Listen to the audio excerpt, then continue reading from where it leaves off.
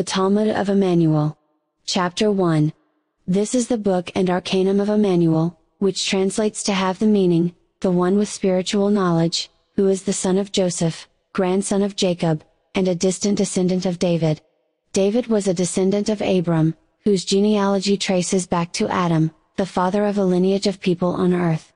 Adam was begotten by Semjasa, a leader of the celestial sons, who were the guardian messengers of Puljos, the great ruler of the travelers from afar. Semjasa, a celestial son and guardian messenger of Puljos, the great ruler of the voyagers who traveled here through vast expanses of the universe, took a woman on earth and begot Adam, the first man of a new white lineage of people, in order to once again populate the planet Earth. Adam took for himself an earth wife and begot Seth. Seth begot Enos. Enos begot Agbiel. Agbiel begot Arusik. Arusik begot Kenan. Kenan begot Mahalaleel. Mahalaleel begot Urich Baramael begot Jared. Jared begot Hinnock. Hinnock begot Methuselah. Methuselah begot Lamech. Lamech begot Tamjil. Tamjil begot Danel. Danel begot Asael. Asael begot Samsaphiel. Samsaphiel begot John Jael. John Jael begot Terrell. Terrell begot Hammock. Hammock begot Noah. Noah begot Sem. Sem begot Arpachshad. Arpachshad begot Batral. Batral begot Ramuel. Ramuel begot Askiel. Askiel begot Armors. Armors begot Salah. Salah begot Eber. Eber begot Peleg. Peleg begot Regu. Regu begot Sarug. Sarug begot Erisiel. Erisiel begot Nahor. Nahor begot Tara. Tara begot Abram. Abram begot Jik. Jik begot Jacob. Jacob begot Judah. Judah begot Ananj. Ananj begot Artael. Artael begot Perez. Perez begot Hezron. Hezron begot Ram. Ram begot Amjadab. Amjadab begot Save. Save begot Naasan. Naasan begot Sana. Sana begot Boaz. Boaz begot Obed. Obed begot Jesse. Jesse begot David. David begot Solomon. Solomon begot Asa. Asa begot Gadiel. Gadiel begot Josaphat. Josaphat begot Jorah. Jorah begot Armeniel. Armeniel begot Uesia. Uesia begot Jothan. Jothan begot Gadriel. Gadriel begot Ahas. Ahas begot Shkia. Shkia begot Manasseh. Manasseh begot Amen. Amen begot Josja. Josja begot Jojich. Jojich begot Sealthiel. Sealthiel begot Jechan. Jechan begot Zerubbabel. Zerubbabel begot Abjud. Abjud begot Eliakim. Eliakim begot Asor. Asor begot Zadok. Zadok begot Achim. Achim begot Iljud. Iljud begot Eleazar. Eleazar begot Mathan. Mathan begot Jacob. Jacob begot Joseph. Chapter 2. When Emmanuel was born in the stable in Bethlehem, during the time of Herod Antipas, Tetrarch of Galilee and Perea, behold, wise men arrived in Jerusalem from the Orient, and asked, Where is the newborn King of Wisdom? We have seen a bright light in the sky, and heard a voice singing, Follow the tail of the light, for the King of Wisdom is born, who will bring great knowledge. Therefore, we have come to see the newborn King of Wisdom. He will possess the knowledge of Puljos, and will be a son of the guardian messenger Gabriel. His knowledge will be vast, as will be his ability to control and utilize the infinite power of his spirit, in order for the people on earth to learn about the laws of creation. When Herod Antipas heard of this, he became frightened, and with him everyone in Jerusalem, for they feared the newborn boy, would grow to wield dreadful power. Herod Antipas called together all the chief priests and scribes from among the people, and inquired of them where Emmanuel had been born. They said, In the town of Bethlehem, for it has been written by the prophet Micah, And you Bethlehem, are by no means the least among the cities in Judea, for in your land will be born the King of Wisdom, who will bring great teachings to the people on earth, in order to learn about the laws of creation. Shortly after this, Herod Antipas secretly called the wise men, and diligently asked them when the bright light with the long tail had appeared in the sky. He then directed them to Bethlehem, saying, Go and search diligently for the young boy, and when you find him, quickly inform me, so I may also come and adore him. After the wise men had listened to Herod Antipas, they departed. And behold, the light with the long tail, which they had observed in the Orient, moved ahead of them with a high singing sound, until it reached Bethlehem. It then hovered directly over the stable, where the infant had been born. When they saw this, they were filled with great joy. They walked into the stable, and when they saw the newborn with his mother, Mary, and with Joseph, they immediately offered their gifts, which were gold, frankincense and myrrh. However, the voice again rang out from the light high above, informing the three wise men, that they should not return to Herod Antipas, because he planned malicious things for the infant. Therefore, they returned to their homeland by another route. After the three wise men had left, the celestial son Gabriel appeared to Joseph, saying, Arise and take the boy with his mother Mary, and go to Egypt. Stay there until I beckon you, for Herod Antipas is planning to seek out the infant and kill him, for he fears this boy will grow to have terrible power. While you are in Egypt, I will send a messenger to Herod Antipas, in order to teach him the truth. Joseph then arose, and they all traveled under the guidance of the celestial son Gabriel in his spaceship, which followed them to Egypt. Here they remained, until Herod Antipas had a change of mind, and his inner fear abated. When Herod Antipas realized there was nothing to fear from the young boy, whose appellation translates to mean, the one with spiritual knowledge, he felt safe in his realm. Therefore, Herod informed the celestial son's messenger, Gabriel, that he would no longer pursue Mary, Joseph, and Emmanuel. Now that Herod Antipas and his followers had changed their minds, the celestial son Gabriel again appeared to Joseph in Egypt, and said, Arise, and take the young boy and his mother Mary to the land of Israel, for all those who were seeking to end the boy's life, have had a change of heart. Joseph then stood up, and they began traveling to Israel, once again under the guidance of Gabriel, the celestial son. Gabriel, the celestial son, followed them to the land of Galilee. There Mary, Joseph and Emmanuel lived, in a city called Nazareth, in order for what had been spoken by the prophets, to be fulfilled, Emmanuel will be called the Nazarene. Chapter 3 In due course, John the Baptist came to the edge of the wilderness, speaking near the banks of the Jordan River. John the Baptist spoke of baptism, in accordance with the old laws of Puljos, according to which the way to wisdom, knowledge and comprehension was to be prepared. He said that Puljos laws should be followed, for he is the sole spiritual leader of the people on earth. He preached that above Puljos, however, is creation, the source of the stars, planets and all the living creatures within a universe. He taught that the genderless creation is the mystery of all mysteries, the consciousness of a universe as a whole. He also taught that Puljos is the Lord and ruler of the people on earth, however, those who traveled from afar, the celestial sons and Puljos himself, also follow the laws of creation. All the people of Judea, and all the people of Jerusalem went forth to John the Baptist, acknowledging the wisdom of the old laws of Puljos, and let themselves be baptized by him in the Jordan River. John the Baptist wore a garment made from camel's hair, a leather belt around his loins, and his food consisted of locusts and wild honey. While he was baptizing people in the Jordan River, the Pharisees and Sadducees came, and began to humiliate him with malicious talk. However, John the Baptist spoke, saying, You brood of vipers, once your logical teachings are revealed, you will not escape from humiliation, well into the most distant future. See to it that you bear logical fruit of knowledge, and learn the truth. Turn away from the confusion of your illogical teachings, which you carry out with arrogance, and in your unquenchable greed for power and fortune. Do not think just of saying to each other, We have Abram as father. I say to you, with his vast knowledge and his great power, Puljos is able to raise up children to Abram out of these stones, for he has extensive knowledge regarding the laws of creation. Already the axe has been laid at the root of the trees, therefore, any that does not bring forth edible fruit, will be cut down and thrown into a fire pit. You brood of vipers, in two times a thousand years, you and your followers, who pursue illogical teachings out of your own ignorance, and in your greed for power and fortune, will be vanquished.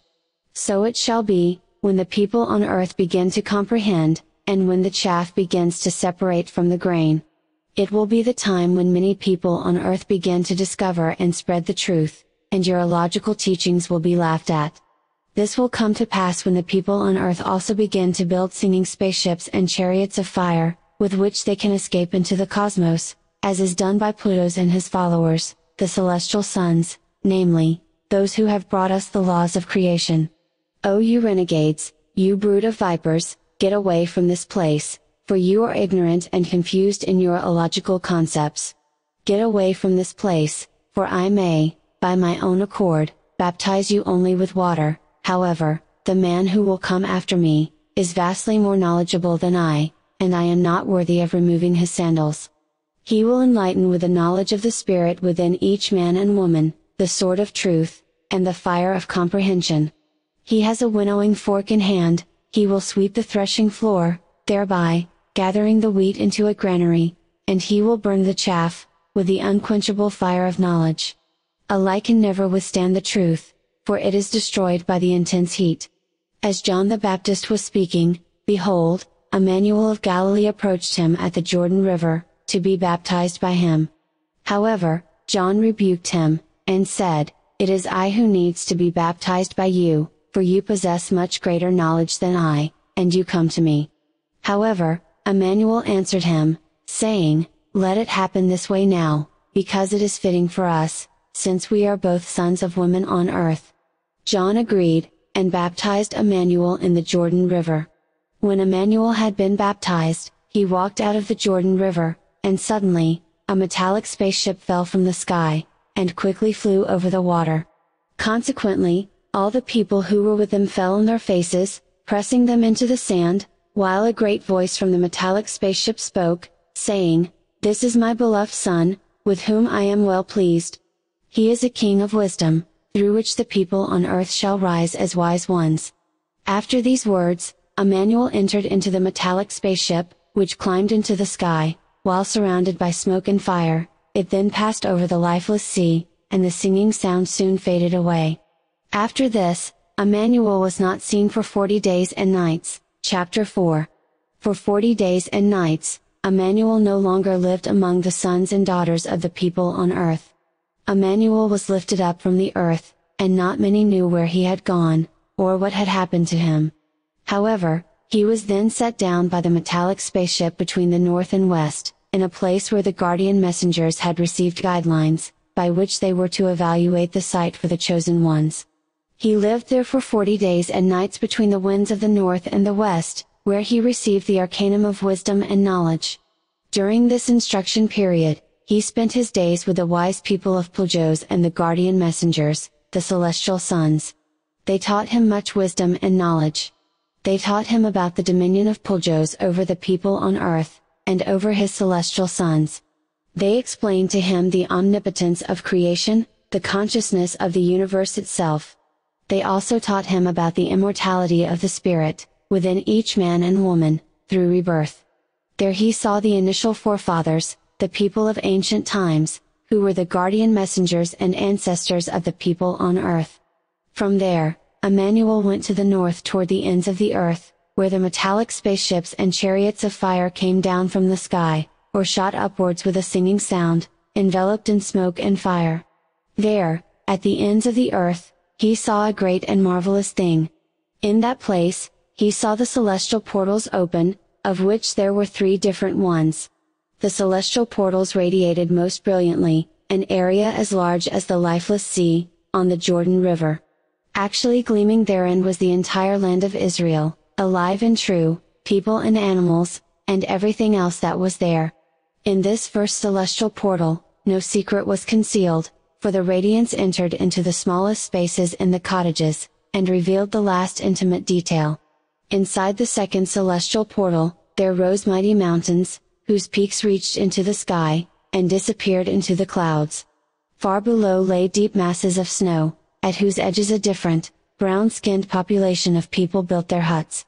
The third celestial portal revealed a land of gigantic dimensions, mountains interspersed with rivers, lakes and seas, where yet another population of people lived. Not far from where these three celestial portals had been built, was the palace of Puljos, the great ruler of the people on earth, and of those who have traveled from afar, the celestial sons, the guardian messengers. In this palace, Puljos ruled over the three lineages procreated by him, and over his own people, the celestial sons. He was immortal through reincarnation of his spirit, ancient and of giant size, like the celestial sons. In the palace of Puljos, there appeared to Emmanuel two very tall men, the likes of whom he had never seen on earth.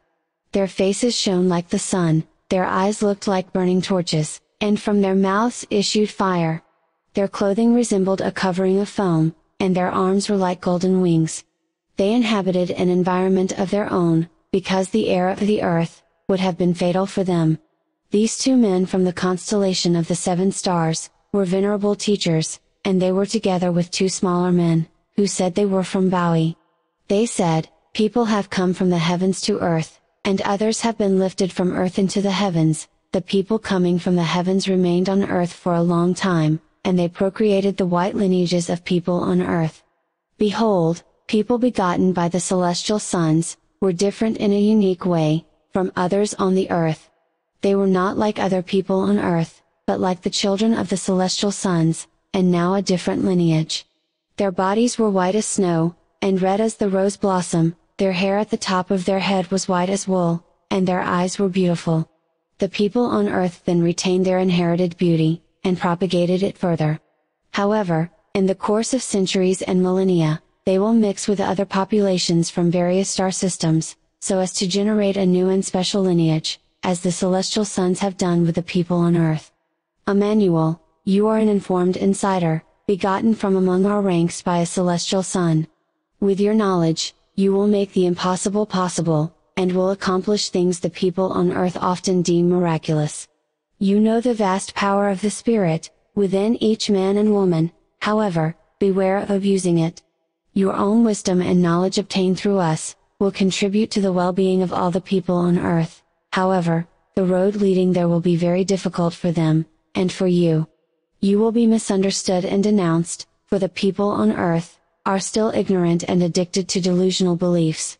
They think Puljos is creation itself, and not the ruler of the celestial sons, and three lineages of people on earth.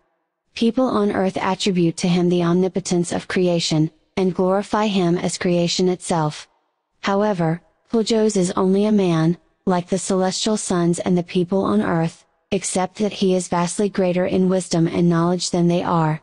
Creation, however, has immeasurably higher wisdom, knowledge and comprehension than Puljos, the Lord over the celestial sons and people on earth, for creation is an immeasurable enigma. Emmanuel, you will also be greatly slandered, by being called Puljos' only begotten son, and you, too, will be equated with the mysterious enigma called creation. However, do not heed these illogical teachings, for millennia will pass before the people on earth are capable of recognizing the truth. Vast quantities of blood will be shed because of you, including your own, and that of countless future generations. Regardless of all this, fulfill your mission as the King of Wisdom, for you are the son of Gabriel, the guardian messenger. The order for your birth was issued by Puljos, so you may serve as prophet and pioneer of wisdom and knowledge for the three earth lineages of people. Fulfill your mission unperturbed by the irrationality and confused teachings of the scribes and Pharisees, and despite the vast ignorance of the people on earth. Therefore, following the fulfillment of your mission, centuries and two millennia will pass, before the wisdom and knowledge you bring to the people on earth, will be recognized and disseminated by a few. Not until the time of space traveling machines, will the truth break through, and gradually shake the illogical concept, that you are the son of Puljos or creation. And this will be the time when we celestial sons begin to reveal ourselves anew to the people on earth, when they will have become knowledgeable, and once again begin to threaten the structure of the heavens with their acquired power. Thus they spoke, the celestial sons between the north and the west, before bringing Emmanuel in a metallic spaceship back to Israel, to the land of Galilee. When Emmanuel heard that John the Baptist had been imprisoned, he left the town of Nazareth, and went to live in Capernaum, which lies by the sea in the land of Zebulun and Naphtali. From that time onward, Emmanuel began to teach, saying, recognize the truth, turn to knowledge and obtain comprehension, for they alone will bring you peace. When Emmanuel walked by the Sea of Galilee, he saw two brothers, Simon, who was called by his last appellation Peter, and Andrew, his brother, casting their nets into the sea, for they were fishermen. He said to them, Follow me, for I will teach you wisdom and knowledge, and make you fishers of people. Thereupon, they left their nets and followed him. As Emmanuel went on, he saw two other men, Jacob, the son of Zebedee, and John, his brother, in a boat along with their father, Zebedee, mending their nets. Emmanuel then called them. Immediately, they left the boat and their father, and began to follow him as well.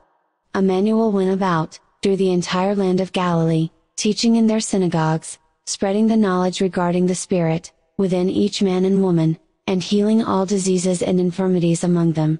News of Emmanuel spread through the entire land of Syria, and they brought to him all the sick afflicted with various diseases and torments, the lunatics, and the paralytics, and he made all of them well. Many other people also began to follow him, from Galilee, Decapolis, Jerusalem, the land of Judea, and also from beyond the Jordan. Chapter 5 When Emmanuel saw the many people following him, he went up a hill and sat down, and his disciples came to him. He then began speaking to them, saying, Wise are those who are rich in knowledge and recognize the truth, for life is theirs. Wise are those who endure hardship, for they will thus recognize the truth and be comforted. Wise are those who employ balanced reason and logic, for they will possess knowledge.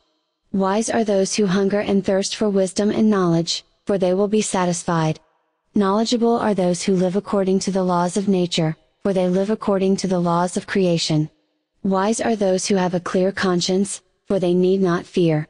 Knowledgeable are those who know about creation, for they are not enslaved by illogical concepts.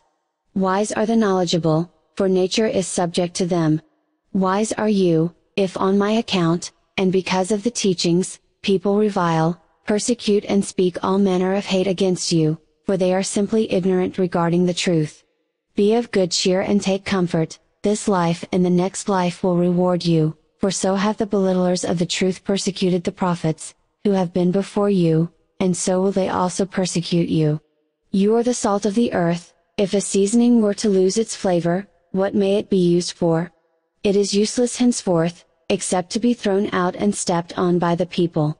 You are a light for the people on earth, and consider, that which is on the top of a mountain cannot be hidden. One does not light a candle and place it under a bushel, but on a candlestick, in order for it to shine brightly for everyone equally. Likewise, your light will shine brightly before the people, and they will witness your wise deeds, which will aid them in recognizing the validity of your knowledge. Do not think I have come to do away with the law or the prophet, I have come not to undo, but to fulfill and reveal the truth. Truly, I say to you, even when the heavens and earth vanish, neither a letter nor a dot of the laws of creation, and therefore, the laws of nature, will vanish or change. Whoever violates one of the smallest of the laws of creation, and teaches the people illogically, will be called the smallest, However, anyone who spreads the teachings truthfully, will be called great. I tell you, if your knowledge does not exceed that of the scribes and Pharisees, you will not receive the reward of comprehension and life. You may have heard it said by your ancestors, You shall not murder, for anyone who does, may be found guilty by the courts. However, I say to you, exercise your free will according to the natural laws of creation, so you may find the judgment in logic. Guilty are those who kill when not acting in self-defense, according to natural laws regarding the eating of animals, or honest accidents. Likewise, guilty are all those who engage in illogical speech and actions. Only actions in accordance with the natural laws of creation, produce a logical outcome. Do not accommodate your adversaries, simply by adhering to the truth, and the judge may decide in your favor. Truly, I say to you, you will attain justice only when you find it yourselves, and are able to help your friends and neighbors understand it as well. You may have heard it said, You shall not commit adultery. However, I say to you, anyone who has sexual intercourse with someone other than their spouse, should be delivered to the courts, for it is an act unworthy of people, contemptible, and an offense against the laws of nature. If your right or left eye causes annoyance, tear it out and throw it away, because it is better that just one of your members be destroyed, rather than your whole body. If a thought causes you annoyance, eradicate it and ban it from your mind. It is better to destroy a thought that incites annoyance, than to bring the whole world of thought into an uproar. It has also been said, whoever wishes to divorce their spouse, should hand over a certificate of divorce. However, I say to you, whoever separates from their spouse, except in response to adultery, commits adultery, therefore, anyone who marries someone who is guilty in a divorce, also commits adultery. You may have further heard it said by your ancestors, you should take no false oath, and you should keep your oath to your brother. However, I say to you, that you should not swear at all, do not swear by the heavens, for they are infinite and immeasurable. Neither swear by the earth, for it is impermanent, nor swear by Jerusalem, for it is an impermanent city built by the hands of men. You should also not swear by your head, for you cannot easily change the color of a single hair. Also do not swear by the memory of someone or anything, for it is all impermanent. Let your speech at all times simply be, yes, yes or no, no. Anything beyond goes against the laws of creation. You have heard it said, an eye for an eye, and a tooth for a tooth. However, I say to you, exercise justice according to the natural laws of creation, so you may find the verdict in logic. Offer your love when it is warranted, and punish when the laws of creation demand punishment. Give to those who ask of you, if they make their request in honesty, and turn away from those who want to borrow in a dishonest way. You may have heard it said, you should love your neighbor as you love yourself. However, I say to you, practice love and understanding according to the natural laws of creation, through logical thinking, you will find the right action and perception. Offer your love where it is warranted, and despise where the laws of creation demand it. You should be alert and acquire knowledge, for you must continuously perfect your spirit, which is a fragment of creation itself.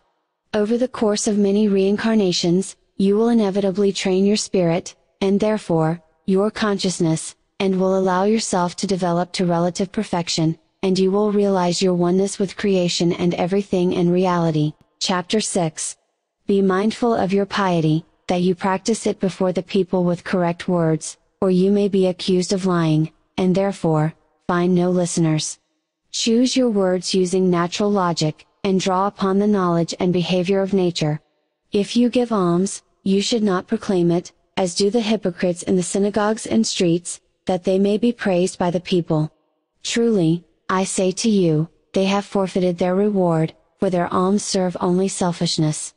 And if you pray, you should not be like the hypocrites, who enjoy standing and praying in the synagogues and corners of the streets, for they pray only for the sake of their selfishness, and the impression they may have upon others.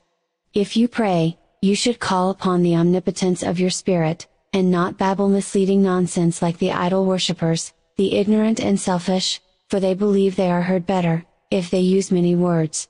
The natural living spirit of each man or woman, has no need for many words, however, the people on earth do need the understanding of its unlimited power. Therefore, if you pray, do it to the omnipotence of your spirit, in the knowledge that its greatness and power are infinite. If you do not know how to communicate directly to your spirit, make use of the sacred writings, by which you may come to understand it. Never be like the ignorant, hypocrites, idol worshippers and the selfish, who worship things in the belief, that the omnipotence of their spirit dwells within it. Therefore, become aware that the almighty power of your spirit always dwells within you, regardless of your usage of sacred things. Therefore, if you pray, do it as someone who knows the truth. My spirit, you exist within omnipotence. May your existence be understood. May your knowledge express itself within me. May your unlimited power unfold itself within me, on earth and in the heavens. Guide me today throughout my daily experiences, that I may recognize the existence of my spirit and the truth. Lead me not into ignorance and confusion, but assist me in recognizing my mistakes. For mine is the consciousness within me, and the power of knowledge for all great times, and so it is. If you communicate with your spirit, it will manifest what you believe, trust in this knowledge and you will receive. However, if you believe in the illogical teachings, that the infinite power of someone's spirit does not dwell within themselves, then you will be without knowledge, and will continue to live in ignorance. Now and then you may receive what you, in your illogical belief, request from idols, pulgos or the consciousness of the universe itself, creation. However, you will receive only because of your strong illogical belief, without real understanding of the spirit within each man and woman. Truly, I say to you, infinite power is only given to those who become conscious of the actual truth, and obtain knowledge, for only they receive in honesty. If you fast, do not look sour like the hypocrites, for they put on pretentious faces, in order to shine with their fasting before the people. Truly, I say to you, they forfeit their reward, because they fast only for the sake of their selfish impression upon others. Therefore, if you fast, anoint your head and wash your face, and do not shine before the people with your fasting, but before your own spirit, which is hidden within yourself. Fast only for the sake of your health, or for the expansion of your consciousness, your spirit and your knowledge. You should not amass more wealth than is required, where moss and rust can destroy things, and thieves can break in. Instead, collect treasures in your spirit, where neither moths nor rust can destroy, and where thieves cannot break in.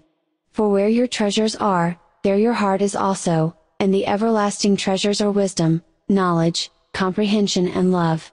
Your thoughts are the light of your consciousness. When your thoughts are clear, you will shine brightly. However, if your thoughts are illogical, you will live in dark confusion. If you are confused and dwell in the dark, how great will the darkness become? No one will serve two masters, they will either hate the one and love the other, or adhere to one and despise the other. You cannot serve your spirit and mammon.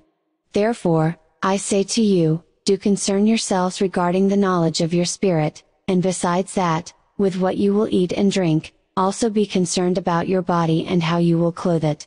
For is the spirit, life and body of a man or woman, not greatly more important than all the treasures of the world?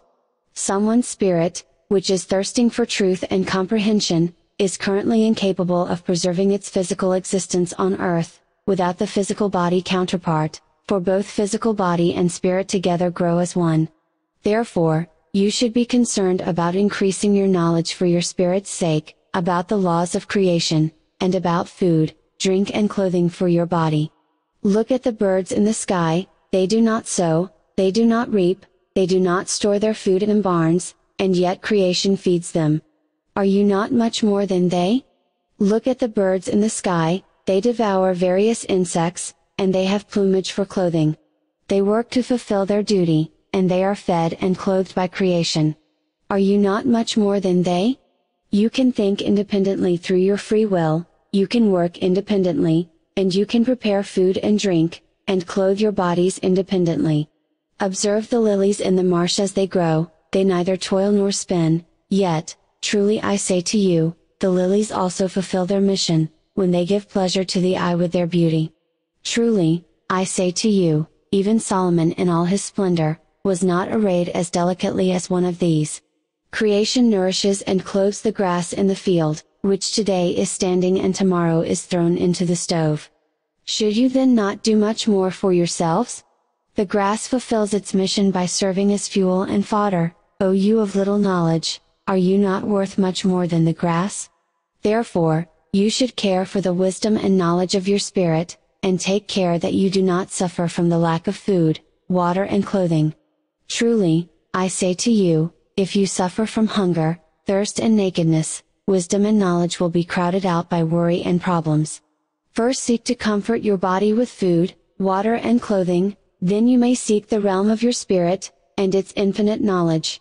Therefore, also take care for the next day, for tomorrow will not take care of itself. It is enough that each day has its own problems, therefore, you should not also be at the mercy of the needs regarding your physical welfare. Chapter 7 Judge not illogically, or you may be illogically judged. For with whatever judgment you judge, you will be judged, and with whatever measure you measure, you will be measured. Judge according to the logic found within the laws of creation, which are derived from nature, for only they possess lasting validity. Why do you see the splinter in your brother's eye, and are not aware of the beam in your own eye? Or, how dare you say to your brother, Wait, I will take the splinter out of your eye. And behold, there is a beam in your own eye. You hypocrite, first remove the beam from your own eye, then see how you may take the splinter out of your brother's eye.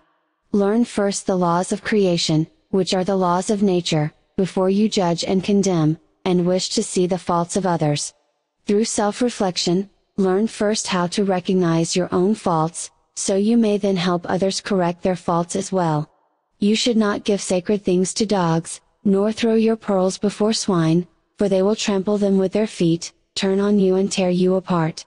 Truly, I say to you, do not throw your spiritual treasures into the dirt, and do not waste it on those who do not care, because they will not thank you, and will tear you apart, for their comprehension is small, and their minds are weak. Ask, and it will be given to you, seek and you will find it, knock, and it will be open to you. For whoever asks of their spirit, will receive, and whoever seeks through the power of their consciousness, will find, and whoever knocks at the door of understanding, to them it will be opened. Who among you would hand your son or daughter a stone, if they asked for some bread? Or offer them a snake, if they ask for a fish? So if you now, even though you are ignorant, can give your sons and daughters good gifts, how much more will your Spirit give you, if you ask for it? Everything you wish people would do to you, do likewise to them. This is a law of creation, which has been delivered through the prophets. Enter the narrow portal. The portal is wide and the path is broad, to that which brings confusion, and many are those who travel on it. However, the portal is narrow and the way is slender, to that which brings wisdom and knowledge, and there are only a few who find it. Beware of false prophets and scribes who will appear in sheep's clothing, for inwardly they resemble ravenous wolves teaching you submissiveness before shrines, deities, gods, and creation, who preach submissiveness to idols and many illogical concepts. Beware of those who forbid you access to wisdom and knowledge, for they speak only to attain power over you, or in order to seize your goods and belongings. You will recognize them by their fruits. For may one gather grapes from thorn bushes, or figs from thistle? Therefore, every fertile seed will bring forth a bountiful harvest, however, a rotten seed will bring forth nothing. A healthy tree can never bear rotten fruit, and a rotten tree can never bear healthy fruit. Thus, by their fruits you will recognize them.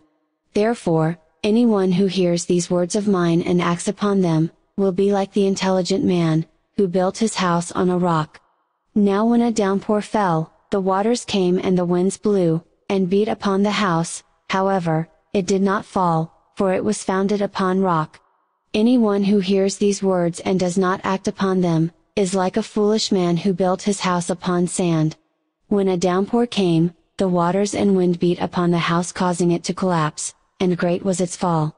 When Emmanuel had finished his talk, the people were astonished by his teachings.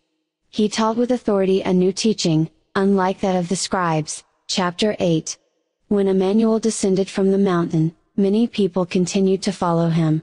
Behold, a leper came and knelt before him, and said, Master, if you will do it, you can make me clean. Emmanuel stretched out his hand, touched him, and said, I will do it, be cleansed. And immediately he was cleansed of his leprosy.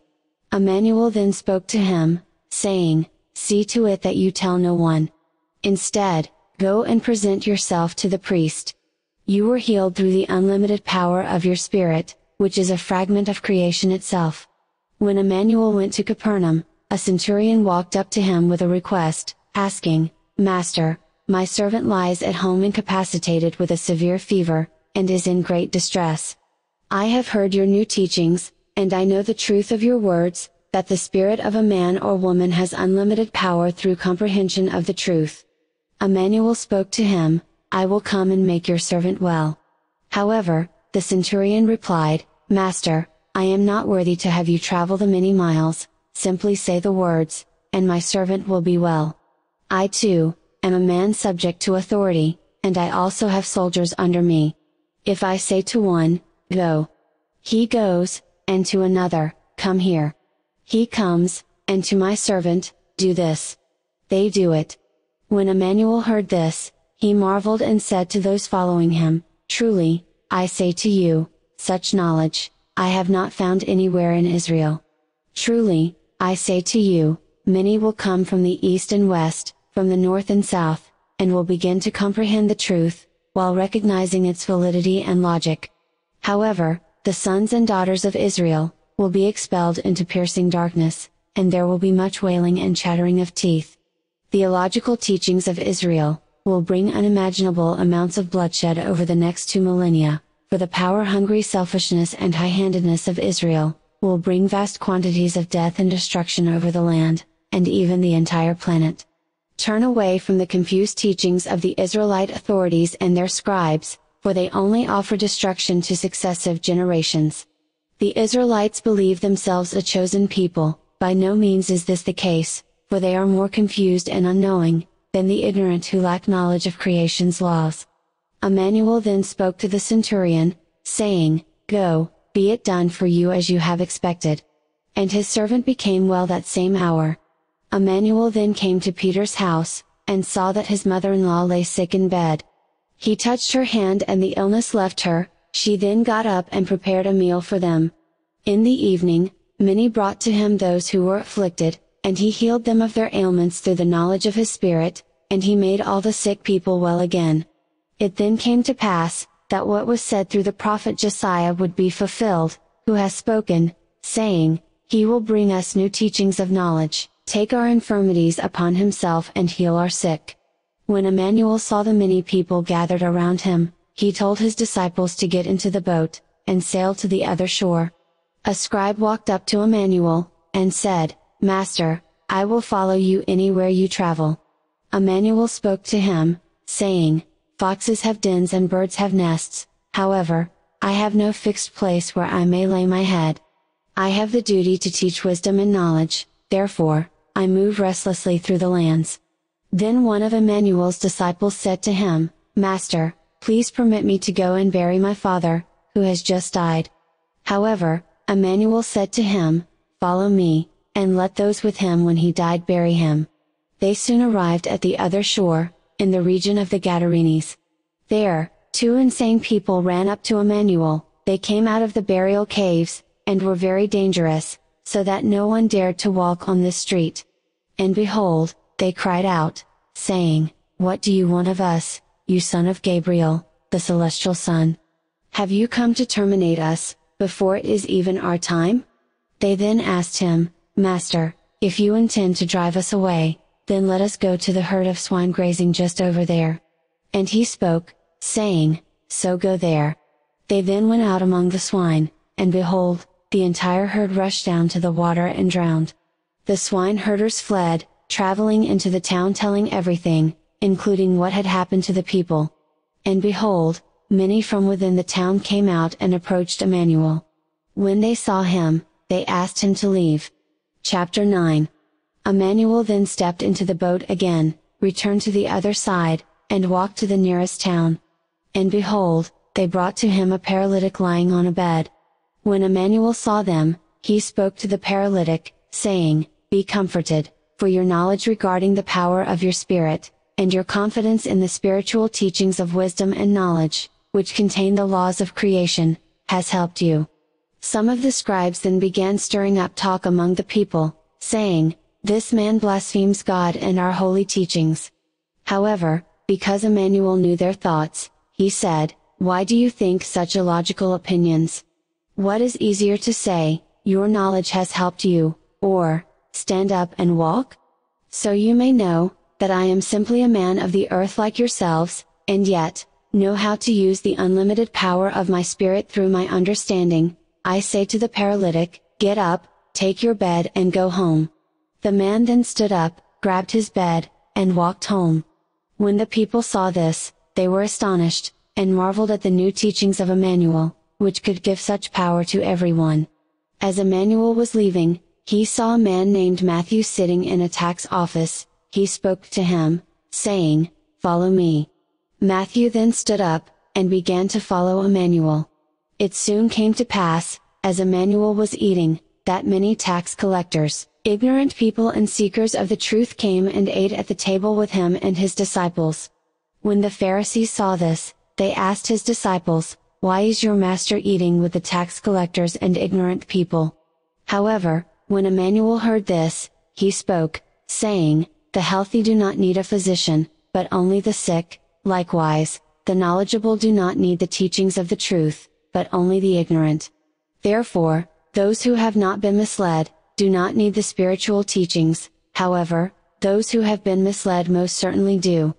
Therefore, go and recognize the confusion of your illogical opinions, so you do not mislead those who thirst for the truth.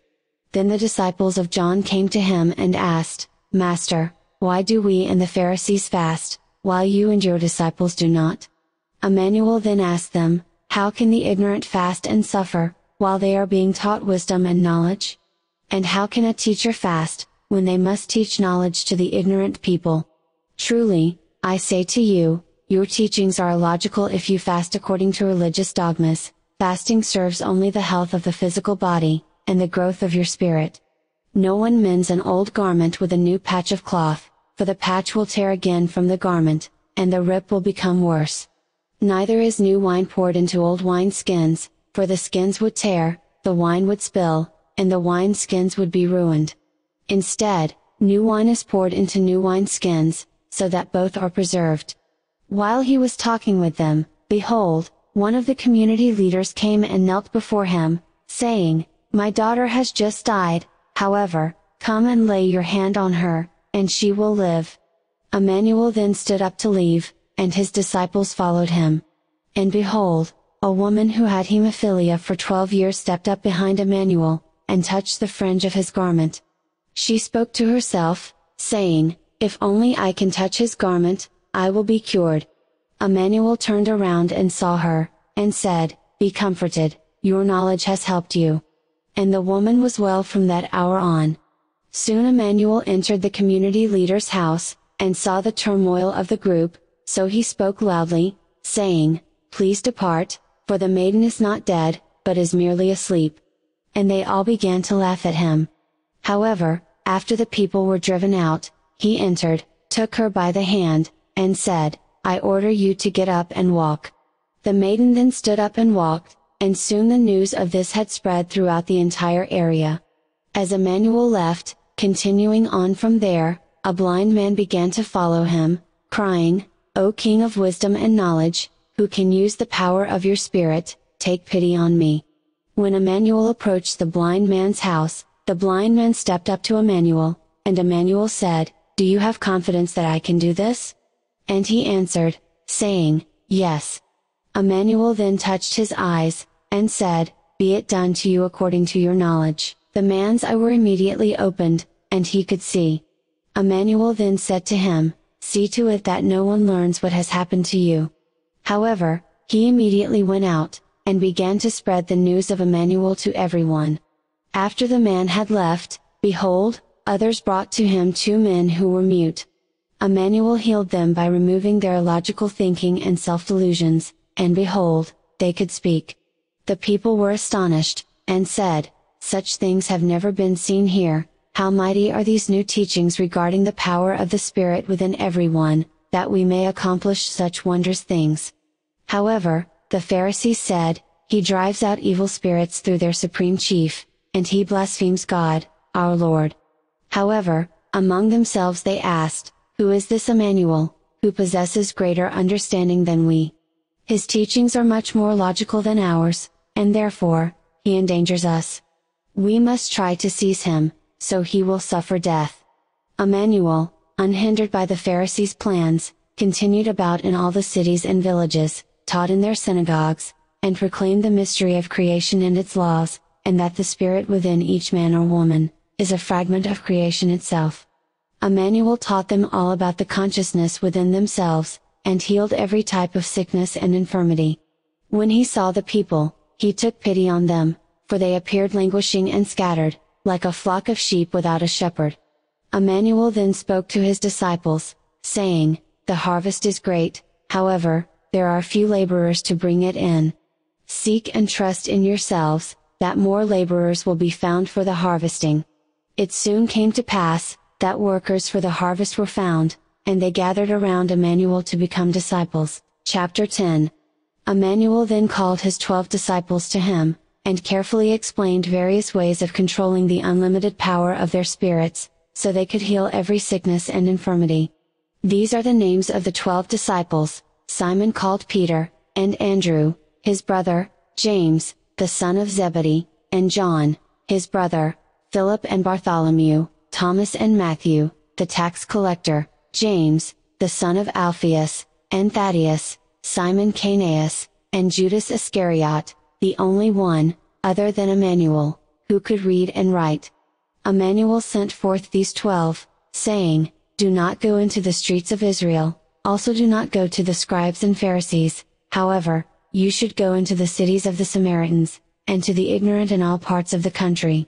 Once I have left you, go to those who lack comprehension, to the idol worshippers and the ignorant, for they do not belong to the house of Israel, which will bring unimaginable death and bloodshed into the world. When you go out and teach, you should say, the laws of nature are the laws of creation, and the power of the Spirit within each man and woman embodies life. Heal the sick, raise the dead and cleanse the lepers, you have received without needing to pay, therefore, give without compensation. You should not amass gold, silver or copper in your belts. Also, on your travels you should not take large bags with you, in which to carry food, water and clothing. Go on your way with only the basic essentials for eating, sleeping, keeping yourselves clean, and for a change of clothing. Never carry too much with you, for you would only burden yourselves, and become welcome victims of waylaying bandits. Remember furthermore, all labor is worthy of its reward, and you will not be wanting, if you diligently follow the wisdom and knowledge, found within the laws of creation. When you go into a city, village or town, seek out someone who is logical, and stay with them until you depart. When you enter a house, greet the people living in it. If they are willing to accept you, your peace will pass on to them, however, if they are not willing, your peace will not affect them. And if someone will not take you in or listen to your words, leave that house or city, and shake the dust from your feet. Truly, I say to you, do not stay in such places, for they are abodes of the ignorant and illogical, and the people there will not recognize the truth, regarding the spirit within each man and woman. Flee from those places, for the people living there are completely ignorant regarding the laws of creation, which are the laws of nature, and they only worship shrines, God or various gods and idols. Flee from those places, for the people there may threaten your life, for they will not want to abandon their illogical concepts. Flee from such ignorant people, because you should not die for the sake of wisdom and knowledge, the laws of creation do not ask this of you, nor do I endorse such recklessness. Truly, I say to you, many will be murdered and shed their blood, for the spiritual teachings will soon be turned into a logical babble I have no association with, and which originates from the minds of the scribes and priests. They will bring the people under their control through belief in their confused teachings, in order to rob them of their goods and belongings. Throughout the world there will be wailing and chattering of teeth, when vast amounts of blood begins to flow, due to those who have turned the spiritual teachings of wisdom and knowledge, into illogical and insane concepts, and will bring unimaginable bloodshed from those, who in their insane beliefs and seduction, advocate this confusion, teachings which I certainly do not advocate. Many of these believers will lose their lives, including many Israelites, who will not find peace until the end of the earth, for they are vastly ignorant, and therefore, deny the unlimited power of their spirit, wisdom and knowledge. Truly, I say to you, the people of Israel have never been one distinct people, however, they have always lived by murder, robbery and destruction. They have gained possession of this land through guile and murder in reprehensible, predatory wars, where the best of friends were slaughtered like wild animals. The people of Israel are cursed until the end of the world, never to find peace. Behold, like sheep among the wolves, I am sending you among the ignorant people, therefore, be wise as serpents and innocent as doves. However, beware of the people, for they may turn you over to the courts, and scourge you in their synagogues. You may be brought before sovereigns and kings because of the truth, as witnesses to them and all other ignorant people. If you cannot flee, and they turn you over to the courts, do not be concerned, the infinite power of your spirit will not leave you, and your knowledge will inform you on what to say. It will be you who speaks, through the power of your spirit's wisdom and knowledge. You may come to be hated because of the spiritual teachings, however, those who persevere to the end, will benefit greatly. If you are persecuted in one city, flee to another. Do not go to any trouble for the cities of Israel, truly, I say to you, you will not ever get any comprehension from them. The student is never above the teacher, nor the servant above the master. It is enough for the student to follow their teacher, and the servant to obey their master. If they have called the master of a house Beelzebub, how much more will they malign those of his household? Therefore, beware of Israel, for it is like a festering boil. However, do not fear them, for there is nothing hidden, that will not be revealed, nor any secret, that will not become known. What I tell you in secret, speak in public, what is whispered into your ear, proclaim from the rooftops. Do not be afraid of slander, nor fear those who take life and limb, do not think I have come to bring peace on earth. Truly, I have not come to bring peace, but the sword of truth, wisdom and knowledge, regarding the infinite power of the Spirit within each man and woman. For I have come to bring understanding, and to provoke the people on earth to think logically, son against his father, daughter against her mother, daughter-in-law against her mother-in-law, servant against master, citizen against government, and believer against priest. The people's enemies, will be their own housemates. The path to understanding the truth is long, therefore, comprehension of it will only penetrate slowly. A dark age will follow, and even centuries and millennia, before the existence of the spirit within each man and woman, will begin to be recognized by the people on earth. The illogical and ignorant, including the scribes, priests and authorities, will hate those who have this understanding, and therefore, will persecute them greatly. Chapter 11 After Emmanuel had finished speaking to his twelve disciples, he continued on from there, while teaching throughout the city streets. When John the Baptist, while in prison, heard about the works of Emmanuel, he sent forth his disciples to him, and had them ask, Are you the one who is to come? the King of wisdom, as foretold by the prophets, or should we wait for another? Emmanuel answered, saying to them, Go back and report to John the Baptist what I say, the blind see, the lame walk, the lepers are cleansed, the deaf hear, the dead rise, and the knowledge regarding the laws of creation, and the existence of the Spirit within each man and woman, is given to everyone who seeks it. Wise and knowledgeable are those, who are not offended by the spiritual teachings. As they were leaving, Emmanuel began to speak to the followers of John the Baptist, saying, What did you go into the wilderness to see? Did you expect to see a reed blowing to and fro in the wind? Or, what did you go out to see? Did you expect to see a man clothed in soft raiment? Those who wear soft raiment are in the king's houses, with the rulers and wealthy, and therefore, with the hypocrites, scribes and priests. Or what did you go out for? Did you expect to see a prophet? Yes, I tell you, John the Baptist is more than a prophet. This is the man of whom it is written, Behold, I will send my messenger before you, who will prepare the way to the truth. Truly, I say to you, among all those born of earth women, few have arisen greater than John the Baptist. However, in the coming days, years, centuries and millennia, the earth will suffer from much violence, and everyone acting in this manner, will be to blame for devastating it. For all prophets have foretold up to the time of John the Baptist. If you wish to accept it, he is Elisha, who has come again after reincarnation. Those who have ears, let them hear. To whom shall I compare this generation? It is like the boys and girls, who sit at the market and call to their playmates, saying, We struck up a tune for you, and you would not dance, we wailed before you, and you would not mourn. John, who is Elisha, has come neither eating nor drinking, so they say, he is insane. I have come both eating and drinking, and so it is said, Behold, what a glutton this man is, and a companion of the tax collectors and ignorant people. However, wisdom and knowledge may only be recognized, through someone's self-acknowledged actions and reactions. Emmanuel then said, Praise be to creation, generator of the heavens, earth and the universe itself, however, it remains hidden from the illogical and misguided, who spread confusion.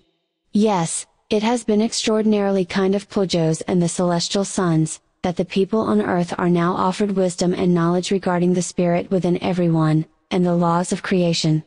Necessary spiritual concepts, have now been given to the people on earth, however, at this moment in time, only a very few men and women know about the laws of creation. All things have now been given over to me by Puljos, whose guardian messengers have taught me the laws of creation, and the knowledge emanating from nature. So come to me, all those who seek and thirst for truth and realization, for I will refresh you. Take upon yourselves the yoke of learning the new teachings, for they offer enlightenment, and within them you will find peace for yourselves, for the yoke of spiritual development is gentle, and its burden is light. Chapter 12 It soon came to pass, that Emmanuel began to speak of marriage and related topics, and he said, You may have heard the directive, you shall not commit adultery. Despite this, married men often bed down with someone other than their spouse, and similarly, married women often bed down with someone other than their spouse, thereby violating the laws of creation. Therefore, anyone who commits adultery, is an abomination to life and the laws of creation, and should be cut off from the community to live with similar violators. If men and women bed down with one another in disgrace, and without loving each other, they are an abomination to life and the laws of creation, and therefore, should be cut off from the community as well.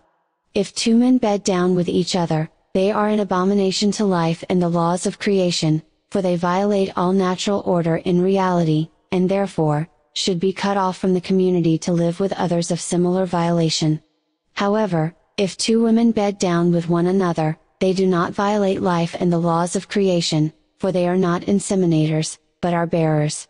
When inseminator and inseminator join together, life is desecrated and destroyed, however, if conceiver and conceiver join together, there is not desecration, destruction nor procreation. Truly, I say to you, there is not a single wild animal on earth, nor on any other inhabitable planet, that would behave like the people on earth, are you not much more than wild animals? Any wild animal species found on earth, or on any other world, would never tolerate males living with other males, however, females are often found together with other females, for male and female wild animals, cannot violate the laws of nature, which are the laws of creation. Anyone indulging in sexual intercourse with another, simply for the sake of pay, should be cut off from the community, and live with similarly violating people. Anyone who sexually abuses a boy or girl, is an abomination to life and the laws of creation, and therefore, should be isolated from the community with similar violators. Anyone who knowingly commits an act of incest, is an abomination to life and the laws of creation, and therefore, should be cut off from the community, and live among similar violators. Anyone having sexual intercourse with an animal, is an abomination to life and the laws of creation, and therefore, should be cut off from the community, in order to live among others of similar violations. Those who knowingly marry a man or woman divorced illegitimately, should be cut off from the community to live with similar violators, for they both are an abomination to life and the laws of creation. Any man who begets a boy or girl, without first being married to the woman, and leaves her unmarried, is an abomination to life and the laws of creation, and therefore, should be cut off from the community to live with similar violators. Anyone who rapes a man or woman, is an abomination to life and the laws of creation, and therefore, should be cut off from the community, and live among others of similar violations. Anyone who commits violence against another man or woman's body, life or mental health, without acting in self-defense, is an abomination to the laws of creation, and therefore, should be cut off from the community to live among similarly violating people. Truly, truly, I say to you, the laws of creation are logical, and have been established by nature, and therefore, should be followed, or the people on earth will bring death to themselves in great masses. The planet Earth can nourish and support no more than 500 million people of all populations. However, if the laws of creation are not followed, in two times a thousand years, there will exist far more than 10 times 500 million people, and the Earth will no longer be able to support them. Famines, catastrophes, worldwide wars and epidemics will rule this planet, the people on earth will kill each other, and only a few will survive. Truly, I say to you, there will be great wailing and chattering of teeth, when so much blood drenches the sands of the earth, that new life forms arise from it, bringing the final horror to the people on earth. However, today you have been allowed to receive knowledge, and have been given the laws of creation, which you should live by. You should adhere to the laws of creation, so you will have prosperity on earth, and peace within yourselves. Abolish the habit, in which women are subjected to men, for women deserve equal rights and obligations. When a man marries a woman, he should give the most trusted steward of her valuables, an amount of money as security, so she will not suffer from the lack of necessities. The amount should be calculated, whereby, a minimum of 100 pieces of silver, or the equivalent, will be required for each year of the woman's age, if her health is not lacking.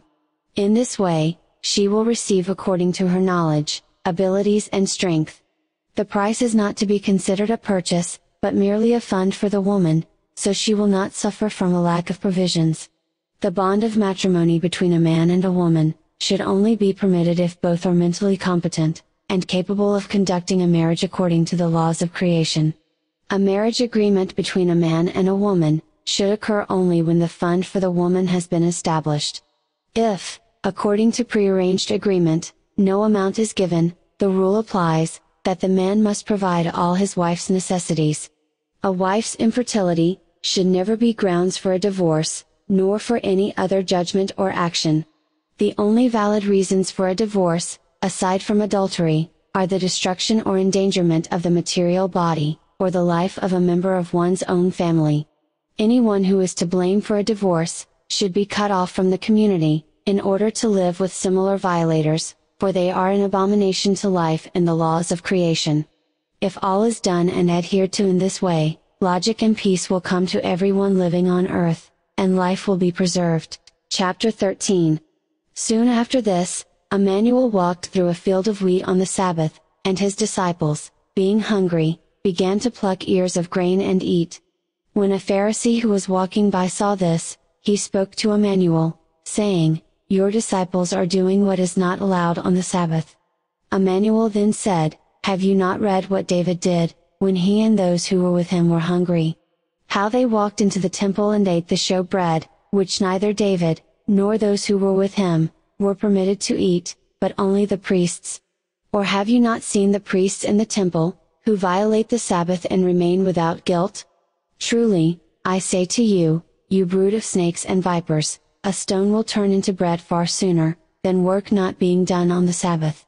The directive of keeping the Sabbath sacred, is an illogical law made by earthmen, as are many others, which contradict the laws of creation. False prophets and distorters of the truth, are the ones responsible for these insane directives, which contradict the laws of creation.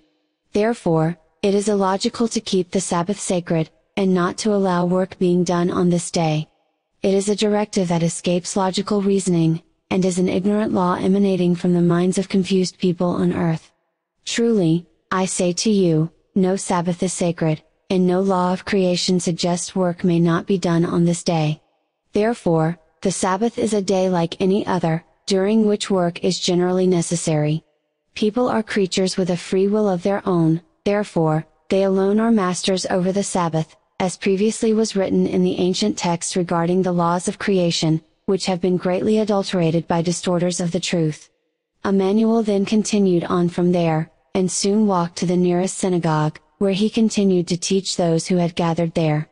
And behold, a man with a withered hand sat in the synagogue, and a group of Pharisees asked, Is it lawful to heal on the Sabbath?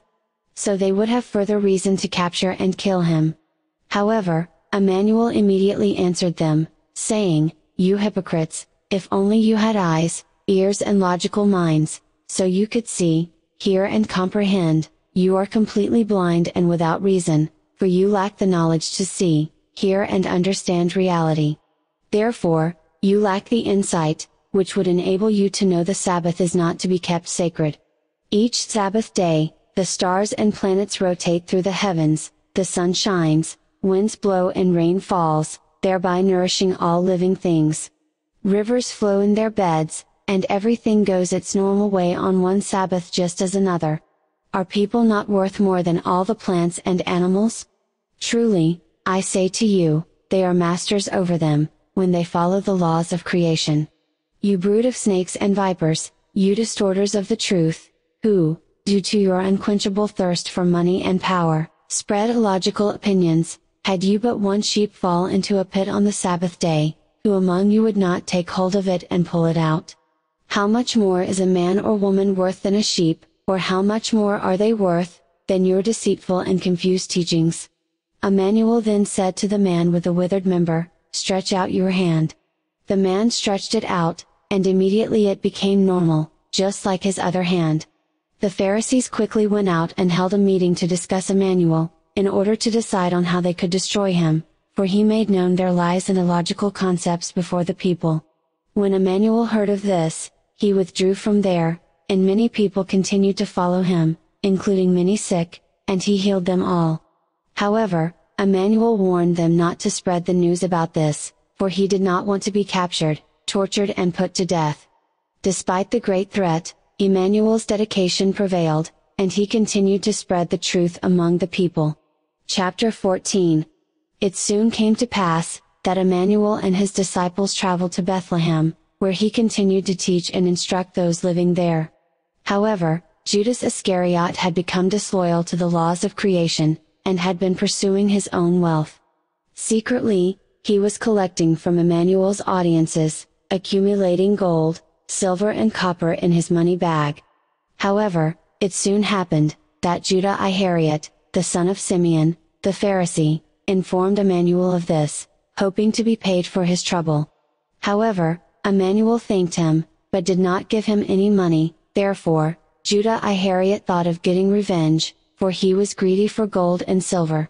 Emmanuel then led Judas Iscariot into the desert, where for three days and nights, he was taught the concept of the Spirit within every man and woman, and the laws of creation, whereupon he recognized his mistake, and from then on, dedicated himself to the laws of creation.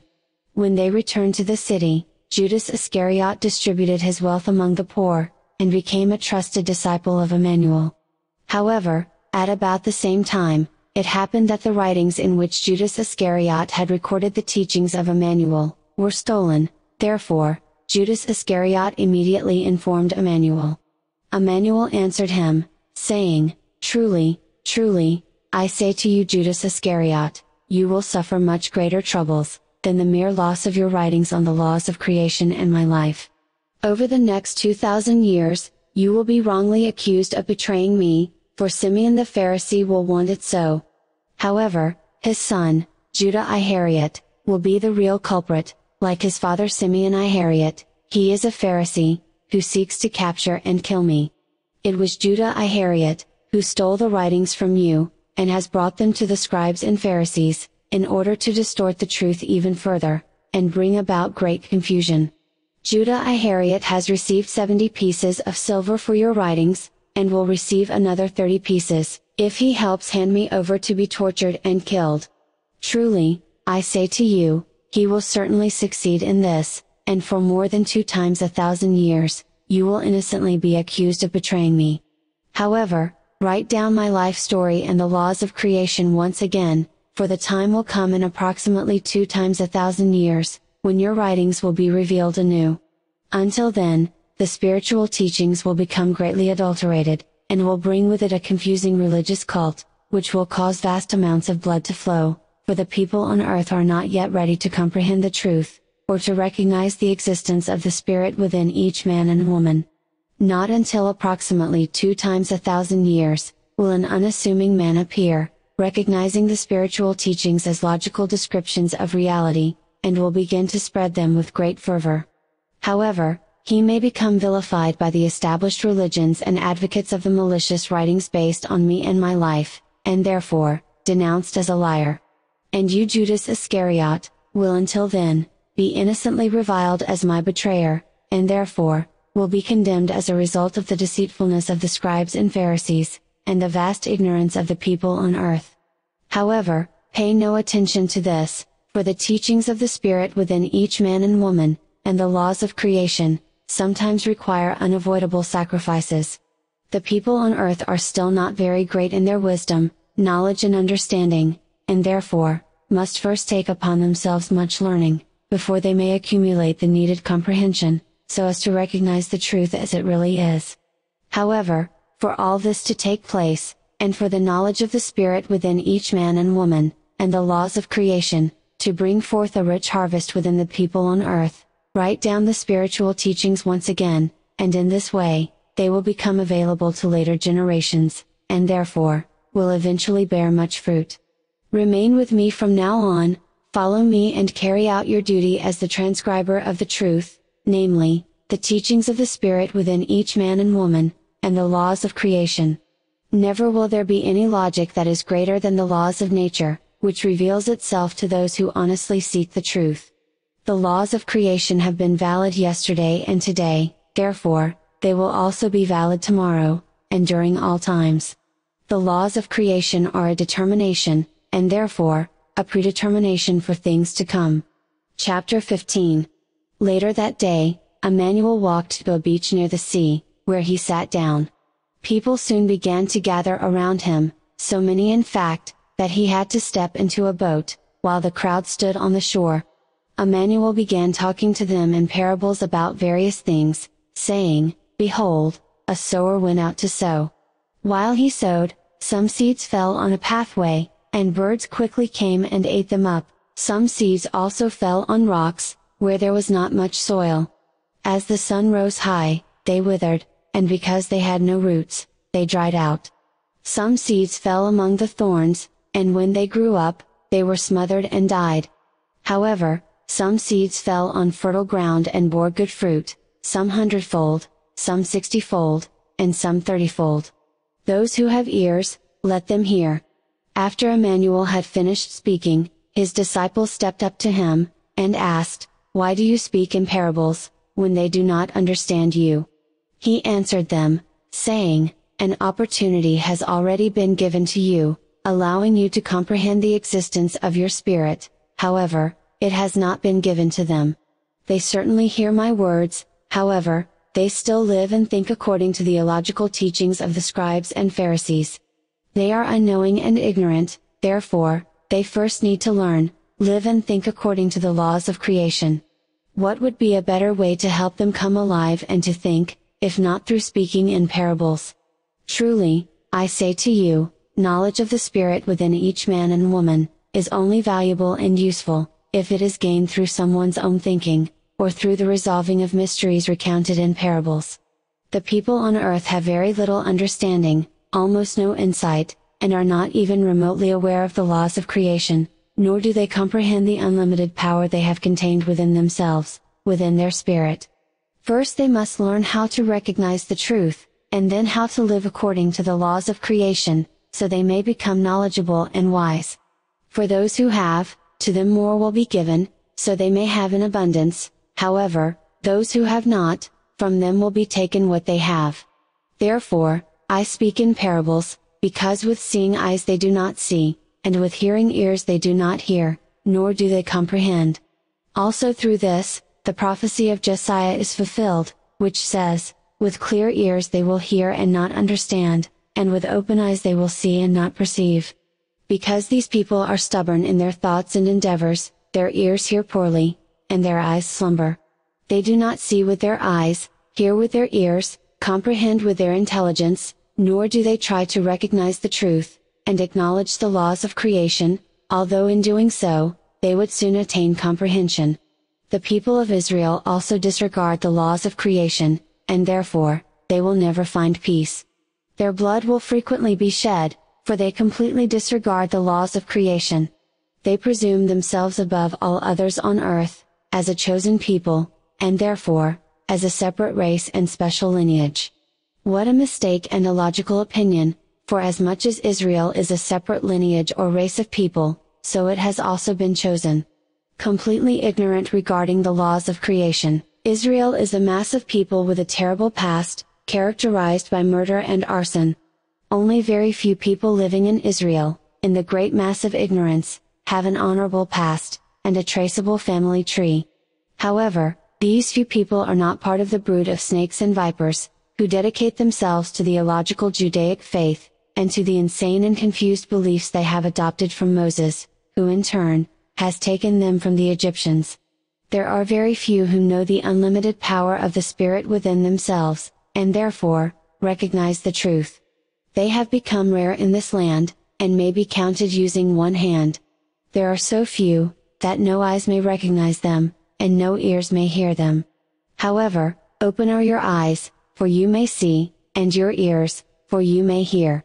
Truly, I say to you, many have tried to see what you have seen, yet could not see it, and to hear what you have heard, but could not hear it. Therefore, listen now to the hidden meaning of the parable regarding the sower, if someone hears the truth regarding their spirit, and the laws of creation, yet does not comprehend it, the confused people may come and snatch away what has been sown in their mind, this is for whom it is sown on the pathway. However, for those it is sown on the rocks, this is the one who hears the truth, and quickly accepts it with joy. They have no roots within themselves, therefore, that which has been heard cannot take hold and grow, rather, they are fickle and easily become annoyed when misery and difficulties arise due to the truth.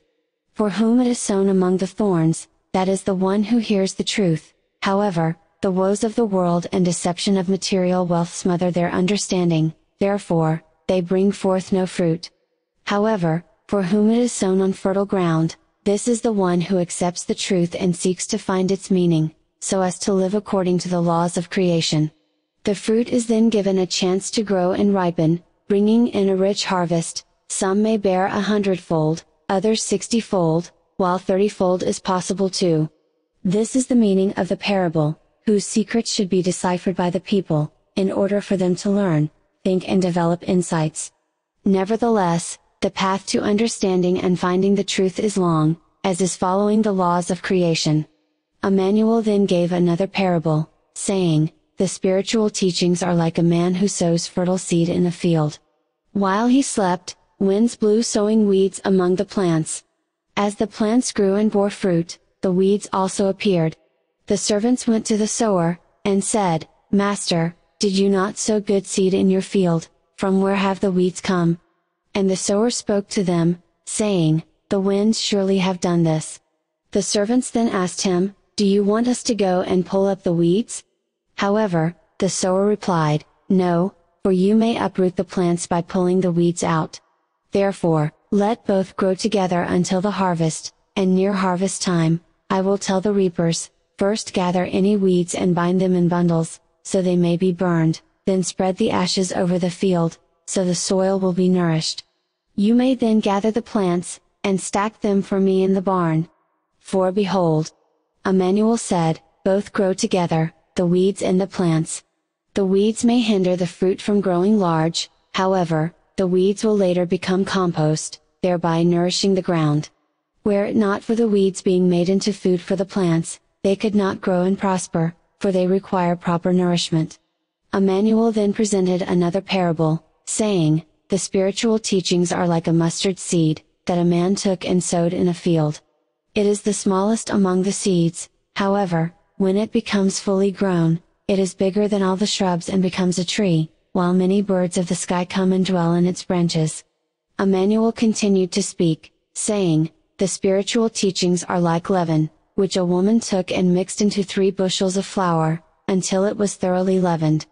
Emmanuel did not speak to the people without using parables, in order for what has been said through the prophets would be fulfilled, which states, he will open his mouth in parables, and will proclaim what has become hidden. This will help the people on earth learn, recognize the truth, and follow the laws of creation. Those who have ears, let them hear, the spiritual teachings are like treasure scattered in a field, when someone stumbles upon it, they experience great joy over its discovery, and go out to sell everything they have, and purchase the field. Again, the spiritual teachings are like a merchant, who searched for fine pearls, and when he found a colony of pearl bearing oysters, he went and sold everything he had, and bought the lake. Once again, the spiritual teachings are like a net, that was thrown into the sea, thereby catching large amounts of fish. When the net became full, the fisherman pulled it ashore and sat down, in order to sort the bigger fish into containers, while throwing the smaller ones back. Such is the spiritual knowledge gained from the teachings. Pay careful attention to these parables, and learn their meaning, so all of you may begin to think, recognize, and follow the laws of creation. Have you understood me? Emmanuel asked his disciples, and they answered, saying, Yes. Emmanuel then said, Every scribe who becomes a disciple of the spiritual teachings, is like the father of a household who retrieves from his treasures, the old with the new. After Emmanuel had finished speaking, he left that place. Soon Emmanuel traveled to his hometown of Nazareth, where he began teaching in a local synagogue. The people there were appalled by his teachings, and said, How did this man come to have such knowledge and understanding? Is Emmanuel not the son of Joseph, a carpenter, whose wife was impregnated by a guardian messenger? Is his mother not known as Mary? Are his brothers not Judas, Joseph, Simeon and Jacob? And his sisters, are they not alive and well? From where does he get the power for his actions? They were greatly offended, and threatened to hand him over to the courts. However, Emmanuel spoke to them, saying, Nowhere is a prophet less valued, than in his own country, and especially his parents' household. This will remain true for all times, as long as the people on earth have little understanding, and are enslaved by the illogical and insane teachings of the scribes and distorters of the truth. However, it will occur in approximately two times a thousand years, when the people on earth begin to think, that my actual teachings will be revealed anew without adulteration. The prophet of the distant future, however, will not have developed nearly as much power over sickness and disease as I have now. Yet, his knowledge and understanding will far surpass mine, and his revelations obtained from the spiritual teachings, will shake the very foundations of the earth, for in his time, the world will be saturated by insane religious cults, which have been established by distorters of the truth, and the people on earth will be living in constant insanity and confusion, which will bring death. It will be a time when aggressors from the depths of the universe begin to threaten, and many new people will seek to rule over those living on earth. Truly, truly, I say to you, the new prophet will be greatly persecuted, not only by malicious people, as is now happening to me, but also by many confused religious cults, which will bring forth many false prophets. However, before the end of two times a thousand years, the new prophet will reveal my unadulterated teachings to small groups, just as I teach the wisdom and knowledge from the laws of creation, to small groups of trusted friends and disciples. Nevertheless, his path will be very difficult and full of obstacles, for he will begin teaching in a peace-loving northern country, which will be largely dominated by strict religious cults, loosely based upon the truth. This I have seen using my inner vision, and therefore, it will come to pass. Emmanuel did not continue showing them his great power, nor did he continue imparting his vast knowledge, due to their disdain for the truth. Chapter 16 Soon after this, while Emmanuel was staying in Nazareth, news about him reached Herod. And Herod spoke to his people, saying, Surely this is John the Baptist, who has arisen from the dead, for who else has such awesome knowledge? Herod had seized John the Baptist, bound him, and locked him in a prison cell, because of the demands Herodias, the wife of Herod's brother Philippus, had made, and John the Baptist was decapitated. However, it had previously come to pass, that John reprimanded Herod, saying, It is not appropriate for you to take Herodias as your wife, for in so doing, you have committed adultery, and therefore, you violate the laws of creation. For this, Herod wanted John the Baptist dead, however, he feared the people, for they considered John a prophet. However, as Herod was celebrating his birthday, the daughter of Herodias danced for him, and he was greatly pleased. Herod then promised to give her anything she wanted. She had already been instructed by her mother, who said, Tell him you want the head of John the Baptist, delivered to you on a silver platter. However, the daughter of Herodias wept while saying this, for she had been greatly inspired by John the Baptist, and was devoted to his teachings. Yet, the king Herod was very pleased, that Herodias had persuaded her daughter to ask for the head of John the Baptist, for in this way, he was not guilty in the eyes of the people, because he had taken an oath. However, Herodias' daughter was unaware, that Herod and her mother had already agreed, far before the dance, to obtain the head of John the Baptist through her. Herod quickly sent a servant, and had John decapitated in his prison cell. John the Baptist's head, was then carried on a silver platter, and given to the weeping woman. And she kissed the head's brow, while continuing to weep bitterly. She then took the head of John the Baptist to her mother. John's former disciples soon came, and buried his headless body, and they also went to Emmanuel, in order to tell him what had happened. When Emmanuel was told the horrific news, he was overcome with great remorse, and quickly retreated by boat to a secluded area. However, when the people heard of this, they began to follow him on foot. When Emmanuel saw the large crowd from the boat, he felt sorry for them, so he went ashore, and began healing those who were sick. When evening came, Emmanuel's disciples walked up to him, and said, We are many miles from the nearest town, and night is drawing near, therefore, you should tell the people to go now, for we are all hungry. However, Emmanuel said to them, It is not necessary to leave now, simply give them something to eat. And they replied, by saying, We have nothing here but a few loaves of bread, and some fish. Emmanuel then said, Bring it to me. Telling the people to sit down and wait, Emmanuel took the loaves of bread and fish, and by using the unlimited power of his consciousness, and therefore, his spirit, Emmanuel broke the loaves of bread, cut up the fish, and gave them to his disciples, and the disciples gave them to the hungry people.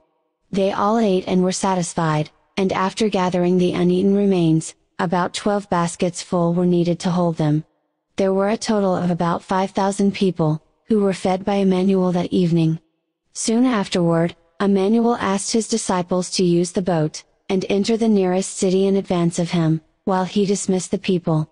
After Emmanuel had sent the people away, he climbed up a small mountain by himself, in order to rest and regain his depleted strength therefore, he was there alone at night. The disciples' boat was, at that time, in the middle of the sea, and was being tossed around violently by large waves, for the wind was against them, and the storm was directly overhead. However, on the fourth hour in the early morning, Emmanuel began to approach the small boat, by walking on the water of the sea. When his disciples saw him walking on the water, they were terrified, and said, It is a ghost and they cried out in fear. However, when Emmanuel got near the boat, he spoke to them, saying, Be comforted, for it is I Emmanuel, do not be afraid. Master, is it really you? Peter asked. Truly, it is I, answered Emmanuel. However, Peter then said, Master, if it is you, allow me to walk toward you on the water. And Emmanuel said to Peter, Come to me on the water, and do not be afraid. Comprehend and know, that the water is capable of carrying you, and it will carry you. Do not doubt your knowledge, ability and understanding, and the water will become a firm foundation to step on. Peter immediately stepped out of the boat, and began walking on the water toward Emmanuel. However, when a strong thunderclap ripped through the violent storm, Peter was startled and began to sink, screaming, Emmanuel, help me! Emmanuel quickly ran to Peter, stretched out his hand and grabbed him, while saying, O you of little knowledge, why are you frightened, and why do you become doubtful in your fright? The unlimited power of your spirit, through your knowledge and understanding, has given you the ability to walk on the water, as you have just witnessed. You trusted yourself before the thunderclap, however, you became frightened and began to doubt, therefore, the power of your knowledge left you, and your ability disappeared. Never doubt the unlimited power of your spirit, which is a fragment of creation itself. Behold, there was a little bird circling high in the sky, singing and enjoying itself. Suddenly, a strong gust of wind came and made it waver, causing it to doubt its ability to fly, therefore, it quickly fell to the ground and died. Never doubt the infinite power of your spirit, nor should you doubt your understanding and ability, when logic shows you the truth. Emmanuel then stepped into the boat, while also calming the storm, and the winds quickly ceased. The disciples in the boat were astonished, saying, You are indeed a master of your spirit, and someone who knows the laws of creation. Someone like you has never been born among us, nor has any prophet known to us ever had such power. However, Emmanuel said to them, I tell you, there are greater masters of spiritual power than I, some of which are our distant forefathers of Patale. Great are they also, who came from the depths of space, and the greatest among them is Puljos, who is the spiritual ruler of three lineages of people living on earth. However, greater than all of them is creation, and its laws they follow and respect, therefore, Puljos is not omnipotent, as only creation itself is. Therefore, there are also limits set for those who are or have been called a god, and who rule above emperors and kings. However, the people on earth are ignorant and illogical, therefore, they believe Puljos to be creation, and thereby serve a fictitious entity, as has been adulterated by the distorters of the truth. Because many people on earth believe in God, they do not know about the reality of creation, for Puljos is a man just as you or I. However, the difference being, that Puljos' wisdom, knowledge, comprehension, logic and love, is much more than a thousand times greater than I, you and everyone else's living on earth. Yet, Puljos is not creation, which is truly vast, and is actually the universe's consciousness. Therefore, Puljos is also a fragment of creation, who according to a logical opinion, has had no beginning or end. They continued crossing the sea, and soon landed on the shore of Gennesaret. The people in that region quickly became aware of Emmanuel, and therefore, immediately sent word throughout the land, in order for him to heal those who were sick and suffering. Many asked if they could only touch the hem of Emmanuel's garment, so they would be healed. And it came to pass, that those who touched the hem of his garment, soon became well.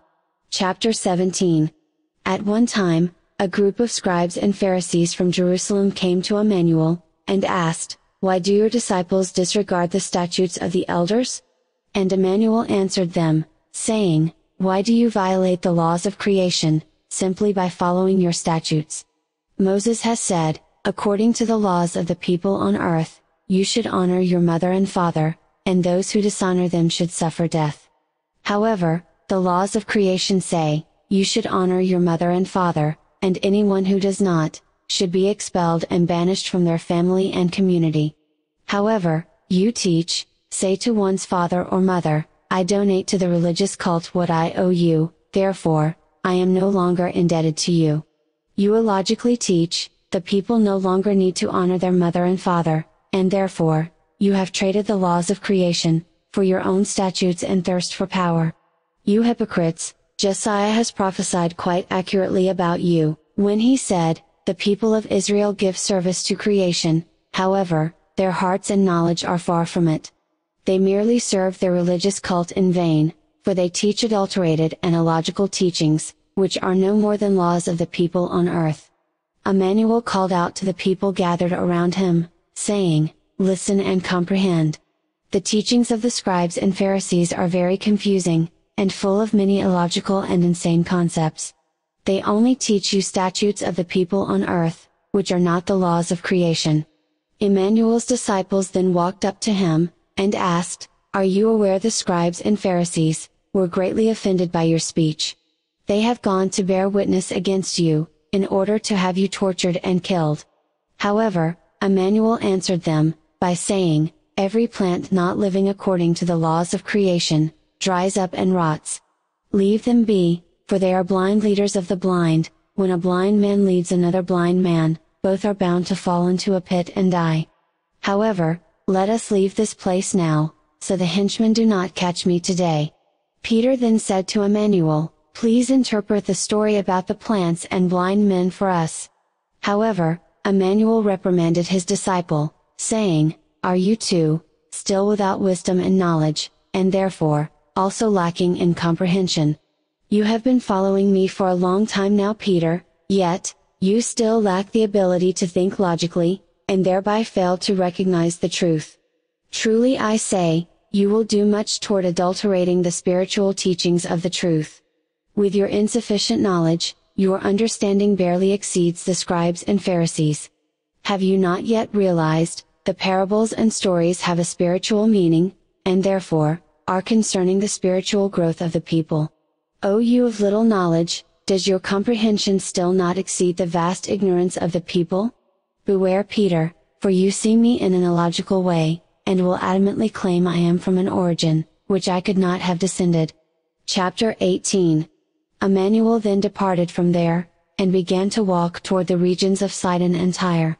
And behold, some Pharisees and Sadducees approached him, demanding he demonstrate his great spiritual power. However, Emmanuel answered them, saying, In the evening you say, Tomorrow will be a fair day, for the sunset is red in color. And in the morning you say, Today will be foul weather, for the sunrise is red, and the sky is cloudy. Therefore, if you are able to judge by the appearance of the sky, why can you not also judge by the appearance of the time? Truly I say, this vastly ignorant and insane generation is seeking a sign, however, no sign will be given to it, except for the sign of Jonah, by disappearing alive inside the belly of a great fish, and emerging alive three days and nights later. Emmanuel then left them, and continued on. They soon began sailing across the sea, and arriving at the other shore, the disciples noticed they had forgotten to bring some bread. And Emmanuel said to them, Take great care, and beware of the leaven of the Pharisees and Sadducees. The disciples spoke to each other, saying, This must refer to our not having brought along any bread, or anything else to eat. When Emmanuel heard this, he became angry, and said, O you of little knowledge, why does it worry you to have no bread? Can you still not comprehend the truth, and can you not understand the meaning of what I say? Are you all of such little knowledge, and completely without comprehension, that you cannot recognize the real meaning? Do you still not understand, and do you intend to remain ignorant for all times? Can you not remember the loaves of bread and fish, that was divided among the five thousand, and how many baskets full you then gathered? How is it you cannot see, I do not speak of the bread you eat daily? For I say to you, beware of the leaven of the Pharisees and Sadducees. And the disciples finally understood, that Emmanuel was not talking about the leaven found within bread, but of the illogical and adulterated teachings, taught by the scribes and Pharisees. Emmanuel and his disciples soon reached the area of Caesarea Philippi, and Emmanuel asked them, who do the people think I am? And they replied, saying, Some say you are John the Baptist, others, that you are Eliah, and still others say you are the reincarnation of Jeremiah. Emmanuel then asked them, And who do you think I am? However, Simon Peter immediately replied, saying, You are the prophesied Messiah and Son of the living God, who is the spiritual ruler of three lineages of people living on earth. When Emmanuel heard this, he became very angry, saying, O you unfortunate man, the spiritual teachings have not said this, for I have taught you the truth. Therefore, I also say to you, certainly you are a loyal disciple, however, your comprehension must be compared to that of a young boy. You are Simon Peter, and will be among those who open the portals of confusion, causing many people on earth to be overcome by your logical interpretation of the truth, and therefore, will live according to insane opinions and concepts. I should not have given you the explanations of spiritual knowledge, for you will bring vast confusion and hatred with it. I am not the son of a spiritual ruler for three lineages of people living on earth, and therefore, not the son of Puljos. Free your mind from these illogical thoughts, and learn the truth, for the primary consciousness of a universe, is called creation, and the spirit within each man and woman, is a tiny fragment of creation itself. My mother is Mary, who truly conceived me through a guardian messenger, a descendant of our ancestors, who have traveled here from deep within this universe, and my stepfather is Joseph, who only acts as my paternal guardian on earth. Emmanuel then warned his disciples, not to presume such dangerous things, and that they should not spread Peter's confused opinion. About this time, Emmanuel began informing his disciples, that he would soon travel to Jerusalem, thereby suffering terrible torture from the elders, scribes and chief priest, for he was to bring the spiritual teachings to them. However, Peter spoke to Emmanuel angrily, saying, May God or creation prevent this, for they intend to murder you. And Emmanuel quickly turned away from him, saying, Get out of my sight Peter, for you are an annoyance, and continuously think only in a materialistic manner. Simon Peter, Again you make me very angry, and freely display your vast ignorance. Truly, I say to you, due to your complete lack of comprehension, this world will shed enormous amounts of blood, for you will help greatly in adulterating the truth, and therefore, will also spread vast ignorance among the people on earth. You will be partly to blame for the deaths of many people, as well as for the origin of a malicious appellation for me, and for the terrible insult of calling me the son of Puljos, and calling Puljos creation itself. However, you are still under the guidance of my patient instruction, and therefore, may measurably improve upon your ignorance. Emmanuel then said to his disciples, Those who follow the spiritual teachings, should first take upon themselves the burden of searching for truth, insight and comprehension. For those who live their lives with wisdom and knowledge, will become victorious, however, those who live in ignorance, have already lost. What would it profit someone, if they gained the entire world, yet stunted their spiritual growth? How can someone utilize the unlimited power of their spirit, if they are unable to think logically? Truly I say, Many of you will not comprehend the awesome power of spiritual knowledge in this life, therefore, you will struggle even more to learn in future incarnations. Everyone starts their beginning completely ignorant, until they gain knowledge through logical thinking and inquiry. The spirit of a man or woman, is not merely a product of their body, but also a fragment of creation itself, and therefore, should be made knowledgeable and relatively perfected. Everyone should realize their constant oneness with consciousness, for creation too, is in constant growth toward relative perfection. Creation is timeless, therefore, the spirit of a man or woman is timeless as well. The path to understanding the truth is extensive, and not necessarily simple, however, it is the way to a knowledgeable and peaceful life. Every man and woman is bound to the relative perfection of their spirit, and for life to be lived according to the laws of creation. When people make a mistake, they act according to a law of creation, for they learn from it, and thereby gather insight and knowledge. This leads to the further development of their spirit, and through their gained wisdom, knowledge and understanding, they are able to think more logically than before. Therefore, without making mistakes, it would be impossible to gather the logic, insight, wisdom and knowledge necessary, for each man and woman to develop their spirit. Truly, I say to you, the teachings of the chief priest, scribes and Pharisees are very illogical and deeply confusing, for they say a mistake will be punished by puljos or creation, when in fact, it serves as insight and provides knowledge, and therefore, helps the progress of your spirit. There are no punishable honest mistakes, if it truly serves the insight, knowledge and progress of your spirit, and there is no inheritable mistake or punishment, on this planet or anywhere else in reality. Punishment of such an honest mistake, would contradict the laws of nature, and therefore, the laws of creation. When someone makes a mistake that serves as insight, knowledge, and progress of their spirit, there is no punishment, in this life, nor in any subsequent incarnation. Therefore, each man and woman lives with the duty of perfecting their spirit within themselves, and obtaining insight and knowledge through mistakes, so they may live according to the laws of creation. The people on earth, however, do not learn consistently, nor by using the infinite power of their spirit, which is guided by the laws of creation, and is introduced to situations that are needed for their growth.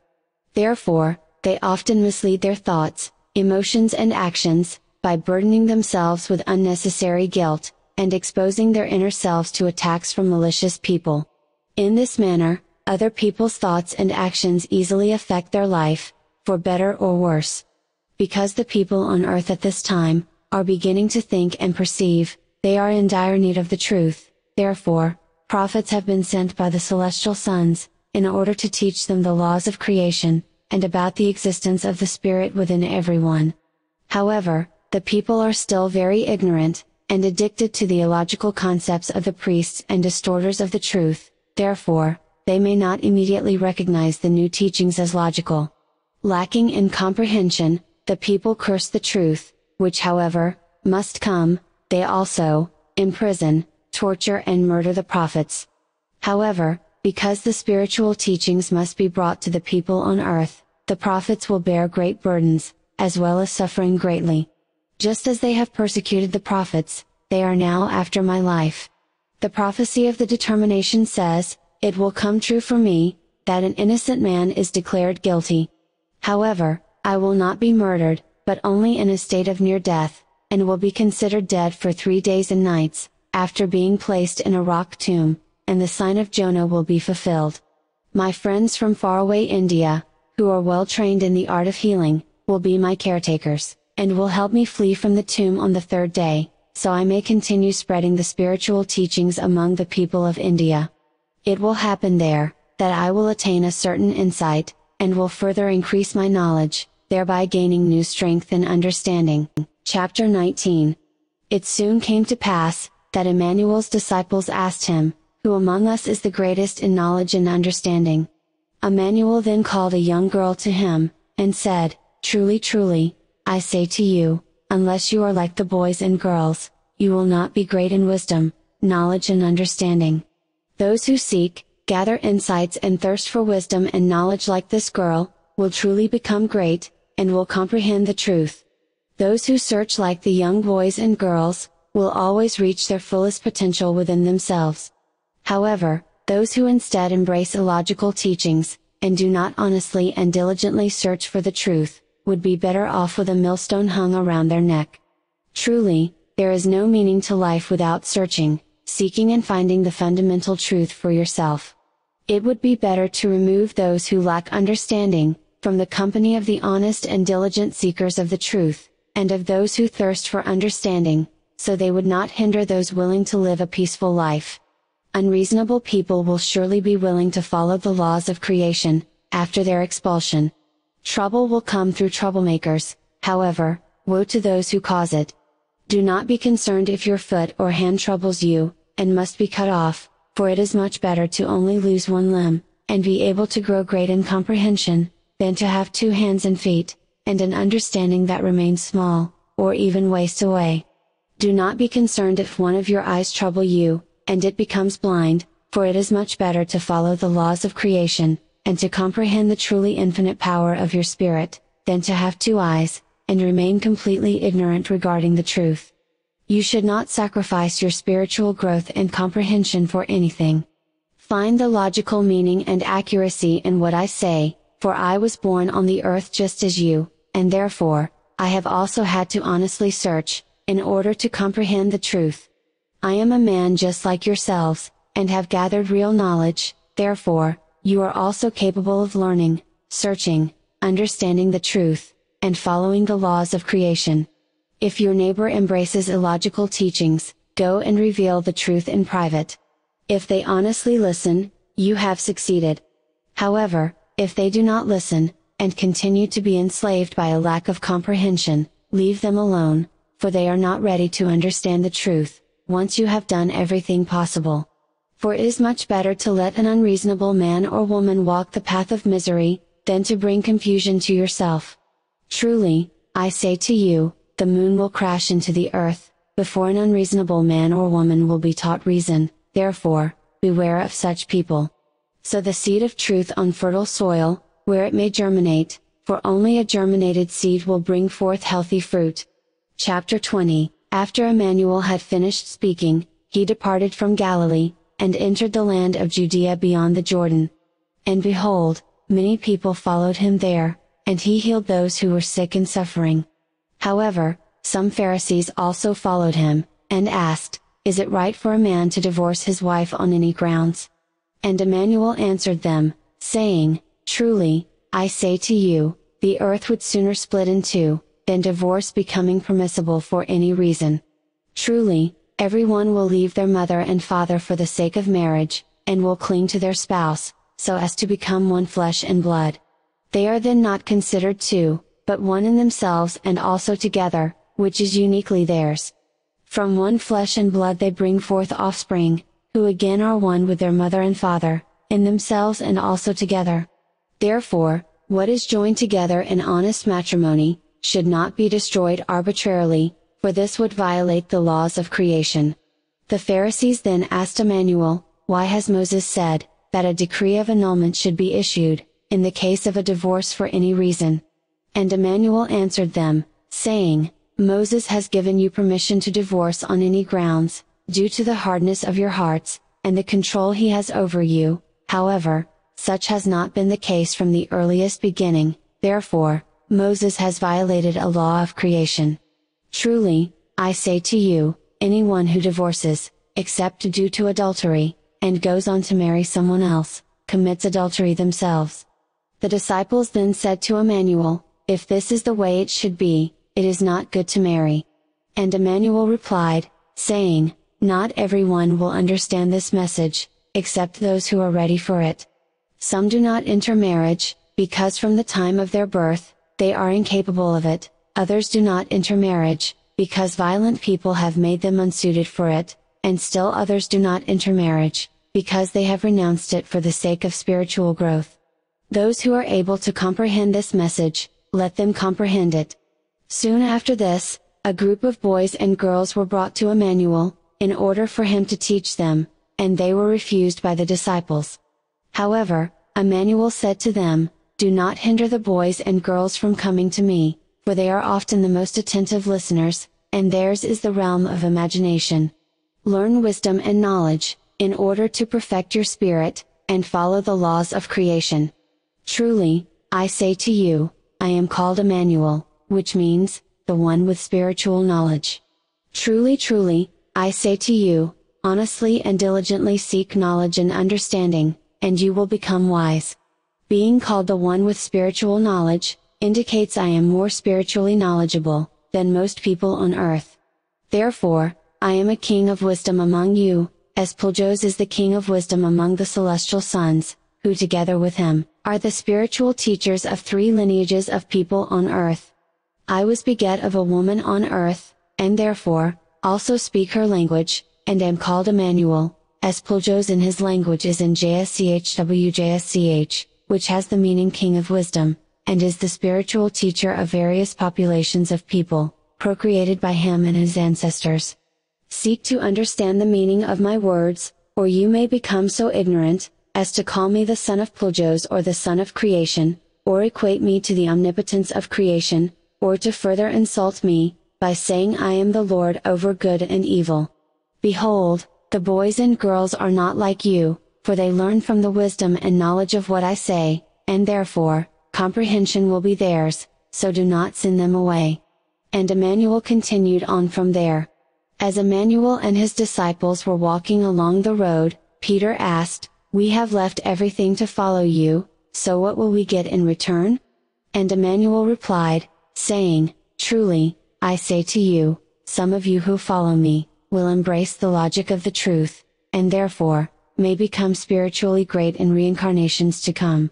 However, many of you will not recognize the reality of the spiritual teachings, and therefore, will disseminate confusing stories loosely based on me and my life, and they will have the greatest difficulty finding logic and peace in future incarnations.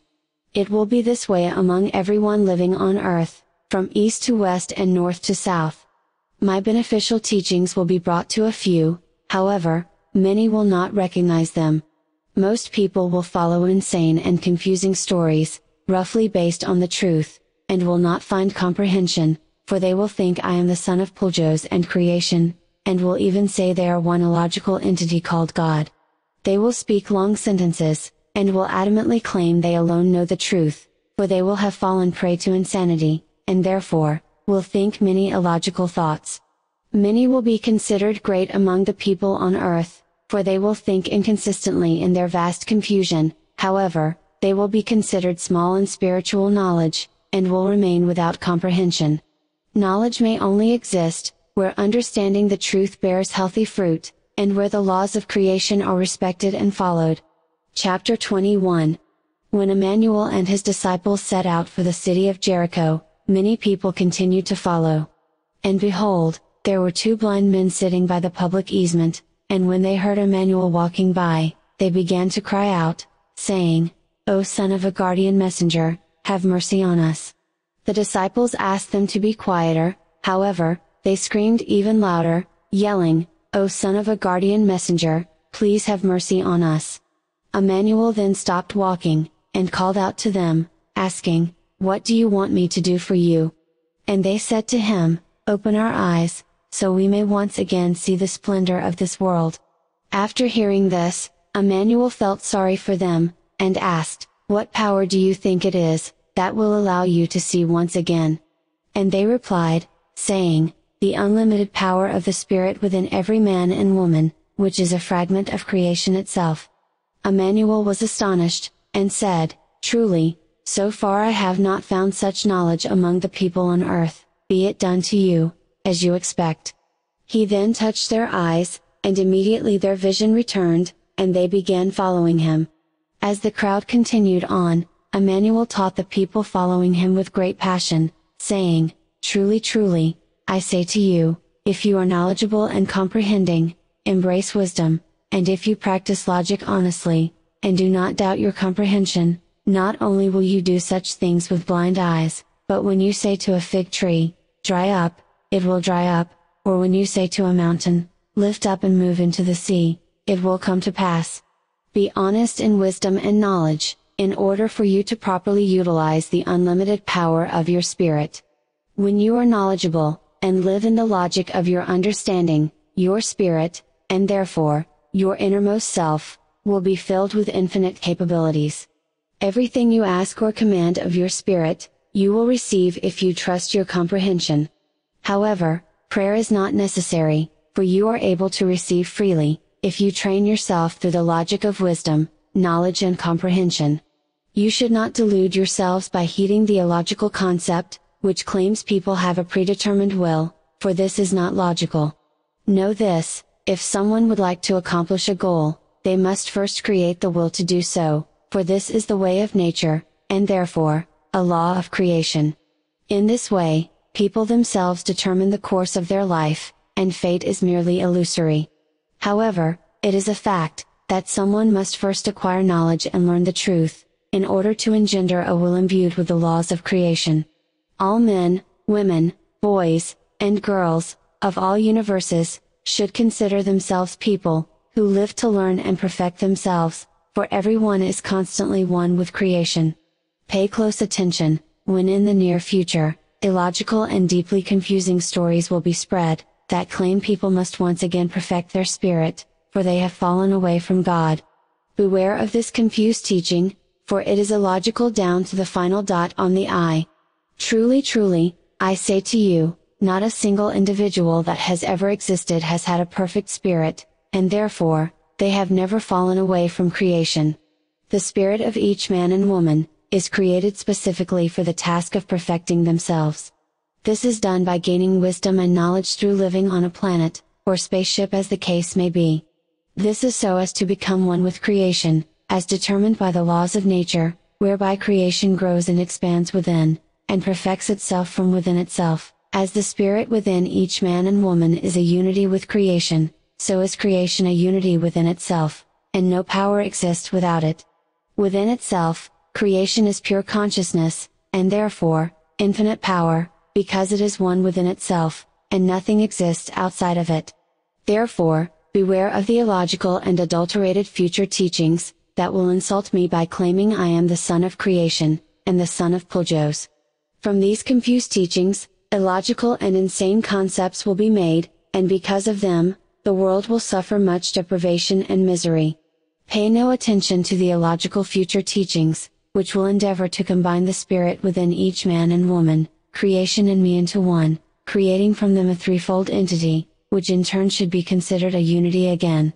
Beware of these illogical and adulterated teachings of the future, because a trinity is impossible according to the logical laws of creation.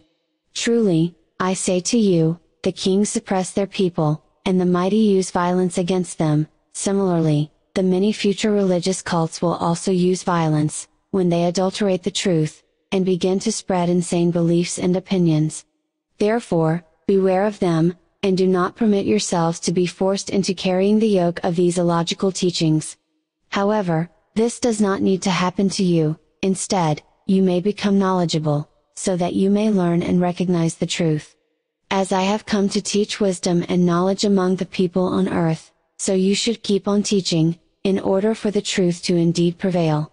Chapter 22 As they approached Jerusalem at Bethphage near the Mount of Olives, Emmanuel sent forth two of his disciples, saying to them, Go into the village that lies ahead, and you will find a female donkey tied to a post, and a foal with her, untie them both and bring them to me, for they are a gift, and are only temporarily being kept there at the stable. If anyone questions you, say, Emmanuel of Nazareth needs them. The disciples then quickly went there, and did as Emmanuel had instructed them. They soon brought the female donkey and the foal, and laid their clothes on the older animal, and Emmanuel mounted it. When the people heard that Emmanuel, the King of Wisdom, was coming, they spread their clothes on the path, while others cut leaves from trees, also scattering them on the path. The people who walked ahead of Emmanuel, and those who followed him, shouted saying, Here comes the descendant of David, praise be to him who comes to proclaim anew the teachings regarding the laws of creation, and the infinite power of the Spirit within everyone. When they entered Jerusalem, the whole city became excited, and asked, Who is it that's coming? The people replied, saying, It is Emmanuel, the prophet from Nazareth of Galilee, who brings anew the teachings of the Spirit within each man and woman, and the laws of creation. Emmanuel walked into a temple in Jerusalem, and immediately he became furious, when he saw the many traders, vendors, dove merchants and money changers, that had established themselves there. Emmanuel was very upset, and said to them, It is written, the temple is to be a place of teaching and contemplation, however, you have made it into a den of thieves. In his anger, Emmanuel overturned the tables of the money changers, and the chairs of the dove merchants, driving them out with a donkey driver's whip. Many blind and sick people then came to Emmanuel in the temple, and he healed them all. However, when the scribes and Pharisees saw the great deeds Emmanuel was performing, and the people, as they shouted in the temple, saying, Praise be to the descendant of David, they became indignant. When they asked him, Do you hear what these people are saying? Emmanuel said to them, Are you so afraid of the truth that it angers you? He then left them there, and departed from that city for Bethany, where he would stay overnight. When Emmanuel returned again to a temple to speak, the chief priest, scribes and elders of the church came to him, and asked, By what authority are you doing these things, and who gave you the authority? Emmanuel answered them, saying, I too would like to ask you a question, and if you answer it, I will answer your questions. Where did the baptism of John come? From creation, or from men? They began pondering the question, and spoke among themselves, saying, If we tell him it was from creation, he will reply, Why do you not trust in it, and why are you not following its laws? However, if we say it was through men, we must fear the people, for they consider John a prophet. So they answered Emmanuel, saying, We do not know. Emmanuel then said to them, You brood of snakes and vipers, neither will I tell you by whose authority I act. Yet, what do you think? A man had two sons, he went to the first one, and said, My son, go and work today in the vineyard. The son answered, saying, Yes father, I will go. However, he did not go. The man then went to the other son, and said, My son, go and work today in the vineyard. However, the son answered, saying, I do not want to do it, therefore, I will not go. However, he soon felt remorse and went. Now I ask you, which of the two did the will of the Father? And they said, the latter of course. However, Emmanuel spoke to them, saying, Truly truly, I say to you, the politicians and prostitutes will recognize the reality of my wisdom and knowledge before you do. John the Baptist and many other prophets have come to you, and tried to teach you the correct way, yet, you did not listen to them. However, the politicians and prostitutes did listen to them, and although you have recognized the truth, you do not think logically, which is the only way to obtain comprehension. You know the truth, and yet, you deny it, in order to profit in gold, silver and goods, and to enrich yourselves at the expense of the poor misguided people, by constantly misleading, exploiting, and burdening them with your insane concepts. However, listen to another parable about a vineyard, and perhaps you will comprehend, if you have not completely lost your ability to think logically. There was a lord of a large property, who planted a vineyard, built a fence around it, and dug a cellar within, he built a tower, leased the vineyard to vine dressers, and left the country. When the time for the grape harvest arrived, and with it the payment of the lease, the Lord sent his servants to the vine dressers, so they would collect the lease payment due. However, the vine dressers seized the servants, beat one, tortured another, and stoned to death the third one. And again, the Lord sent other servants, more this time than the first, however, the vine dressers treated them the same way as they did the servants before. Finally, the Lord sent the son of his administrator to them, and said, They will respect the administrator's son. However, when the vine dressers saw the son of the administrator, they spoke among themselves, saying, This is the heir, let us kill him and take his inheritance. They then seized the administrator's son, pushed him out of the vineyard, and killed him, so they thought.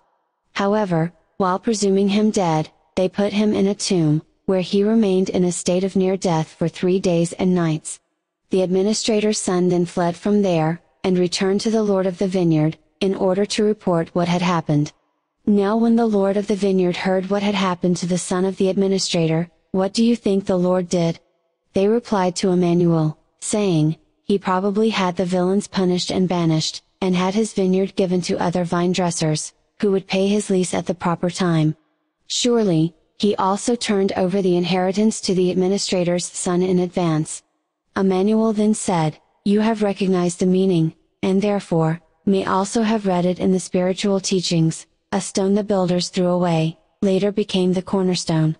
Therefore, I am like the son of the administrator of the vineyard, and you are like the vine dressers, that have leased the vineyard. Truly, the spiritual teachings are not foreign to you, and you are well acquainted with them, for they have already been handed down, and made known to you by the prophets of the past. However, if you disregard, adulterate and interpret them to your own advantage, you are calling me a liar, thereby, you also call Puljos a liar, upon whose resolve I was begotten, by one of his people, and stand here before you as a prophet. Therefore, I say to you, peace and joy shall be taken from you and your people for all great times, and everything will be given to others, who will bring forth the fruit of wisdom and knowledge. If you disregard and trample the directives of Puljos, who is the ruler over this and two other lineages of people in the north and the east, you will be disregarded and trampled upon for all time. The burden of the Israelite people will be like a heavy stone, and anyone who falls upon this stone will be smashed to pieces, likewise, anyone who it falls upon will be crushed. When the scribes and Pharisees heard what Emmanuel had said, they understood he cursed them and the Israelite people for all times. Therefore, they soon began conspiring on how they could seize Emmanuel, however, they were afraid of the people, who considered him a prophet. Chapter 23 When the Pharisees held council, on how they could snare Emmanuel in his speech, they sent their followers to him, including some of Herod's people. And they said to Emmanuel, Master, we know you are truthful, and that you teach the laws of creation correctly, you do not inquire about anyone, since you do not care about someone's reputation, but only about the directives of Puljos, and therefore, the laws of creation. Therefore, tell us your opinion, is it good to pay taxes to the emperor, or not?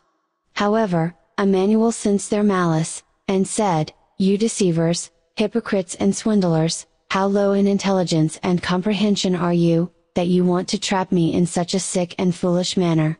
Show me a tax coin, so I may rid you of your ignorance. And they gave him a denarius. Emmanuel then asked them, Whose image, and whose inscription is on this coin? And they replied, They are the emperor's.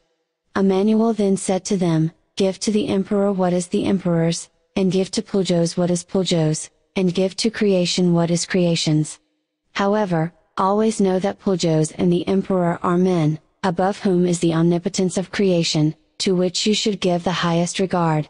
Although Puljos is indeed the ruler over three lineages of people on earth, and the Emperor is indeed ruler over his people, above them is creation as the highest authority, to which they are subordinate in reality, as is every single man and woman, and all other forms of life.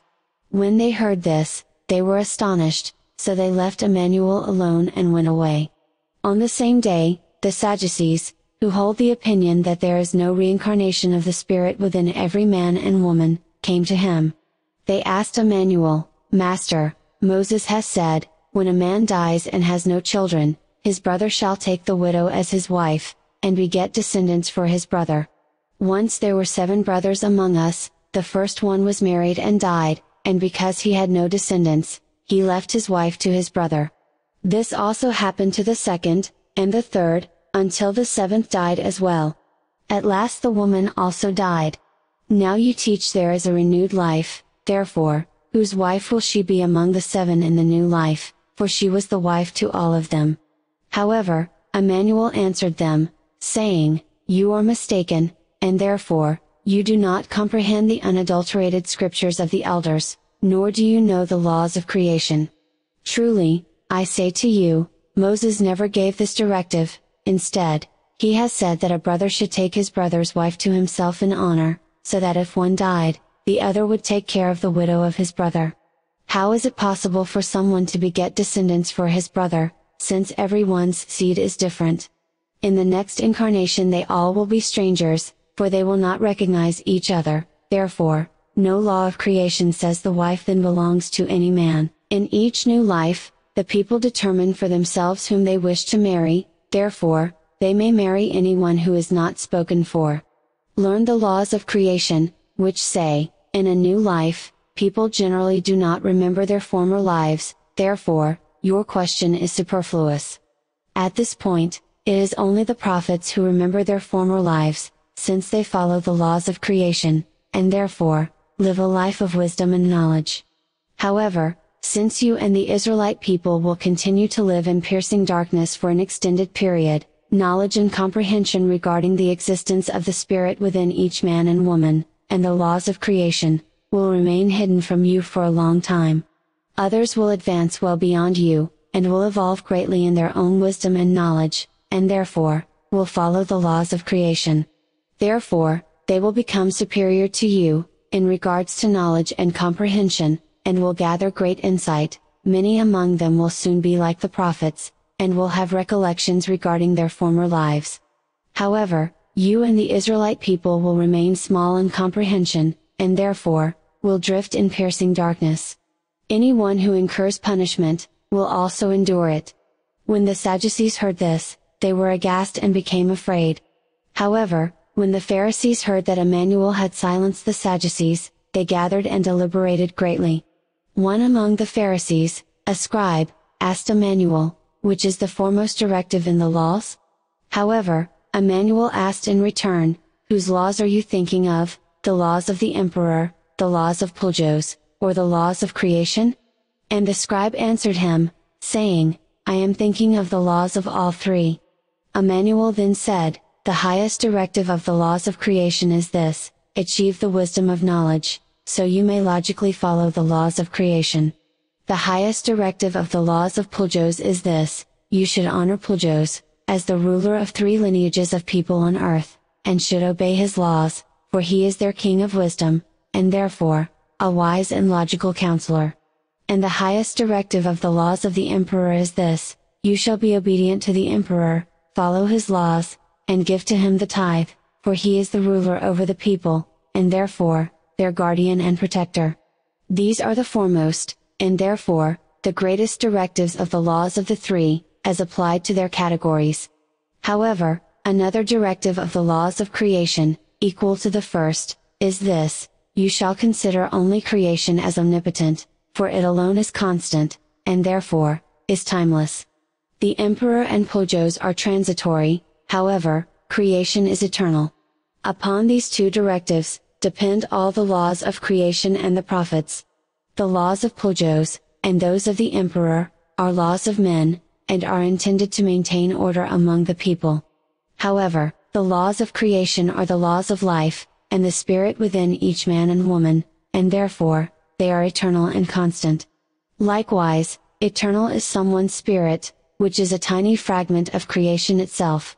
Therefore, when someone dies, they live on, through the reincarnation of their spirit, and they leave this side of existence for the other side, where they continue to gather wisdom and knowledge, until they reincarnate. The greater the spiritual wisdom and knowledge, gained through conscious learning during a physical life on a planet, the more someone is able to determine their future, their return, and their subsequent activities. I am a prophet, and therefore, I know the truth, that I am here now as representative of Puljos, for the purpose of revealing the laws of creation, to all those who live according to illogical teachings, and therefore, degrade the greatness and infinite power of their spirit. Therefore, the words of truth will be harsh, and many people will seethe and rage because of them. The harsh words of the truth, will be the instructive judgment for everyone, who has lived according to illogical teachings, and therefore, degrade the infinite power of their spirit. Because the Pharisees were together, Emmanuel asked them, What do you think about me, whose son am I? And they replied, saying, You are the son of David. Emmanuel then said to them, How can I be the son of David, when he has been dead for a long time? You are greatly mistaken, for I was begotten by Gabriel, the guardian messenger. Have you not read, that David called me Lord, when he said, My Lord, sit down at my right side, until you may place your enemies beneath your feet, for you are my foster son, and my successor. Since David calls me Lord, how can I be his son? Not one of them could give Emmanuel an answer, therefore, they secretly said, Emmanuel blasphemes God and our teachings. Let us try to catch and kill him, for he endangers our position, in that we will no longer be respected by the people. Chapter 24 Emmanuel then spoke to the people and his disciples, saying, The scribes and Pharisees sit on the chairs of the prophets. Refrain from doing or accepting anything they tell you, also do not act in accordance with their works. They teach you illogical concepts, which they and their forefathers have created, for their own selfish interests. They contrive heavy burdens, and place them upon the shoulders of the people, however, they themselves do not want to lift a finger. They do all their works, in order to be seen by the people, and to impress them. They make their prayer belts wide, and the tassels on their clothing long. They like to sit at the heads of tables, and in the best places in the synagogues. They like to be greatest in the marketplace, and to be called master by the people. However, you should not let anyone call you master, until you have become aware of the truth. Likewise, do not let anyone call you teacher, until you follow the laws of creation yourselves, for those who allow themselves to be called master or teacher, yet, do not possess comprehension of the truth, will be denounced as liars. Those who exalt themselves will be abased, and those who abase themselves will be disdained. Let those who are great in awareness, consider themselves great, and those who are small in awareness, consider themselves small, and those who are in between, consider themselves in between. It is illogical and foolish, for people to consider others greater or smaller than they really are. Woe to you scribes and Pharisees, you deceivers, hypocrites and swindlers, who block the development of the people's spirits and abilities, with your lies and illogical concepts. You will not achieve advancement easily, and through your confused teachings, you deprive those who want to advance from doing so. Woe to you scribes and Pharisees, you deceivers, hypocrites and swindlers, who devour the homes of widows, and engage in long prayers only for the sake of appearance, and because of these things, you will live in piercing darkness. Woe to you scribes and Pharisees, you hypocrites, who travel across the land and sea, in order to win a fellow believer, and once they become a believer themselves, you turn them into an unreasonable and irrational man or woman, who indulges in twice as many illogical practices and concepts as you. Woe to you blind proponents of illogical and insane teachings, which say, if someone swears by the temple, the oath is not valid, however, if they swear by the gold of the temple, the oath is binding. You fools and ignorant people, you are the offspring of insanity. Why do you encourage the people to swear, knowing that an oath is not binding, and therefore, is a worthless act? Or you say, if someone swears by the altar, it is not valid, however, if they swear by the sacrificial offering, it is binding. You blind and mistaken teachers, who gave you the right to demand or take an oath, since the laws of creation say that oaths should not be taken at all. Your words should always be only yes, yes or no, no. Those who swear by anything on the earth, or by anything in the universe, swear by something fleeting. Therefore, an oath is always without permanence. Those who swear by creation or its laws, swear by something over which they have no power, therefore, such an oath is useless. Anyone who swears by anything, commits an offense against the truthfulness of their word, and because of this, they make themselves untrustworthy. Woe to you scribes and Pharisees, you hypocrites who tithe mint, dill and caraway seeds, yet neglect the most important things in life, namely, wisdom and knowledge regarding the existence of the Spirit within every man and woman, and the laws of creation. Woe to you ignorant leaders of a horde of blind, who say, this should be done, and that should not be done. You only spread a confused and illogical teaching, and ignore the laws of creation. You blind leaders, you are gnats that swallow camels, which you cannot digest. Woe to you scribes and Pharisees, you hypocrites, who keep cups and bowls outwardly clean, yet inside, keep them full of rapaciousness and greed. You blind ones, you scribes and Pharisees, you hypocrites and distorters of the truth, first clean what is inside the cup, then the outside will become pure on its own, and light up the world with its brilliance. Woe to you scribes and Pharisees, you hypocrites, who are like whitewashed tombs, which appear beautiful on the outside, but inside are full of stench, bones and filth. On the outside you also appear logical and honest before the people, while inside you are full of hypocrisy, deceit and confusion. Woe to you scribes and Pharisees, you hypocrites, who build monuments to the prophets, decorate their graves, and say, Had we lived at the time of our forefathers and fathers, we would not have become guilty with them in the shedding of the prophets' blood. Woe to you scribes and Pharisees, you deceivers, hypocrites and swindlers, who secretly call upon the dead people of high and common standing. You have deceived yourselves by thinking you were actually speaking with them, due to your own delusion. You should not talk with the dead, for even if you succeed, the departed would tell you only the confused thoughts they previously held during their lifetime. You are not yet great enough in wisdom and knowledge, to call upon the dead who have real understanding, and therefore, comprehend the truth. Through these acts, you bear witness against yourselves, proving you are the children of those who have murdered the prophets, and have greatly adulterated their teachings. You will fill up the measure of your forefathers and fathers, therefore, all of you will eventually die without any comprehension, and because of this, you will have much difficulty learning until the most distant future. You brood of snakes and vipers, how can you aspire to be great in wisdom and knowledge, when you lack the smallest bit of comprehension?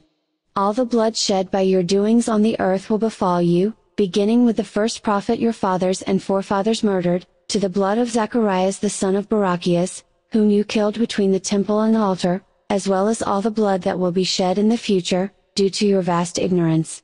You will become outcasts among the people on earth, and will lose the land you took by force, regain it, and lose it again, well into the most distant future. Truly, I say to you, your lives will be a constant struggle full of war, and the people will smite you with their hostile thinking and enmity. You will find neither rest nor peace in the country stolen by your ancestors, by way of bloodshed, deceit and fire. You will always be haunted by the inherited burden of these murders, because your forefathers have murdered the ancient inhabitants of this part of the earth, and deprived them of their freedom and material goods. Therefore, all of the blood will fall upon you, the blood which has been shed by your forefathers and yourselves, and which will still be shed by you, your progeny and their distant descendants into the faraway future. There will be a large amount of hatred against you everywhere on earth, and even the new age will bring you neither rest nor peace, until you retreat from the land you took by force, or until you make a conciliatory peace, create brotherly trust and unity with your enemies, and renounce your stolen rights. You brood of snakes and vipers, this will happen to you into the most distant future, however, not by accident you will have a fortuitous chance in the coming new age, when the spiritual teachings regarding the laws of creation, will again be disseminated, therefore, you should seize this opportunity to rid the world's hatred against you, by means of an honest peace. Therefore, in the coming new age pay close attention to the truth, which will truly be the spiritual teachings regarding the laws of creation. Be mindful when they are taught anew, for this will be a sign of the time, at which many things will change, the vast power of mighty tyrants will crumble, and everyone on earth will become logical in their thinking and actions. In the coming distant new age, embrace the renewed presentation of the teachings, regarding the spirit within each man and woman, and the laws of creation, which are valid for all times, and throughout all universes, so you may act according to logic, and live in tranquility and peace among yourselves, and everyone else on earth. Truly truly, I say to you, all of this will be fulfilled, and will come upon you and your people, long into the most distant future just as I have said. Chapter 25 Emmanuel then walked out of the temple, and his disciples approached him. And Emmanuel spoke to them, saying, Look at all this, truly, I say to you, not one stone here will remain upon the other without being broken. The Israelites trespass against life and the laws of creation, and they have built this city upon bloodshed, however, I also bring them the spiritual teachings of the truth, as I do for all the people on earth. The Israelites have ravaged this land through plunder and murder, they have killed their friends with whom they had drunk wine, and have knowingly misled many people on earth, to become believers of an illogical religious cult, full of confusing concepts. Therefore, the Israelites betray their own friends by murdering them, due to their vast greed, however, it will be done to them the exact same by the rightful owners of this land, whom they have deprived of freedom, and have subjugated since ancient times. When Emmanuel sat on the Mount of Olives, his disciples approached him, and asked, Tell us, when will these things take place, and what will be the sign?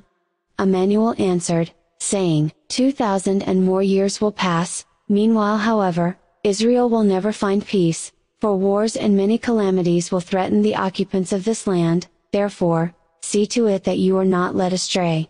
That is, many deceivers and false prophets will come, saying, I am Emmanuel, and a sign of the time, and therefore, they will mislead many.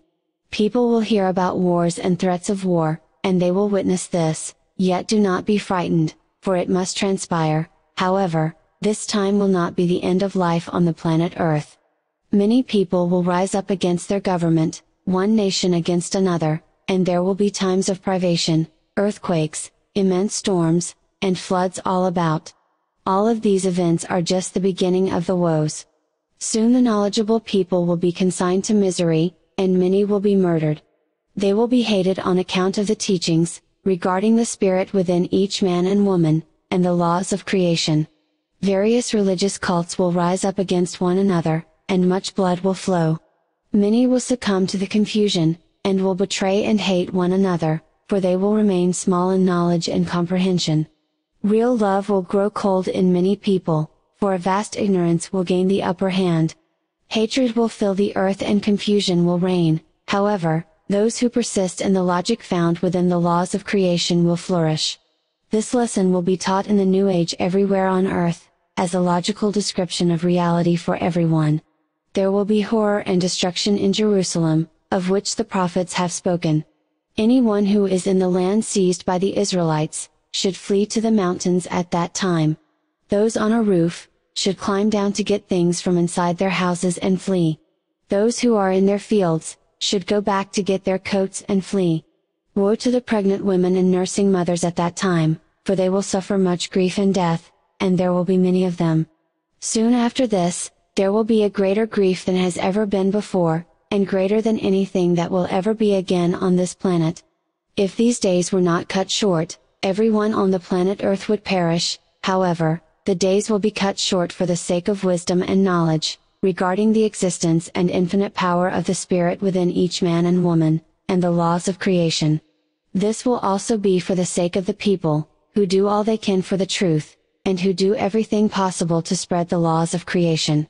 However, there will be much howling and chattering of teeth, when this time is brought near, by the people's lack of comprehension, and by their endless greed. They will construct machines of metal for use in the air, on water and land, and will bring the threat of mutual destruction. From these machines of metal, heavy projectiles will be flung across the land upon cities of earth, unquenchable fire will burst from these projectiles, and little will be spared, the basic elements of life and toxic air will be placed into the projectiles, and kindle deadly fires, in order to destroy large areas of land and life. If, at that time, the people were not to intervene, as once did the celestial sons, and bring a halt to the unrestrained madness, and deadly conduct of demented dictators and nations, truly, I say to you, not a single man or woman would survive. Since the populations of the people on earth at that time, will consist of far more than 10 times 500 million people, a voluntary birth stop should be put in place for a certain time. This is what the laws of creation demand, for the people on earth have ignored them, and will continue to violate and disregard them far into the most distant future. If, at that time, someone will say, Behold, here is Emmanuel, who is the sign of the time. They should not accept it as the truth. For many will claim to be me, and therefore, many deceivers and false prophets will come forth, appearing to perform great signs and miracles, so as to lead astray not only the believers and errant ones, but also the scholars, truth seekers and knowledgeable ones. Behold, I have told you this beforehand, and it will fulfill itself. Therefore, when the deceivers and those led astray say, He is in the desert, people should not venture there, and when they say, Behold, He is in a chamber, they should not believe it. I will certainly live at that time, however, I will be unrecognizable. This is a law of creation, for each man and woman reincarnates, due to the infinite nature of their spirit, which is a fragment of creation itself. As lighting flashes and illuminates everything from start to finish, I will truly live in the future time, however, at that time, I will have reincarnated into a new physical body, and will again be accused of deception and blasphemy across the entire planet Earth, until the spiritual teachings, regarding the laws of creation, bring about insight, and abolish the insane thoughts within the people on earth. People of all times beware, where the carcass is, the vultures gather, therefore, watch out for them. Soon after the misery of that faraway time, our star and the moon will begin to lose their luster, comets will fall from the sky, and the gravitational pull of our star will begin to wane.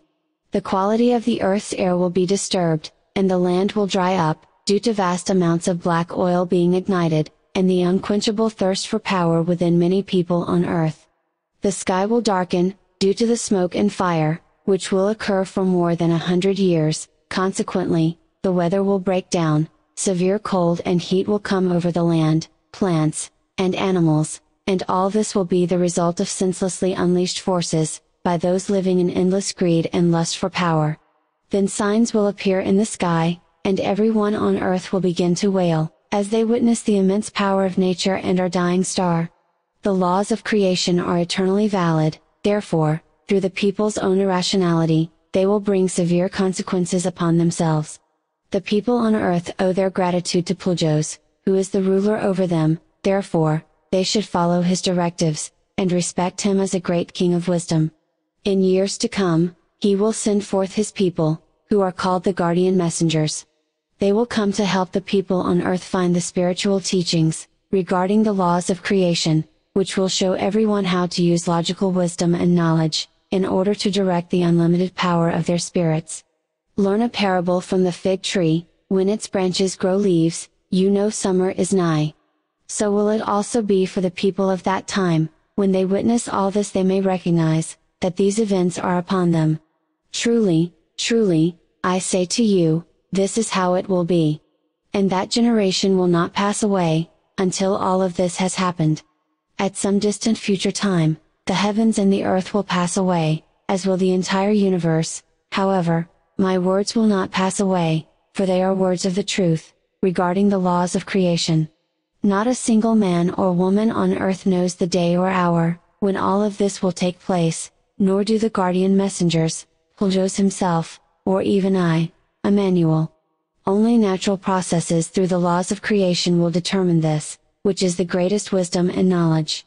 Creation is far greater in wisdom, knowledge and power than any man or woman, therefore, it alone deserves the greatest honor and respect.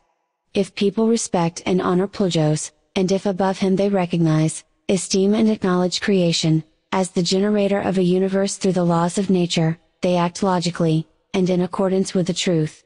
Chapter 26 Since the laws of creation are constantly in effect, they should always be observed and respected. Just as the laws of creation are the directives for the spirit within each man and woman, and for life, so the recommendations of Puljos are the directives for material regulations. In his great wisdom and knowledge, Puljos issued the directive to bring the people on earth the laws of creation, in order to serve as logical regulations for a peaceful life. Therefore, the laws of creation serve as a path, upon which people may walk in wisdom and logic, so as to become knowledgeable. As the laws of creation are to be obeyed, people must not bring forth any other laws. The laws of creation are derived from logic, and should be followed, since they alone have lasting validity and correctness. When the people deviate from the laws of creation, they bring forth illogical and inadequate laws and statutes, that are often based on confusing logic, and therefore, are extremely faulty. When the people are faint hearted, their laws will be faint hearted as well, therefore, they will resemble confused teachings, and will have many illogical concepts. When the people are presumptuous, and disregard the laws of creation, they are forced to bring forth their own laws, which are always inadequate, and therefore, lead everyone astray. The laws of the people on earth, produce murder and all manner of violence, and when vast confusion and insanity spread, it gains the upper hand, and the lawmakers lose all control once gained through fear. Laws are valuable only when they are derived from nature, and therefore, are logical, however, logic requires knowledge and comprehension. The laws of the earth will be futile, unless they are founded upon the laws of creation, just as Puljos' recommendations were founded upon them, as he issued them in his vast wisdom and knowledge. Truly, I say to you, the truth will be revealed by following the laws of creation, which the people on earth may recognize in nature. However, if the people on earth do not think logically, and seek diligently, they will not be able to attain knowledge, and therefore, will remain fools. The knowledgeable do not moan about lost things, the dead, or events of the past. Fools, however, cry over things not worth crying about, and because of this, they increase their grief, privation and misery. Those who have acquired sufficient knowledge, and live according to the laws of creation, permit not even the slightest harming to any living creature, when they are without fault. Only fools, who are not masters over their senses, mistake harm for benefit, benefit for harm, and great sorrow for joy. The people not dedicated to the truth, and therefore, not seeking knowledge, fail to recognize the laws of creation, thereby harboring foolishness and vice. The dishonest, ignorant, grumpy, greedy, unscrupulous, uncouth and the angry, will suffer great harm created by themselves, by being poor in understanding. When the people on earth incorporate daily, just a little wisdom and knowledge into their lives, they will grow like the waxing moon, during the first half of the lunar month. Knowledge is the greatest asset to anyone, as well as their free will, which is master over wisdom and knowledge, however, all of this is meaningless, without the knowledge regarding the infinite power of the Spirit, within each man and woman. A fool who idly rests and waits for fate, goes to ruin like an unfired pot in water. Those who take care of a cow, always receive milk, likewise, those who nurture wisdom and knowledge, and apply it through the infinite power of their spirit, will bring forth a bountiful harvest. Recognize each law of creation as logical, and once you choose to adhere to them, and live accordingly, you will find peace, for the laws of creation are the greatest foundation of life. There is no light equal to comprehension, no darkness equal to ignorance, no power equal to the power of the Spirit within each man and woman, and no terror equal to complete ignorance. There is no higher peace obtained, than from a clear understanding of reality, and no better friend than knowledge. Those who use logic, may grasp the meaning of my words, and become wise and knowing. When Emmanuel had finished speaking, a man called Saul approached, and said, You preach an interesting teaching, that has been strange to me from the beginning, it seems silly to me, and you appear confused. However, Emmanuel asked Saul, Why do you say I am confused, when it is clearly you who are confused, and lack comprehension. Truly, I say to you, although you persecute me and my disciples, due to your vast ignorance, you will eventually change your mind. From now on you will be called Paul, and will constantly travel in every direction, in order to make amends for having called the spiritual teachings illogical, and my mind confused. You will load great burdens upon yourself, for in your confusion, you will misinterpret the spiritual teachings, and will spread insane babble. Your speech will be illogical, and everyone throughout the world will become enslaved by it, and will follow your confused opinions. Just as you will bind the land of the Greeks to a religious cult with your illogical teachings, you will also call me the Anointed One in their language. It will be your fault, due to your own lack of comprehension, that they will call me Jesus Christ, which means the Anointed One. it will also be your fault, due to your own lack of logical thinking, that large amounts blood will be shed in this appellation, so much blood, that it would not fit in all the existing containers on the earth of that distant time. You are still persecuting me and my disciples, due to your own ignorance, however, soon the time will come, when you will change your mind, when once more you face me, and presume I am a ghost. Truly, I say to you, like so many others, you will be greatly at fault for the spiritual teachings becoming adulterated, and because of this, many will establish various insane religious cults. You, however, will be the cornerstone of the confusion, by which I will be called Jesus Christ, and the Redeemer of an insane religious cult.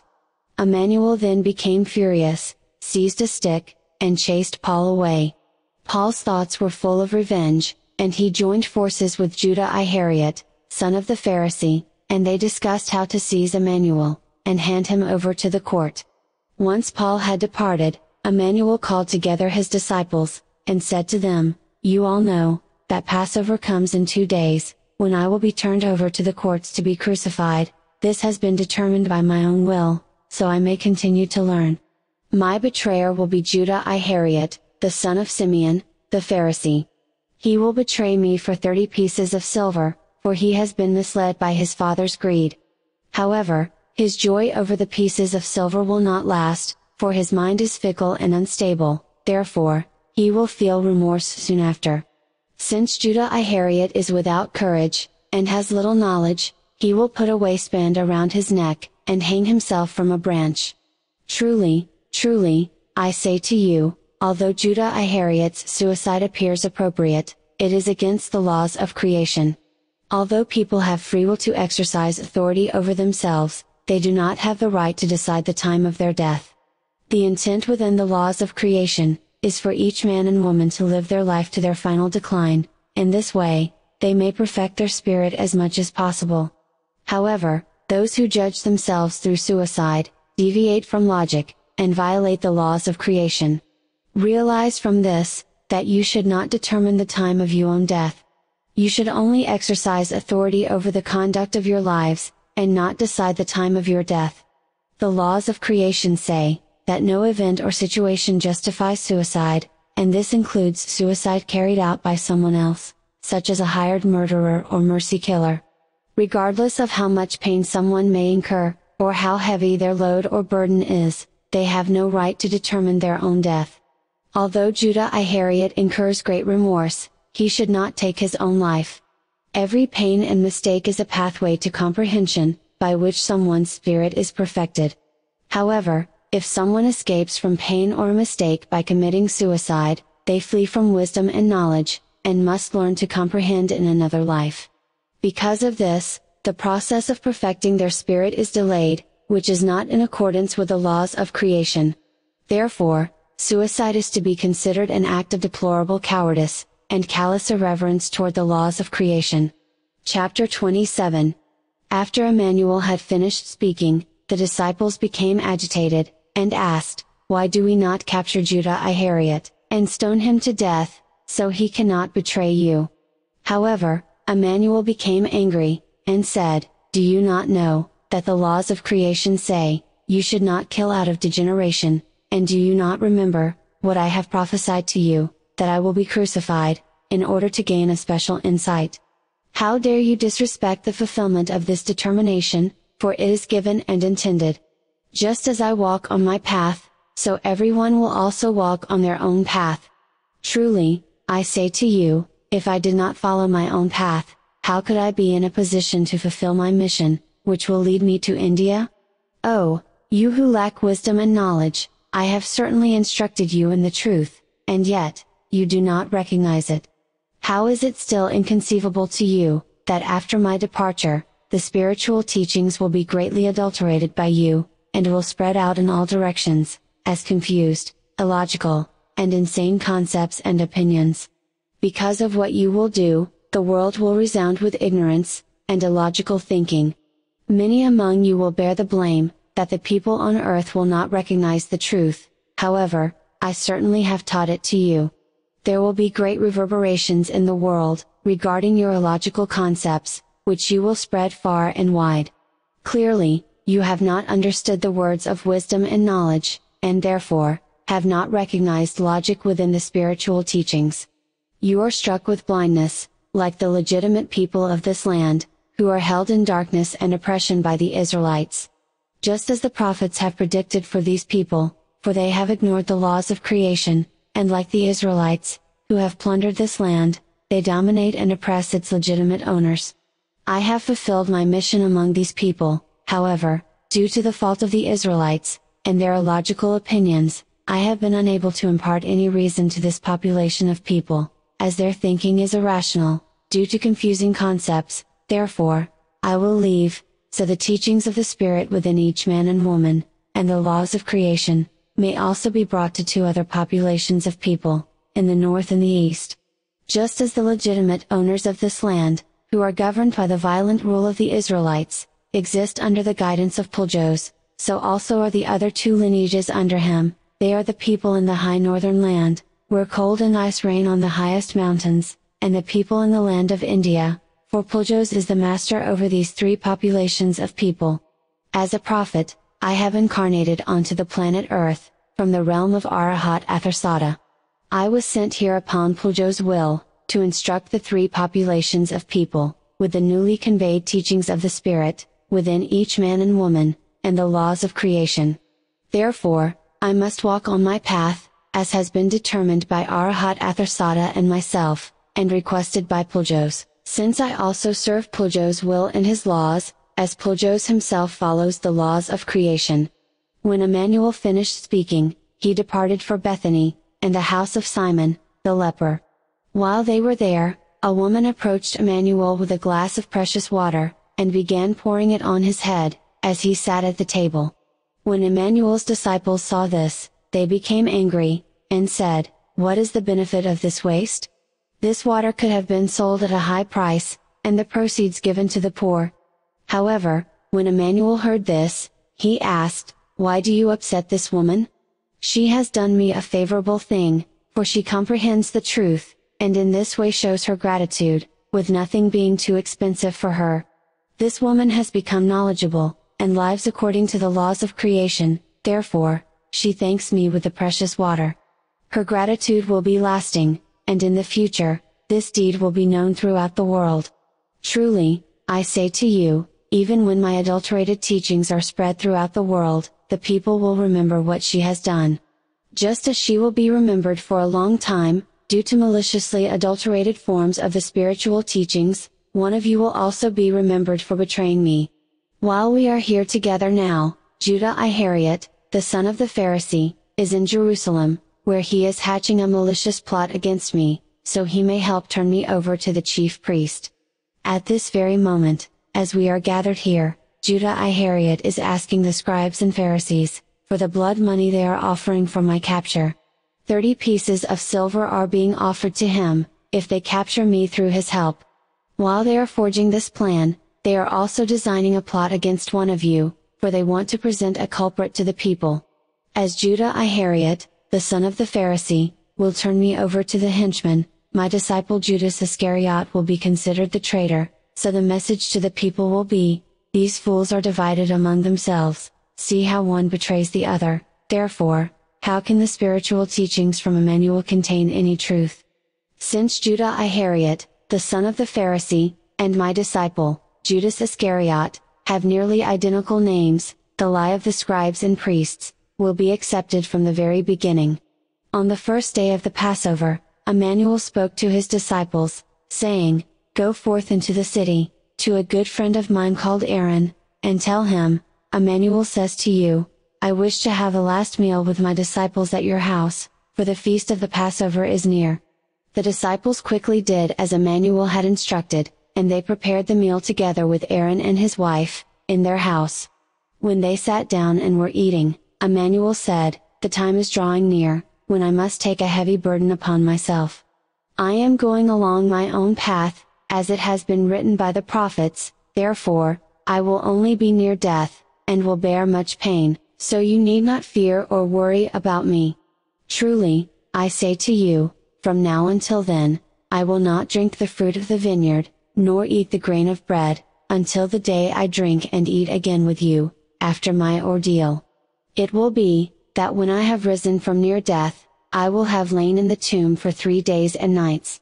As they were eating, Emmanuel took a loaf of bread, broke it, and gave it to his disciples, saying, Take this and eat, for the body requires nourishment, even in times of distress and grief. He then took a cup, gave it to them, and said, Drink from this cup, all of you, for the throat becomes thirsty, even on a rainy and cold day. Truly, I say to you, a wise and knowledgeable man does not hunger and thirst, due to things that may happen. However, a fool hungers and thirsts, on account of their ignorance, and their resistance to things which may come. Truly, I say to you, just as you do not comprehend my words now, and are even angry with me because of them, you will also be angry with me tonight, for your minds still have not been enlightened with comprehension. However, after I recover from near death, and appear to have risen from the dead, I shall walk with you in Galilee, so you may all witness the validity of my words. I have taught you wisdom and knowledge, and yet, you doubt me. O you who are faint hearted, and have little comprehension, how startled and confused you will be, when I meet you again after near death. However, Peter spoke to Emmanuel, saying, Even if they were angry with you, I would never be angry. And Emmanuel answered him, saying, Truly, I say to you, you are one of the worst, for tonight, before the rooster crows, you will deny me three times. However, Peter replied, saying, This will never come to pass, even if I were forced to die with you, I would never deny you. Likewise spoke all of Emmanuel's disciples, therefore, they failed to comprehend the truth. Chapter 28 Upon leaving the house of Aaron and his wife, in Jerusalem, Emmanuel went with his disciples, to a country estate called Gethsemane, which belonged to a man named Joshua, who thought well of Emmanuel. In the large garden of the country estate, Emmanuel said to his disciples, Sit down here, while I go over there and ponder my thoughts. Emmanuel took with him Peter, and the two sons of Zebedee, and began to brood and be apprehensive, for Emmanuel was frightened about what would happen to him. Emmanuel then spoke to them, saying, Truly, I am wise, and have great understanding, yet, I am afraid of the events before me, both the known and the unknown, however, this is normal, even when someone is knowledgeable. My mind is deathly grieved, therefore, remain here and watch with me, so I will not feel so alone. It is often easier to bear adversity, with one or two other people at one side, rather than alone. If I wanted it, this cup would pass, However, not my wish, but my will be done, according to the determination, for this is what has been requested of me. After Emmanuel was finished speaking, Judas Iscariot said, Over there things are taking place in the shadow of the city walls, where I have just noticed veiled lights. Emmanuel then said, They are the henchmen Judah Ihariot is bringing, for he has secretly followed us here, in order to betray me. Emmanuel then walked away a short distance, prostrated himself, and reflected, saying, If it is possible, may this cup pass, however, not my wish be done, but rather, may the determination be fulfilled, in order for the successful spreading of the spiritual teachings. When Emmanuel returned to his disciples, he found them sleeping, and asked Peter, Can you not watch with me for one hour, so I am not left alone in this difficult time of mine? Be awake, and remain conscious, so you will not fall prey to folly, for your spirit within you is willing, however, your flesh is weak. A second time, Emmanuel walked away, prostrated himself, and said, If it is not possible for the cup to pass, then I shall drink it, so I may be enlightened in this secret, and capable of fulfilling my mission in faraway lands. Upon returning, Emmanuel found his disciples sleeping again, and only Judas Iscariot remained awake with him. Leaving them once again, Emmanuel walked away, and prostrated himself a third time, rooted in bitterness, and said, I am afraid, however, I know I must follow my path, which has been determined this way. How willing is my spirit, yet, how weak is my flesh, when it is so fearful of pain. Then Emmanuel's entire body began to tremble, and fine droplets of sweat mixed with blood flowed over him, for he was very fearful. With Emmanuel's face flushed, he returned to his disciples, and said to them, Do you want to sleep and rest now, or do you want to watch with me? The time has now come, when I will be turned over to the hands of the henchmen. Therefore, arise and let us go, for the henchmen are coming. While Emmanuel was still speaking, there arrived Judah Ihariot, the son of the Pharisee. Judah Ihariot had brought with him a large group of soldiers and elders of the church, who were armed with swords and poles.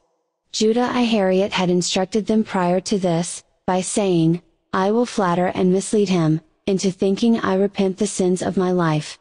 As a sign of the false flattery, there shall be a kiss, whoever it is, he is the one, seize him. Judah Ihariot approached Emmanuel, and said, I greet you, Master, and I will now follow your teachings, for you are allowing me to repent the sins of my life. Judah Ihariot then touched Emmanuel, giving him the kiss of betrayal. However, Emmanuel asked him, My friend, why have you come here to lie, for betrayal burns in you mind and actions. The soldiers approached Emmanuel, put their hands on him, and seized him. However, one of the soldiers from the group thought better, and had a quick change of mind, feeling remorseful, he sided with Emmanuel. The soldier stretched out his hand, drew his sword, and struck a chief priest's servant, cutting off his ear. Emmanuel said to the soldier, Put your sword back into its sheath, for anyone taking a weapon without being in danger, endangers himself. Or do you think I could not flee, before your group arrived? Truly, I could have fled, had I chosen to do so. The soldier turned away, and began to weep, he then fled, and was never heard from again. Emmanuel then spoke to the soldiers, saying, You come here with swords and poles, in order to capture me like a criminal. How easy it would have been for you, to capture me in the city, as I sat there in the temple teaching daily, yet, you did not seize me. You hypocrites, you are afraid of the people, therefore, you now come to me like thieves, to capture me in darkness, hidden from view. Truly, I say to you, darkness will become light, and everyone will speak of your deed, for which you will be denounced for all time. However, Simeon, the Pharisee, raised his voice, and said, How foolish your talk is, and so full of lies, why should we fear the people? You have taught the people falsely, despised our laws and called them lies, therefore, you must now suffer death. You thought we would not capture you, and bring you to trial, however, you were mistaken. One of your disciples is not of your mind, and has betrayed you for thirty pieces of silver, namely, Judas Iscariot. Emmanuel then said to him, Truly, I say to you, for a long time you will succeed in accusing Judas Iscariot, as the betrayer of me before the people, however, the truth will eventually come out, and will become known by everyone on the planet Earth, that my betrayer is not Judas Iscariot, but is your son, Judah I Ihariot, who bears the last appellation of his father, the Pharisee. The Pharisee Simeon I Ihariot, became furious at what he heard, so he quickly approached Emmanuel, and struck him very hard in the face with his fist, for Simeon I Ihariot feared the accuracy of Emmanuel's words. After this happened, the disciples became fearful and discouraged, so they turned away from Emmanuel and fled. Those who had seized Emmanuel, led him to Caiaphas, the high priest, where the scribes, Pharisees, and elders of the people, had gathered to condemn Emmanuel. The chief priest and high counselors, sought false testimony against Emmanuel, so they could find a reason to murder him. Although many bribed false witnesses appeared, they were unable to find anything to accuse Emmanuel with. Finally, two people stepped forward, saying, He has claimed that Puljos is not creation, but simply a man like you and I. He has also said, that he was begotten by a guardian messenger of Puljos, who is called Gabriel Caiaphas, the high priest, arose and asked Emmanuel, Will you not reply, to what these two people say against you?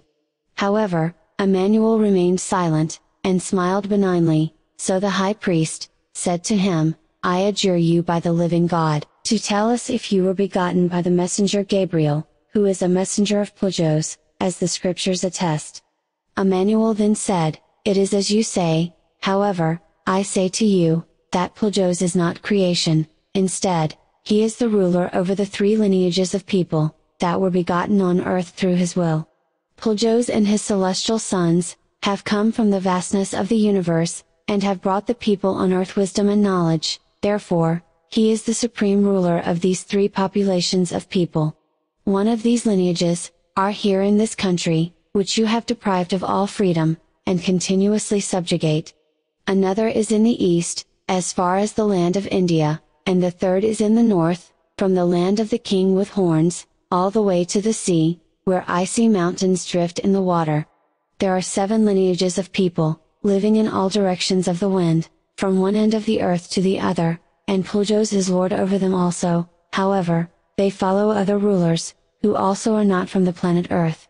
If you consider Puljos, to be creation, you are mistaken, and are confused regarding the truth.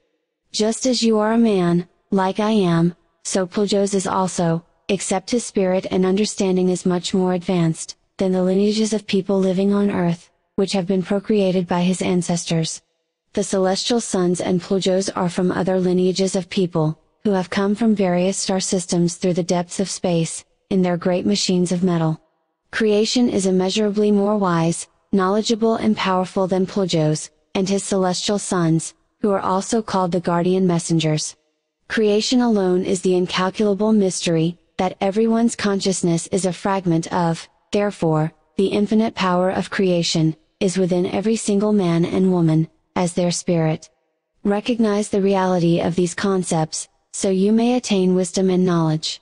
Caiaphas, the high priest, began to tear at his clothing, and spoke with rage, saying, Emmanuel has blasphemed God, the Creator. Why should we need further cause against him? You have now heard his blasphemy for yourselves. What punishment do you think he deserves? They answered him, saying, Emmanuel deserves death. So they started beating Emmanuel with their fists, and spat in his face. Some of them struck him from behind, and said, Prophesy you great king of wisdom, son of a guardian messenger, who is it that is beating you? Peter had followed Emmanuel and the group, and hid among the people, looking through the doors and windows, therefore, Peter saw what was being done to Emmanuel.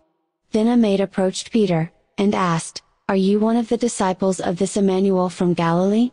When the maid asked Peter this, he denied it, and said, What kind of nonsense do you accuse me of? I do not know what you are talking about. However, because of the maid's question, Peter became afraid, and wanted to escape from there, for he feared his life was in jeopardy. As Peter started walking away, another woman saw him, and shouted, This man was together with the blasphemer from Nazareth. However, Peter lied a second time, raised his hand, as if to swear an oath, and said, Truly, I do not know that confused man. When Peter began to leave again, those who had been standing there, walked up to him, and asked, Are you one of those, who follow this Emmanuel? You are giving yourself away, through your manner and speech. Peter then began to shout, and said, I do not know this crazy man, or his blasphemous teachings. However, soon after this, a rooster crowed three times, and Peter thought of Emmanuel's words, and he quickly ran away from there weeping bitterly. Chapter 29 Judah Ihariot, the betrayer of Emmanuel, was among the counselors, who wanted to capture and kill Emmanuel. However, when Judah Ihariot saw what appalling torture Emmanuel was undergoing, and that his face was bruised and bloody, he felt very remorseful. Suddenly, great distress and misery was deep within him. At odds with himself, Judah I Ihariot took his money bag, and tossed it before the priests and council elders, and said, I have done a terrible thing to this man, because I was thinking only of silver, goods and wealth. I regret betraying innocent blood, because his teachings do not seem malicious to me. However, the chief priest and elders replied, Of what concern is this to us? It is up to you to decide what you should do, in order to live in peace with yourself. Judah Ihariot then began to weep, and quickly fled from there, and soon after this, he hung himself from a tree branch, in the field of a potter, just beyond the city walls. However, the priest took the pieces of silver, and said, We should not put this into the collection box, because it is blood money, therefore, what should we do with it? One of the sons of the elders came forth, and said, I have followed Judah I Ihariot, and he has hung himself from a tree branch, in the field of a potter. Then Caiaphas, the high priest said, Give these pieces of silver to the potter, in order to buy his field with it, and we will use it for the burial of strangers. At dawn the following day, the business matter was settled, and Judah Ihariot, the betrayer of Emmanuel, was the first to be buried in the field. However, the priests and elders of the council, spread the news among the people, that Judas Iscariot, a trusted disciple of Emmanuel, had hung himself, and was quickly buried in the field. The people believed this malicious lie, saying, He betrayed his friend for thirty pieces of silver, therefore, it serves Judas Iscariot right, that he has hung himself. Judas Iscariot has taken a blood guilt upon himself, so from now on, the field of the potter should be known as the field of blood. Emmanuel, however, was brought before Pilate, the governor, who asked him, Are you Emmanuel, whom they call, the one with spiritual knowledge? Emmanuel replied, saying, It is as you say, for this is what my appellation actually means. Pilate then asked, Is it also true, that you were begotten by the guardian messenger Gabriel, who is a guardian messenger of Puljos? And Emmanuel said, It is as you say. Pilate inquired once again, saying, Let us hear your knowledge, for your teachings are new to me. Emmanuel spoke, saying, Behold, eons ago, I came from another world, in order to fulfill a difficult task, and now I have been begotten by a celestial son, in order to be a prophet in this life. This came to pass according to the will of Puljos, the ruler over three lineages of people on earth. Through Puljos' will, I have added to my knowledge in this incarnation, by gaining great insight, and learning many things, which has been imparted to me by the celestial sons, over a period of forty days and nights. Furthermore, I have traveled extensively to faraway places, and have lived for many years in the land of India. There I was taught extensive knowledge, and many secrets by the great, wise and knowledgeable men, who are known as masters. When I have fulfilled my mission here, I will return to the land of India, with Thomas, my brother, who is also a loyal disciple of mine. When they heard Emmanuel's speech, the elders and priests of the church became very agitated, and began shouting at Pilate, saying, Do you hear his blasphemy? Pilate then asked Emmanuel, Do you hear how harshly they accuse you? Why do you not defend yourself? Emmanuel answered Pilate, saying, I will carry my burden, for it has been determined this way. However, it is also true, that many do oppose me, therefore, they will testify against me, and because of this, I will not find fairness in my current life, however, I will surely find it in subsequent incarnations of the distant future. Truly, I say to you, many dogs will kill a hare, regardless of how many turns it makes. It is also customary among the people on earth, that the most honest men and women cannot find fairness, because it does not matter whether many or few testify against them, as long as they are highly regarded. Equality rules only in the laws of nature, for they are the laws of creation. However, among the people on earth, there is little fairness, for it is often decided according to their social status and wealth. Therefore, I ask you, how could I expect equality by these standards? Pilate then said, Judging from the way you speak, you are very wise, and I see no fault in you. I question what you have just said, however, in this too I see no fault, for everyone should find peace, according to their own understanding.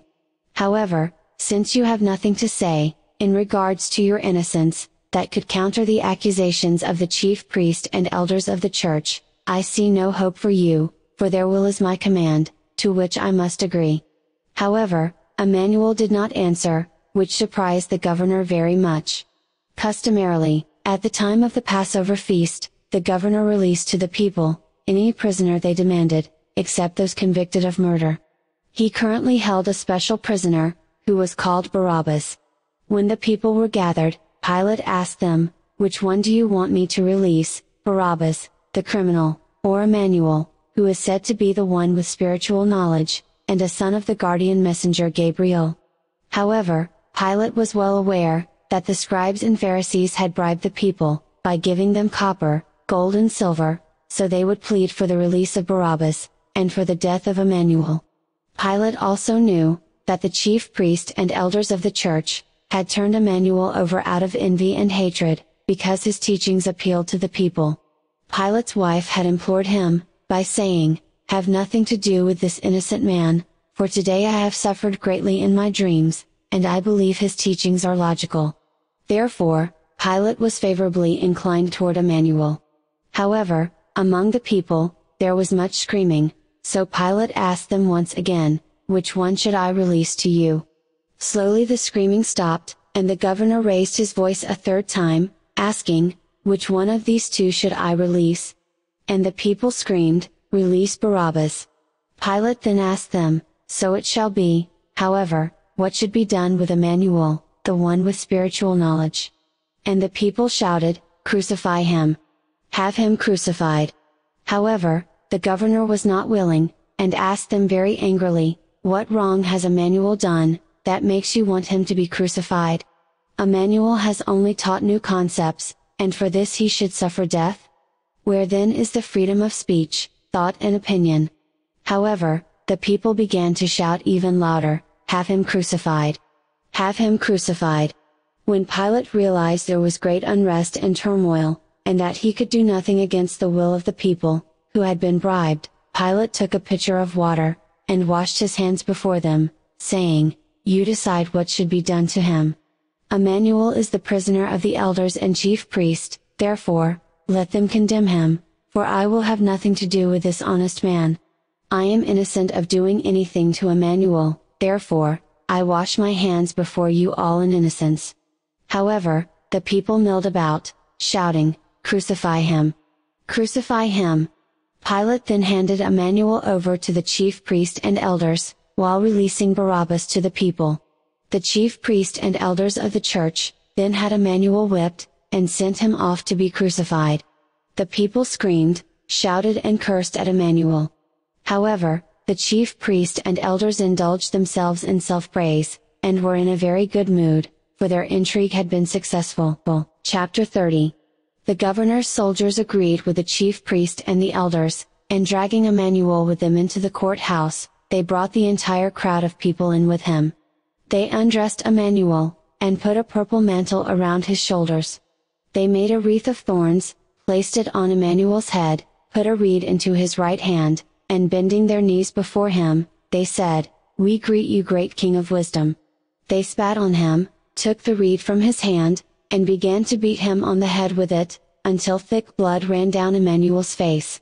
When Emmanuel was very bruised and bleeding badly, Caiaphas, the high priest, asked, How are you doing now, great king of wisdom? However, Emmanuel was quiet, and did not say anything. They hit Emmanuel on the head once more, and he moaned in pain, and began to speak, saying, Indeed it is true, that I am a king of wisdom, as it has been written by the prophets. Truly, I say to you, just as you beat and mock me, you will be beaten and mocked, by those whom you, since ancient times, have enslaved, and whose land you and your forefathers have plundered. The time will also come, in approximately five times a hundred years, when you will suffer greatly, when the legitimate owners of this land, whom you have enslaved and deprived of freedom, will begin to rise up against you, well into the most distant future. A new man will appear in this land, as a prophet, and he will rightfully condemn and persecute you. This man will establish a new religion, specifically for the forceful preservation of the spiritual teachings, and will be recognized by many people as a prophet, and because of this, you will be persecuted and hated for all times. However, according to your claims, he will be a false prophet, just as you maliciously claim of me. He will bring you new teachings, that will be confusing to you, however, he will be an honest man, and will have great power. He will be known as Muhammad, and this appellation will gain the meaning of horror, misery and death to you. Truly, truly I say, this appellation will be written for you in blood, and because of your vile offenses, the hatred against you will be great. In this way, he will be a prophet, although you will claim he is not, and he will bring you teachings that will be confusing and unintelligible to you. His emerging religion will eventually end, when his and your followers lay the foundation for a bloody conclusion, and his teachings, too, will be greatly adulterated, and will result in an illogical and confused religious cult. As Emmanuel spoke in this manner, the chief priest and members of the council of elders seethed with rage, and began to beat him so harshly, that Emmanuel collapsed to the floor.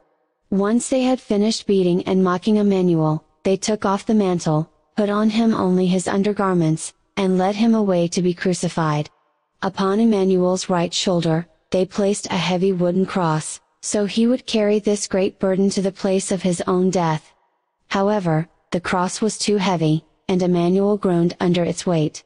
His blood also combined with his sweat, making a vile mixture.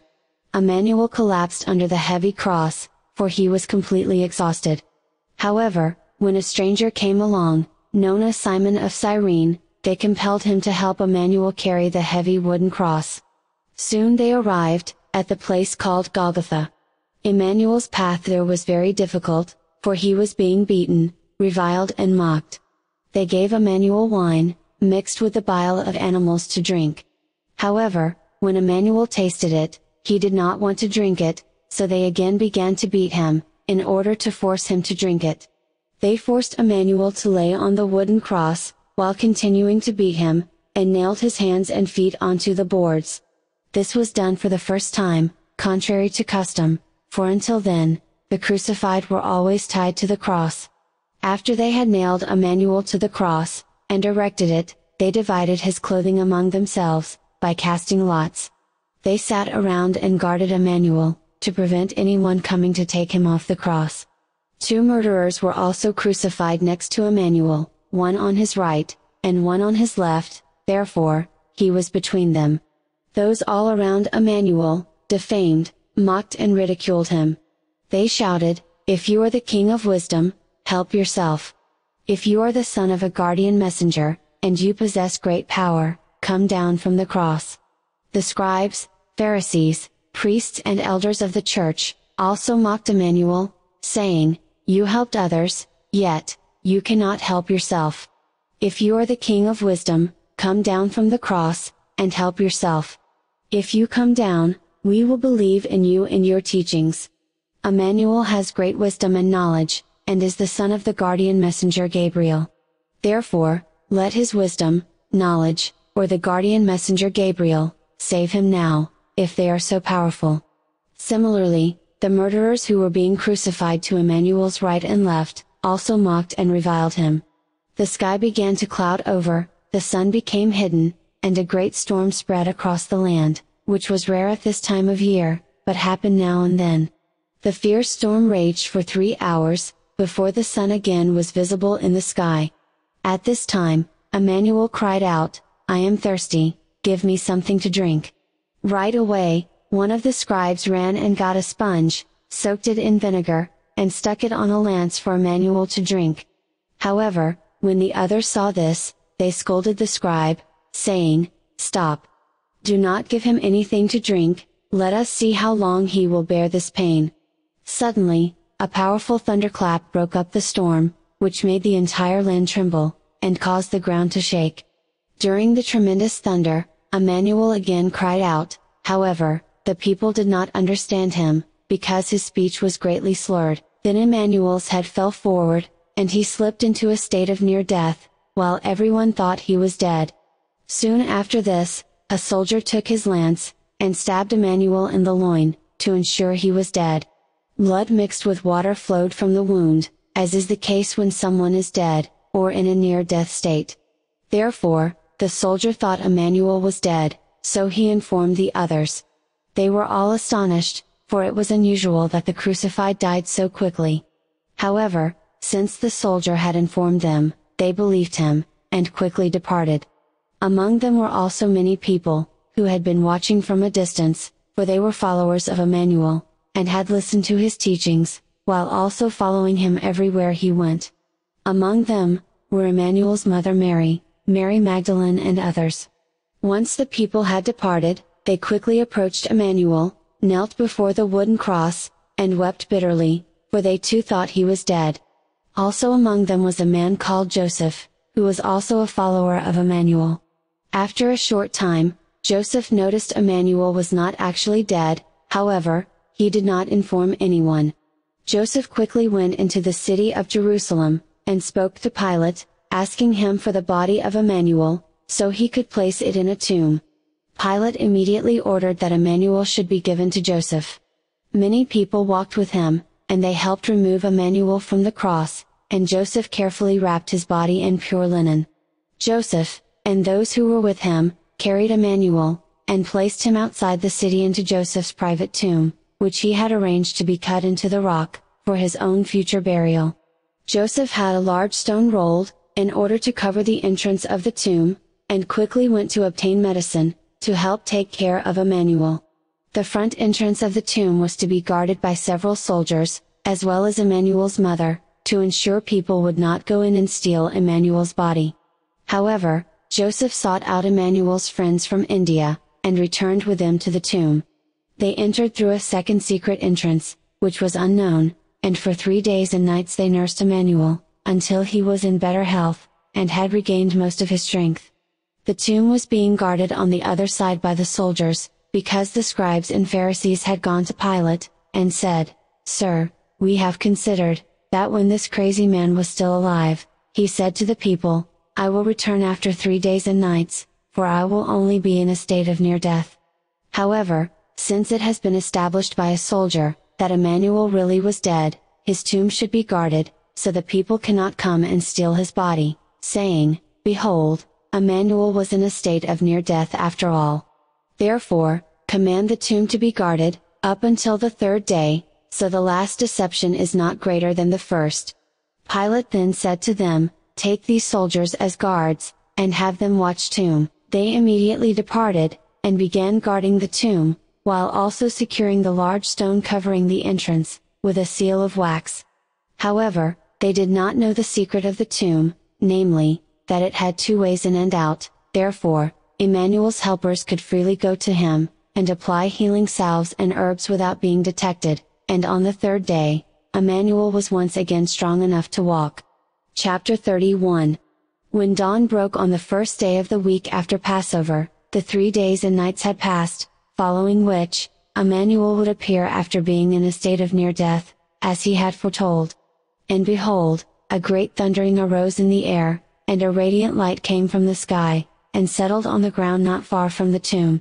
A celestial son stepped forth from within the metallic spaceship, and his appearance was like lightning, while his garment was as white as snow. He approached the tomb, and the soldiers, full of fear, quickly moved away. The celestial son lifted his hand, and from it, a bright bolt of lightning sprang forth, and struck the soldiers one after the other. They immediately fell to the ground, and did not stir for a long time. The guardian messenger approached the tomb, rolled the stone away from the door, and said to Mary, the mother of Emmanuel, and to Mary Magdalene, who were both there, Do not be afraid, for I know you seek Emmanuel, the one who has been crucified. Emmanuel is not here, for he is alive, just as he has foretold, come here and see the place where he has lain. Go quickly and tell Emmanuel's disciples, that he has recovered from near death. Also tell them, Emmanuel will walk before you in Galilee, therefore, you will see him. Behold, I have spoken. However, Mary asked, Emmanuel was dead and lay here, therefore, how can he then rise? The celestial son answered her, saying, Why do you seek a live man among the dead? Go now and spread the news among Emmanuel's disciples, however, do not tell anyone else. The guardian messenger entered the metallic spaceship and disappeared into it, and a great thundering came forth as it rose into the air, shooting straight into the sky. Emmanuel's mother and Mary Magdalene quickly departed, leaving the empty tomb. However, when the soldiers recovered from their paralysis, they were greatly astonished, and immediately traveled to the city of Jerusalem, in order to spread the news of what had happened. Secretly, they met with the chief priest and elders of the church, in order to decide what to tell the people. The chief priest and elders gave sufficient money to the soldiers, and said, Say to the people that Emmanuel's disciples came at night while we were sleeping, and stole his body. The soldiers took the money, and did as they had been instructed. However, Mary and Mary Magdalene quickly did as they had been instructed by the celestial Son. And behold, once again a guardian messenger met them on their way, and said, Remember what you have been instructed to do, be careful and do not tell the people. Mary Magdalene approached the celestial Son, who wore a brilliant white garment, and she motioned to grasp his hand. However, the celestial Son quickly stepped back from her, saying, Do not touch me, for I am a man of a different planet, and my garment is a protection against the Earth's harsh atmosphere. If you touch me, you will instantly die, and will be immediately consumed by fire. Therefore, step back and be on your way. The two women quickly departed, and soon met Peter with another disciple, and told them what had taken place. Peter and the other disciple traveled to the tomb, while the other disciple was first to arrive. The disciple looked inside the tomb and saw linen bandages neatly folded on the ground, however, he did not enter. When Peter arrived, he quickly entered the tomb and intently studied everything. The bandages had been carefully folded and neatly placed on the ground, a sweat cloth, which had surely covered Emmanuel's head, had been placed on a particular spot, together with many salves, herbs and clay figurines of peculiar appearance, the likes of which Peter had never seen before, therefore, they were foreign to him. In the evening of the same day, the disciples gathered in the room where they had eaten their last meal with Emmanuel before Passover. They were in the room talking to one another, about what had happened earlier that day, when suddenly the door opened and a man entered, whom they did not recognize. They were afraid he was one of the henchmen, who wanted to capture and kill them. However, the stranger said, Peace be with all of you, he removed the cloth from his face, and they immediately recognized him as Emmanuel. After Emmanuel had spoken, he showed them his hands, loin and feet, and when they saw his wounds, they were happy to see he was alive and well. However, Thomas believed Emmanuel to be merely a ghost, therefore, he said, If I could touch your wounds, I would know you are not a ghost. And Emmanuel said to him, Reach out and gently place your hands on my wounds, in order for you to recognize the truth. Thomas immediately did as Emmanuel had said, and gently touching Emmanuel's wounds, he replied, Truly, it is you. Emmanuel then departed, saying, Guard the secret of my return, so it will not be commonly known that I am alive and well. The next day, the disciples set out for Galilee, in order to spread the joyful news among Emmanuel's supporters. As other followers were walking along, a traveler joined them, and for part of the way walked with them. They were very sad, and talked about Emmanuel being forced to die on the cross. The traveler, a stranger to them, asked, Why are you mourning? However, the traveler spoke again, saying, How little knowledge you have, Emmanuel said he would recover from near death after three days and nights. Just as he said, it has happened. After the traveler said this, he removed the cloth from his face, and they immediately recognized him as Emmanuel. However, he said nothing more, and again covering his face quickly withdrew, and was not seen for a long time. Long after Emmanuel had disappeared, it came to pass that the disciples were fishing on the Sea of Tiberias, however, they caught nothing the entire night, therefore, by daybreak, they were exasperated and hungry. When they approached the shore, there stood a stranger, who asked, Have you nothing to eat, for I am hungry? They answered him, saying, No, we have not caught a single fish in our nets. The stranger replied, saying, Throw the net out on the right side of the boat, and you will have a large catch. The disciples were surprised by what the stranger said, however, feeling curious, they cast the net, and behold, they struggled to pull it in, due to the great quantity of fish. The disciples soon came ashore, and began preparing a great meal, for like the stranger, they too were hungry. However, when the stranger uncovered his face, they saw it was Emmanuel. While they were eating and enjoying themselves, Emmanuel said to them, Go to Galilee, to such and such mountain, there I will join you, for our time together has ended for today, and we must go our separate ways. Chapter 32 They soon traveled to the mountain Emmanuel had directed his disciples when they were gathered there. Emmanuel spoke to them, saying, I will now speak to you one last time, then I will leave and never return. My path leads me to the land of India, where many people from this lineage also dwell, for they have left this country, in order to live there. My mission leads me to them, and to other populations that live there also. My path there will be long, for I have not yet spread the spiritual teachings to many countries, and therefore, from the shores of the great black waters to the north of here. However, before I leave you, I will give you one more lesson, regarding the spirit within each man and woman, and the concept of creation. If people live according to the laws of creation, they live correctly, however, the ultimate goal of life should be this, everything illogical within the people on earth should be destroyed, and therefore, everything of creation within them should rise and embrace reality. Consider a universe the place where creation exists without duration, as individual spirits of people. Everything people have, has its origin from within a universe, therefore, everything is a part of creation. Every man and woman will eventually transform their lives in a spiritual manner, thereby perfecting themselves, and realizing their oneness with creation. Everything the people on earth do, they should do with the awareness of creation's presence, and the fact that their spirit is a fragment of creation itself. However, someone should not force the truth onto someone else, for it would then be worth merely half its value. The people on earth should first tend to their own progress in consciousness and gain comprehension, so as to produce natural harmony within themselves. No greater darkness rules within the people on earth than ignorance, and a lack of wisdom and knowledge. Greatness of private victory requires uprooting and destroying all negative influences, which oppose balance and harmony, and to enable that which is constant and unchanging to prevail.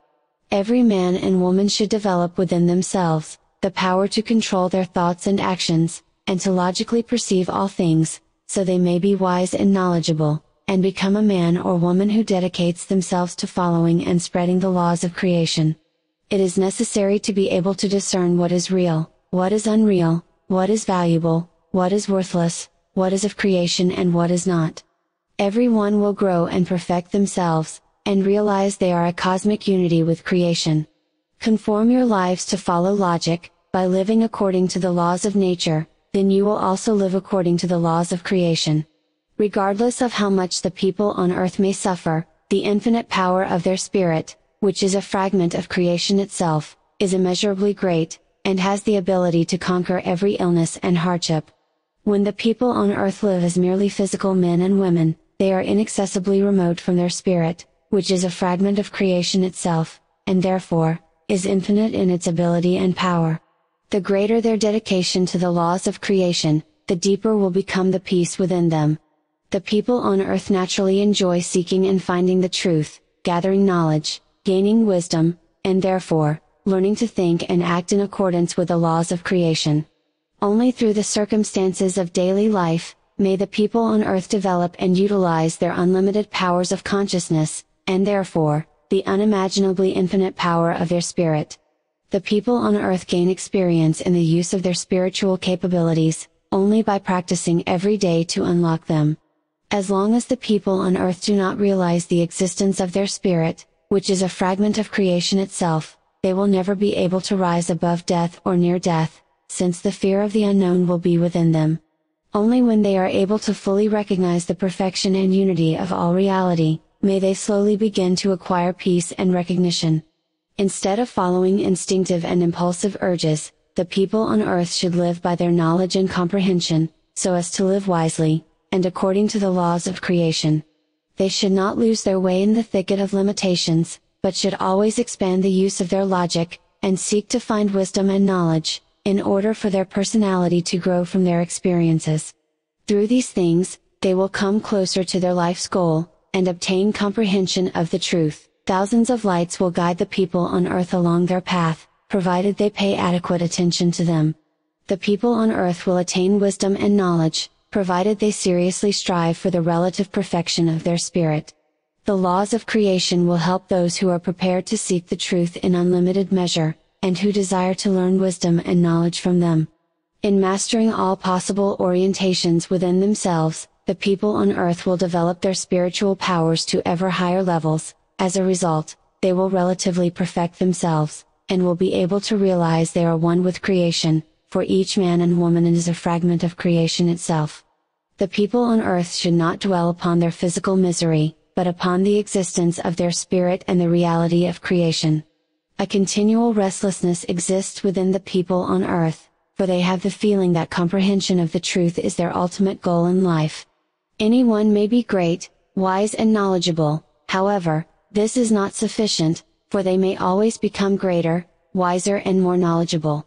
There are no limits to love, peace and joy, for the present state is always to be exceeded. Truly, I say to you, a love that is unlimited, constant and unfailing, is unconditional. Such a love is creation's love, which may be found within the laws of creation, to which the people on earth have been working towards since the beginning of their physical existence. This is the ultimate goal of the people on earth, therefore, they should take steps to guarantee this will ensue. However, as of yet, the people on earth do not comprehend this information, and therefore, it is in the process of being greatly adulterated. In their vast ignorance, many people are knowingly and unknowingly falsifying the spiritual teachings in many ways, thereby making them diffused and unintelligible. However, in approximately two times a thousand years, they will be taught anew, without adulterations, when the people on earth have become sensible and logical in their thinking, and a new age will bring great upheavals. It may appear that the people of the new age will be great revolutionaries, however, only a few people will proclaim the spiritual teachings and spread them unadulterated with great courage. Therefore, all of you should go and prepare the way for the truth, thereby making everyone disciples of the spiritual teachings. However, beware of illogical concepts and opinions, which you will undoubtedly allow to arise, due to your own lack of understanding, for some of you are inclined this way. Teach them to learn the laws of creation, which I have told you, so you do not cause further adulteration of the spiritual teachings. And it came to pass, that while Emmanuel was speaking to his disciples, a thundering came from the sky, and a great metallic spaceship descended. The spaceship settled on the ground, not far from them, and glittered like metal in the sunlight. Emmanuel spoke no more, quickly approached the metallic spaceship and entered it. Immediately a haze arose all around it, and once again a loud thundering began, and the spaceship ascended into the sky. Emmanuel's disciples returned to Jerusalem in secret, and made known these events only among their close friends and family. Chapter 33 Emmanuel was set down by the metallic spaceship in Syria, where he lived for two years in Damascus without being recognized.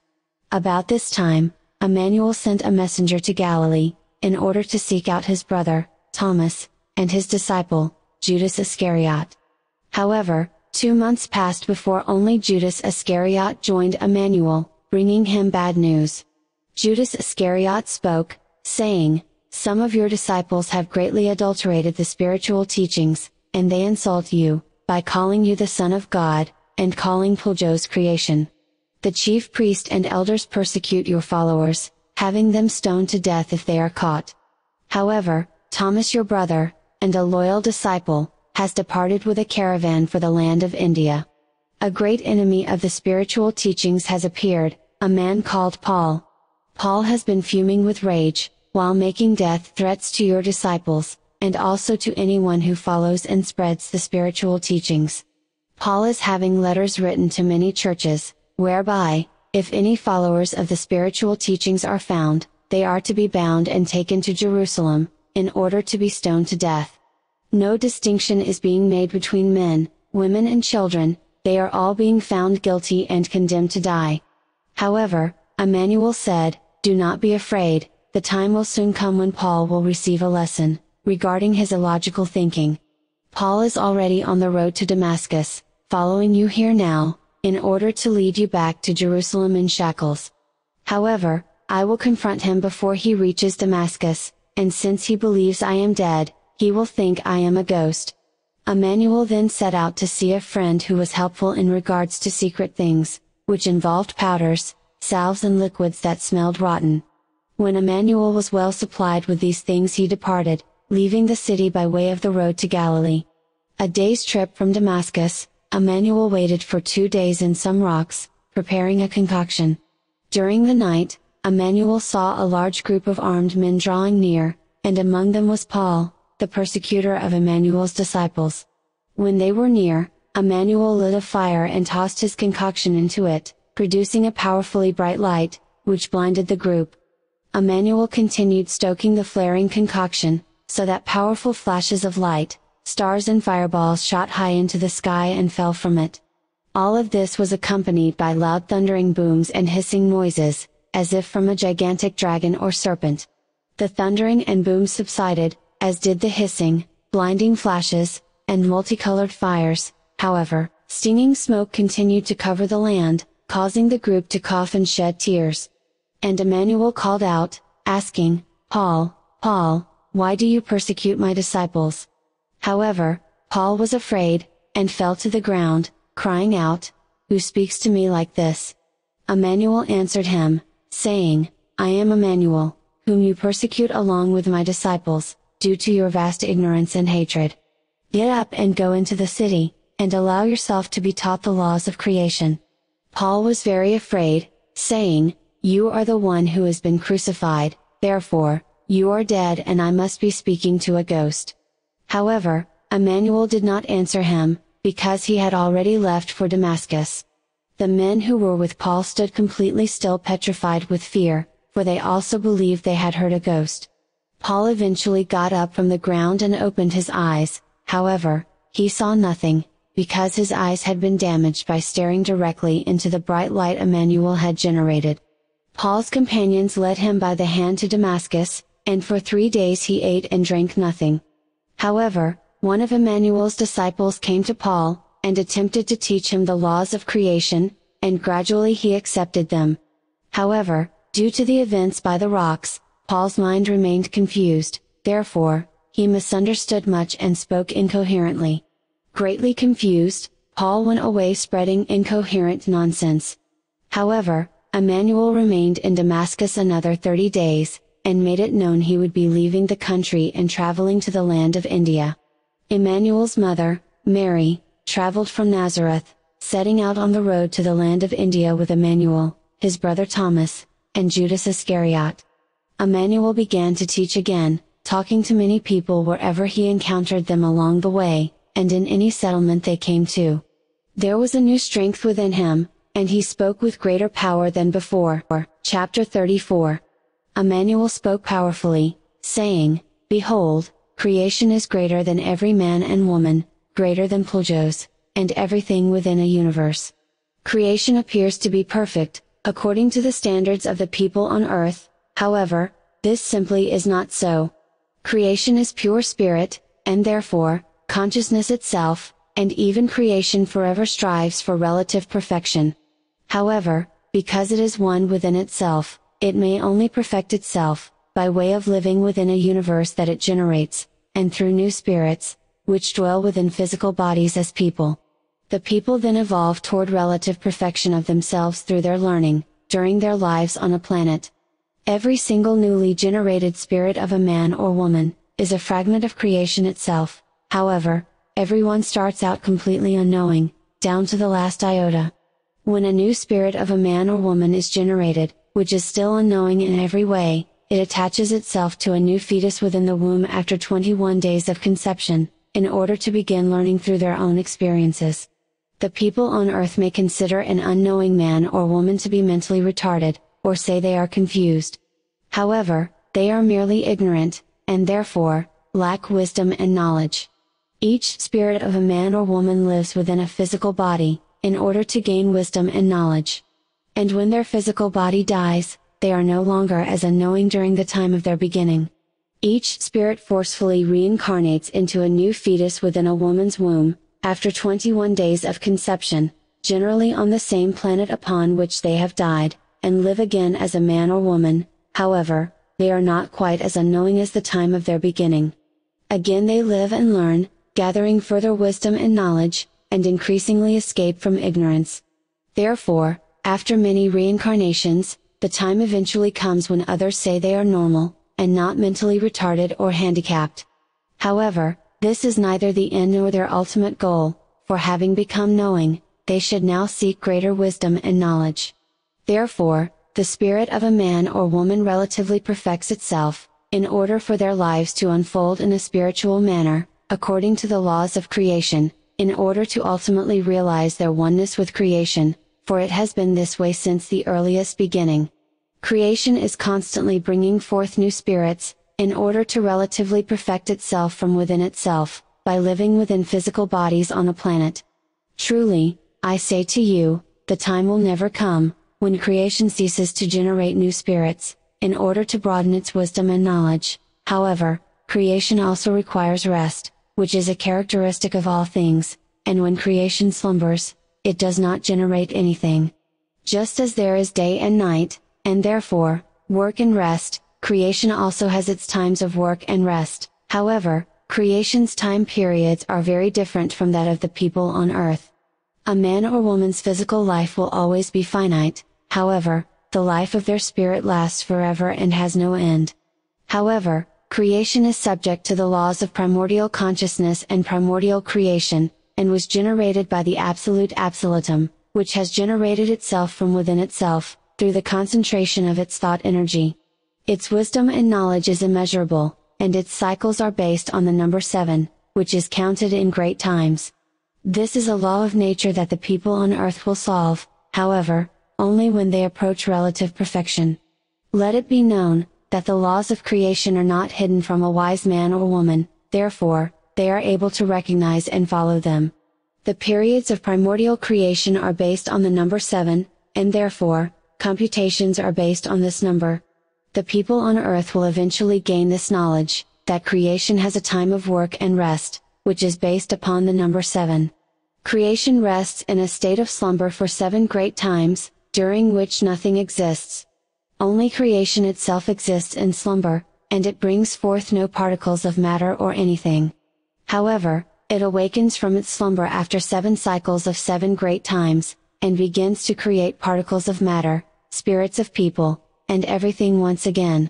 After having rested for seven cycles of seven great times, it generates particles of matter and everything else, and does so for seven more cycles of seven great times, until it requires rest again, and reposes anew in deep slumber for a further seven great times. When it rests again in slumber, nothing will exist except creation itself. There will be neither stars nor planets. Only creation itself exists during the seven cycles of seven great times, and it rests and slumbers until it awakens again, bringing forth new particles of matter and everything else. Just as creation is one within itself, so is all life existing as one within itself. It is by the laws of creation, which are the laws of nature, that all people, plants and animals, are one in themselves and also together. Someone may think that everything is two or three, however, this is not so, for it is actually one. Anything people may think to be two or three, is actually one, therefore, the people on earth should recognize this fact. The spirit of a man or woman, is a fragment of creation itself, therefore, it is one with creation, and may only be two in appearance. Likewise, the physical body of a man or woman, is a counterpart of their spirit, and is one with it, consequently, it may only be two in appearance. The teachings of the spirit within each man and woman, and the laws of creation, say there is a unity, and therefore, not in any manner a duality or trinity. If it ever appears to the people on earth, that there is a duality or trinity, they have become victims of deception, for they do not think logically, but according to illogical opinions. However, if the people on earth think according to the truth, regarding the existence of a man or woman's spirit, they will find logic. Only the thoughts of the people on earth may become illogical or confused, because the laws of creation are constant and unchanging for all great times. And for this reason, it is said that everything emanates from a unity, and a duality may seem apparent only because of the limited thinking of the people on earth. Everything is a unity, and everything emanates from it, therefore, no duality or trinity may exist. The people on earth should make the two or three into one, in order to think and act according to the laws of creation. Only in ignorance, will the people on earth fabricate a duality or trinity. When the people on earth align everything into a unity, making everything into one, and say to a mountain, move away, it will move away. When everything is one with creation, in its laws, in every creature, and all matter, it is in the proper state of balance required for growth. When a wise man or woman, says there is always two of everything, they mean they are one within themselves and also together. They are only two in appearance, for within themselves and also together, they are always one. Therefore, Insanity is one in itself, because it is also sanity in itself, Likewise, sanity is one in itself, for it is just as much insanity in itself. Even when apart, they are one and a unity, together they are also one and a unity, for this is the nature of reality. Therefore, the result is that there are two parts in appearance, however, they are both one in themselves and also together. If people say there exists a trinity, their thinking has been misdirected by some religious cult, illogical concept, or confused teaching. A unity always consists of two parts, which are one in themselves and also together, and therefore, may only be a duality in appearance. Each man and woman is a unity of two parts, and the spirit within them is also a unity of two parts, however, both are one within themselves and also together. Someone's physical body cannot live without their spirit, for a man or woman's spirit and body are a unity, despite their seeming duality. A man or woman's spirit lives according to the laws of creation, and therefore, consists of two parts, and is a unity in each part, within itself and also together. The two parts of a man or woman's spirit, is wisdom and knowledge. Without knowledge regarding the spirit within every man and woman, its infinite power cannot be utilized in relative perfection, therefore, wisdom cannot emerge without spiritual knowledge and comprehension. Two things are always required, that are one within themselves and also together, therefore, there is a oneness within the unity, however, never a duality. Therefore, the laws of creation say, that a man or woman is a unity within themselves, which consists of two equal parts that form a unity, both within themselves and also together. The two equal parts of a man or woman, each of which consists of a unity within themselves, are their physical body and spirit. Therefore, when the scribes teach there is a trinity, they only show their vast confusion and illogical reasoning, for this is not in accordance with the laws of creation. Chapter 35 It soon came to pass, that Emmanuel, his mother Mary, and his brother Thomas, traveled to the cities near the sea in the north, where since ancient times, warrior women inhabited the area, however, their descendants had become peace-loving. Emmanuel tried to teach them the laws of creation, however, he had to flee their cities when they attempted to take his life. Their own teachings, far removed from reality, were a rigid religious cult, and they severely punished anyone who taught differently. Emmanuel was treated as an outcast by these people, and persecuted as an agitator against their cult, therefore, he left the city. It then came to pass, that during Emmanuel's travels, he met up with a large caravan and began traveling with it, continuing inland deep into the mountains. They traveled through the central part of the country for many weeks, where they came to another sea, and entered the city of Ephesus. However, Emmanuel was very much afraid, and no longer taught the laws of creation, so he would not be recognized, for in Ephesus there were many people, dealers and merchants, who often traveled there from Jerusalem to conduct their business. Many of them had known Emmanuel, and had not been well disposed toward him, therefore, he avoided them by covering his face. The dealers and merchants in Ephesus had spread the story of Emmanuel and his supposed death, which had occurred two and one half years earlier. However, after Emmanuel had been in the city for merely a few days, he was recognized by one of the merchants, who informed others of similar belief, they belonged to a secret group called the Association of the Essenes. They brought Emmanuel to a meeting that was secret, for they feared the people, because their secret society was considered unlawful. Among them was a man named Juthan, the most senior of the secret society in Ephesus, and he spoke, saying, We know very well what has happened in your life, however, we do not understand how you are still among the living, therefore, do tell us your secret. However, Emmanuel feared being bound and returned to Jerusalem if he remained silent, therefore, he recounted everything to the Essenes. Emmanuel told them all about what had transpired, how he fled from Jerusalem and had only recently arrived in their region. Juthan the eldest said, We belong to a secret group called the Association of the Essenes. Our quest and knowledge are not attuned to the teachings of the scribes, but to the secrets of nature, and all that is inexplicable to the people on earth. You are great in your comprehension, and by all measures, you have advanced in knowledge far beyond us and the scribes, Pharisees, astrologers, and even the elders and philosophers. Therefore, come join our society, be one of us, and teach us your knowledge. However, Emmanuel answered, saying, Even if I were to teach you my knowledge, it would not agree with your beliefs, for you follow incomplete teachings of men on earth, where I adhere to spiritual wisdom and knowledge. Therefore, I think our different teachings would be incompatible with each other. It is also not my inclination to spread my wisdom and knowledge in secret as you do, since your secret association of Essenes is unauthorized. However, let me think over the pros and cons for three days, whether I will tell you yes or no, for I must first consider everything before I give you my last word on it. Juthan then said, Be it as you say. Peace be with you. Go and give us an answer in three days, if you indeed want to join our society. However, Emmanuel departed from there, fleeing the city with his disciples, and began traveling east far into the country. Emmanuel said to those who were with him, The association of the Essenes live according to a confusing religious cult, however, they have gathered much from the spiritual teachings. However, their old philosophy is not the teachings of the Spirit within each man and woman, wisdom, knowledge, love, logic and the laws of creation, and therefore, it is very confusing, and not of adequate and lasting value. They have recognized this, and are now weaving the spiritual teachings into their confusion, in order to create from this a new doctrine, and will even claim I am one of them.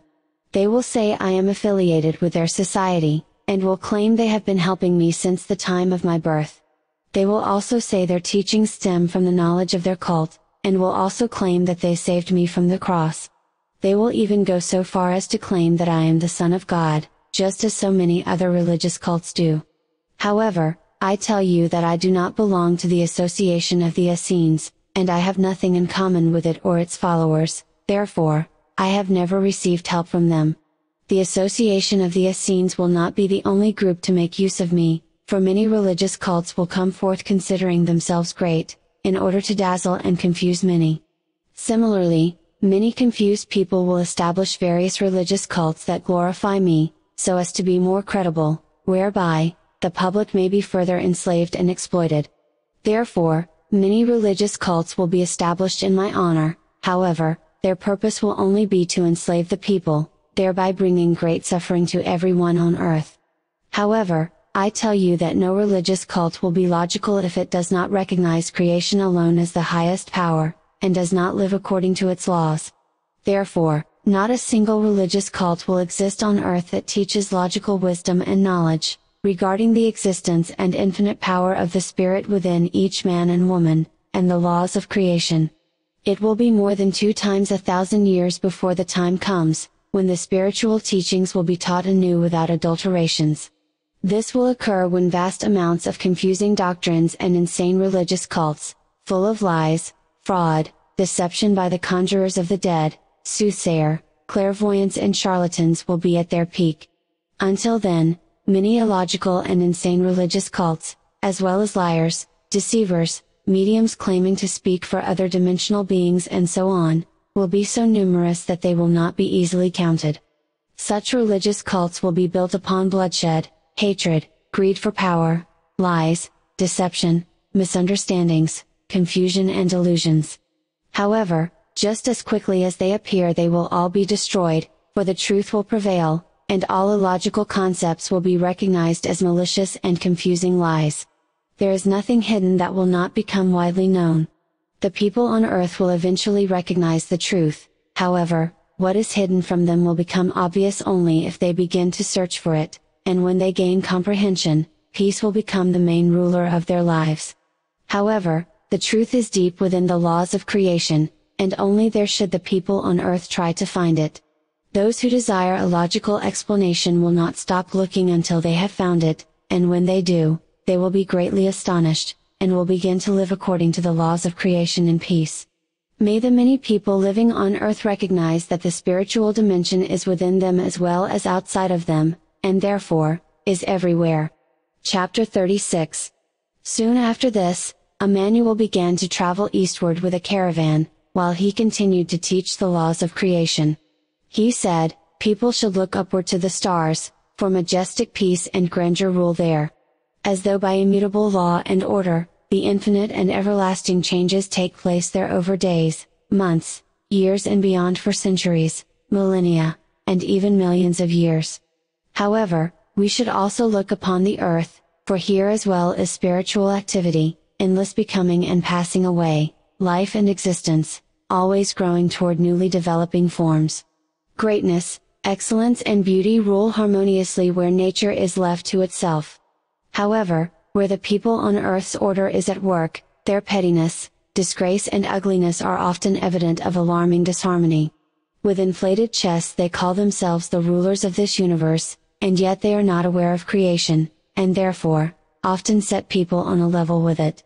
The people on earth have tamed fire and rule their planet, however, by this alone they will not get far, without a doubt they will learn to master the air and water with great machines of metal, however, in the process they will forget about the laws of creation, and the existence of their spirit within themselves.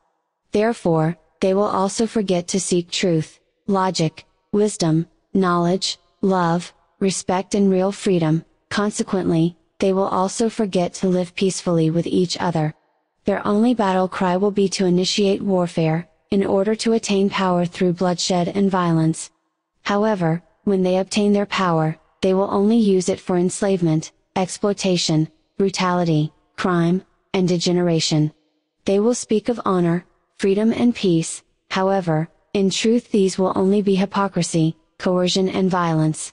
Therefore, the people on earth will completely lose real spiritual wisdom and knowledge, and will display illogical, confused and insane masks of deception.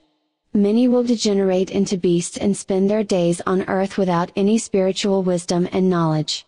Their ambitions and desires will only be directed toward acquisition, power, lust, greed and addiction.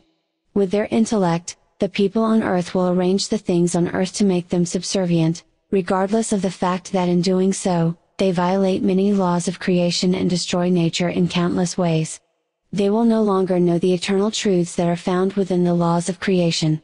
Through self-deception they will find more meaning in science, rather than the lasting values contained within the laws of creation. In their confusion, the people on earth will believe in this illogical, self-created, pathetic philosophy of life, which will be produced through the religious cult's confused teachings, by the arrangement of many insane and pointless laws, and the vagaries of principles that govern nations. The people on earth endeavor to control their lives by external means only, for they have forgotten how to be aware of their own essence from a spiritual point of view. Through deceitful means, they will delude, cheat and exploit their friends, neighbors and even everyone on earth. Wherever wisdom and knowledge still exist, they will change it into ignorance and confusion, and will move further and further away from living a peaceful life. Therefore, they will also lose sight of the principles from the oldest knowledge, which says the people are the measure of all things in life, for each man and woman is, after all, a fragment of creation itself. However, the time will come when the people on earth turn around and become reacquainted with the eternal values of life. Initially, only very few will know that other lineages of people live not only on the earth, but also in the endless expanses of the universe, and that people live not only in the material world, but their spirits reach into another world, which may be sensed through meditation. This other dimension, the ethereal world, is the true origin of a man or woman's spirit, therefore, the people on earth should live to constantly broaden and deepen their wisdom, knowledge, love, truth, logic, freedom, peace and harmony, in order to perfect themselves and realize their oneness with creation. Truly I say to you, those who comprehend the reality of this message and attain insight through their experiences, will awaken to the obligation of aligning their lives with the ultimate goal of eternal change toward relative perfection.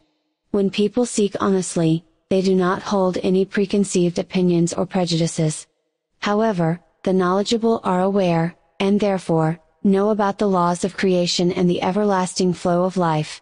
They endeavor to adjust their lives to the grand scheme of events for progress, and they respect the laws of creation, namely, that each cycle of existence must be completed in its entirety.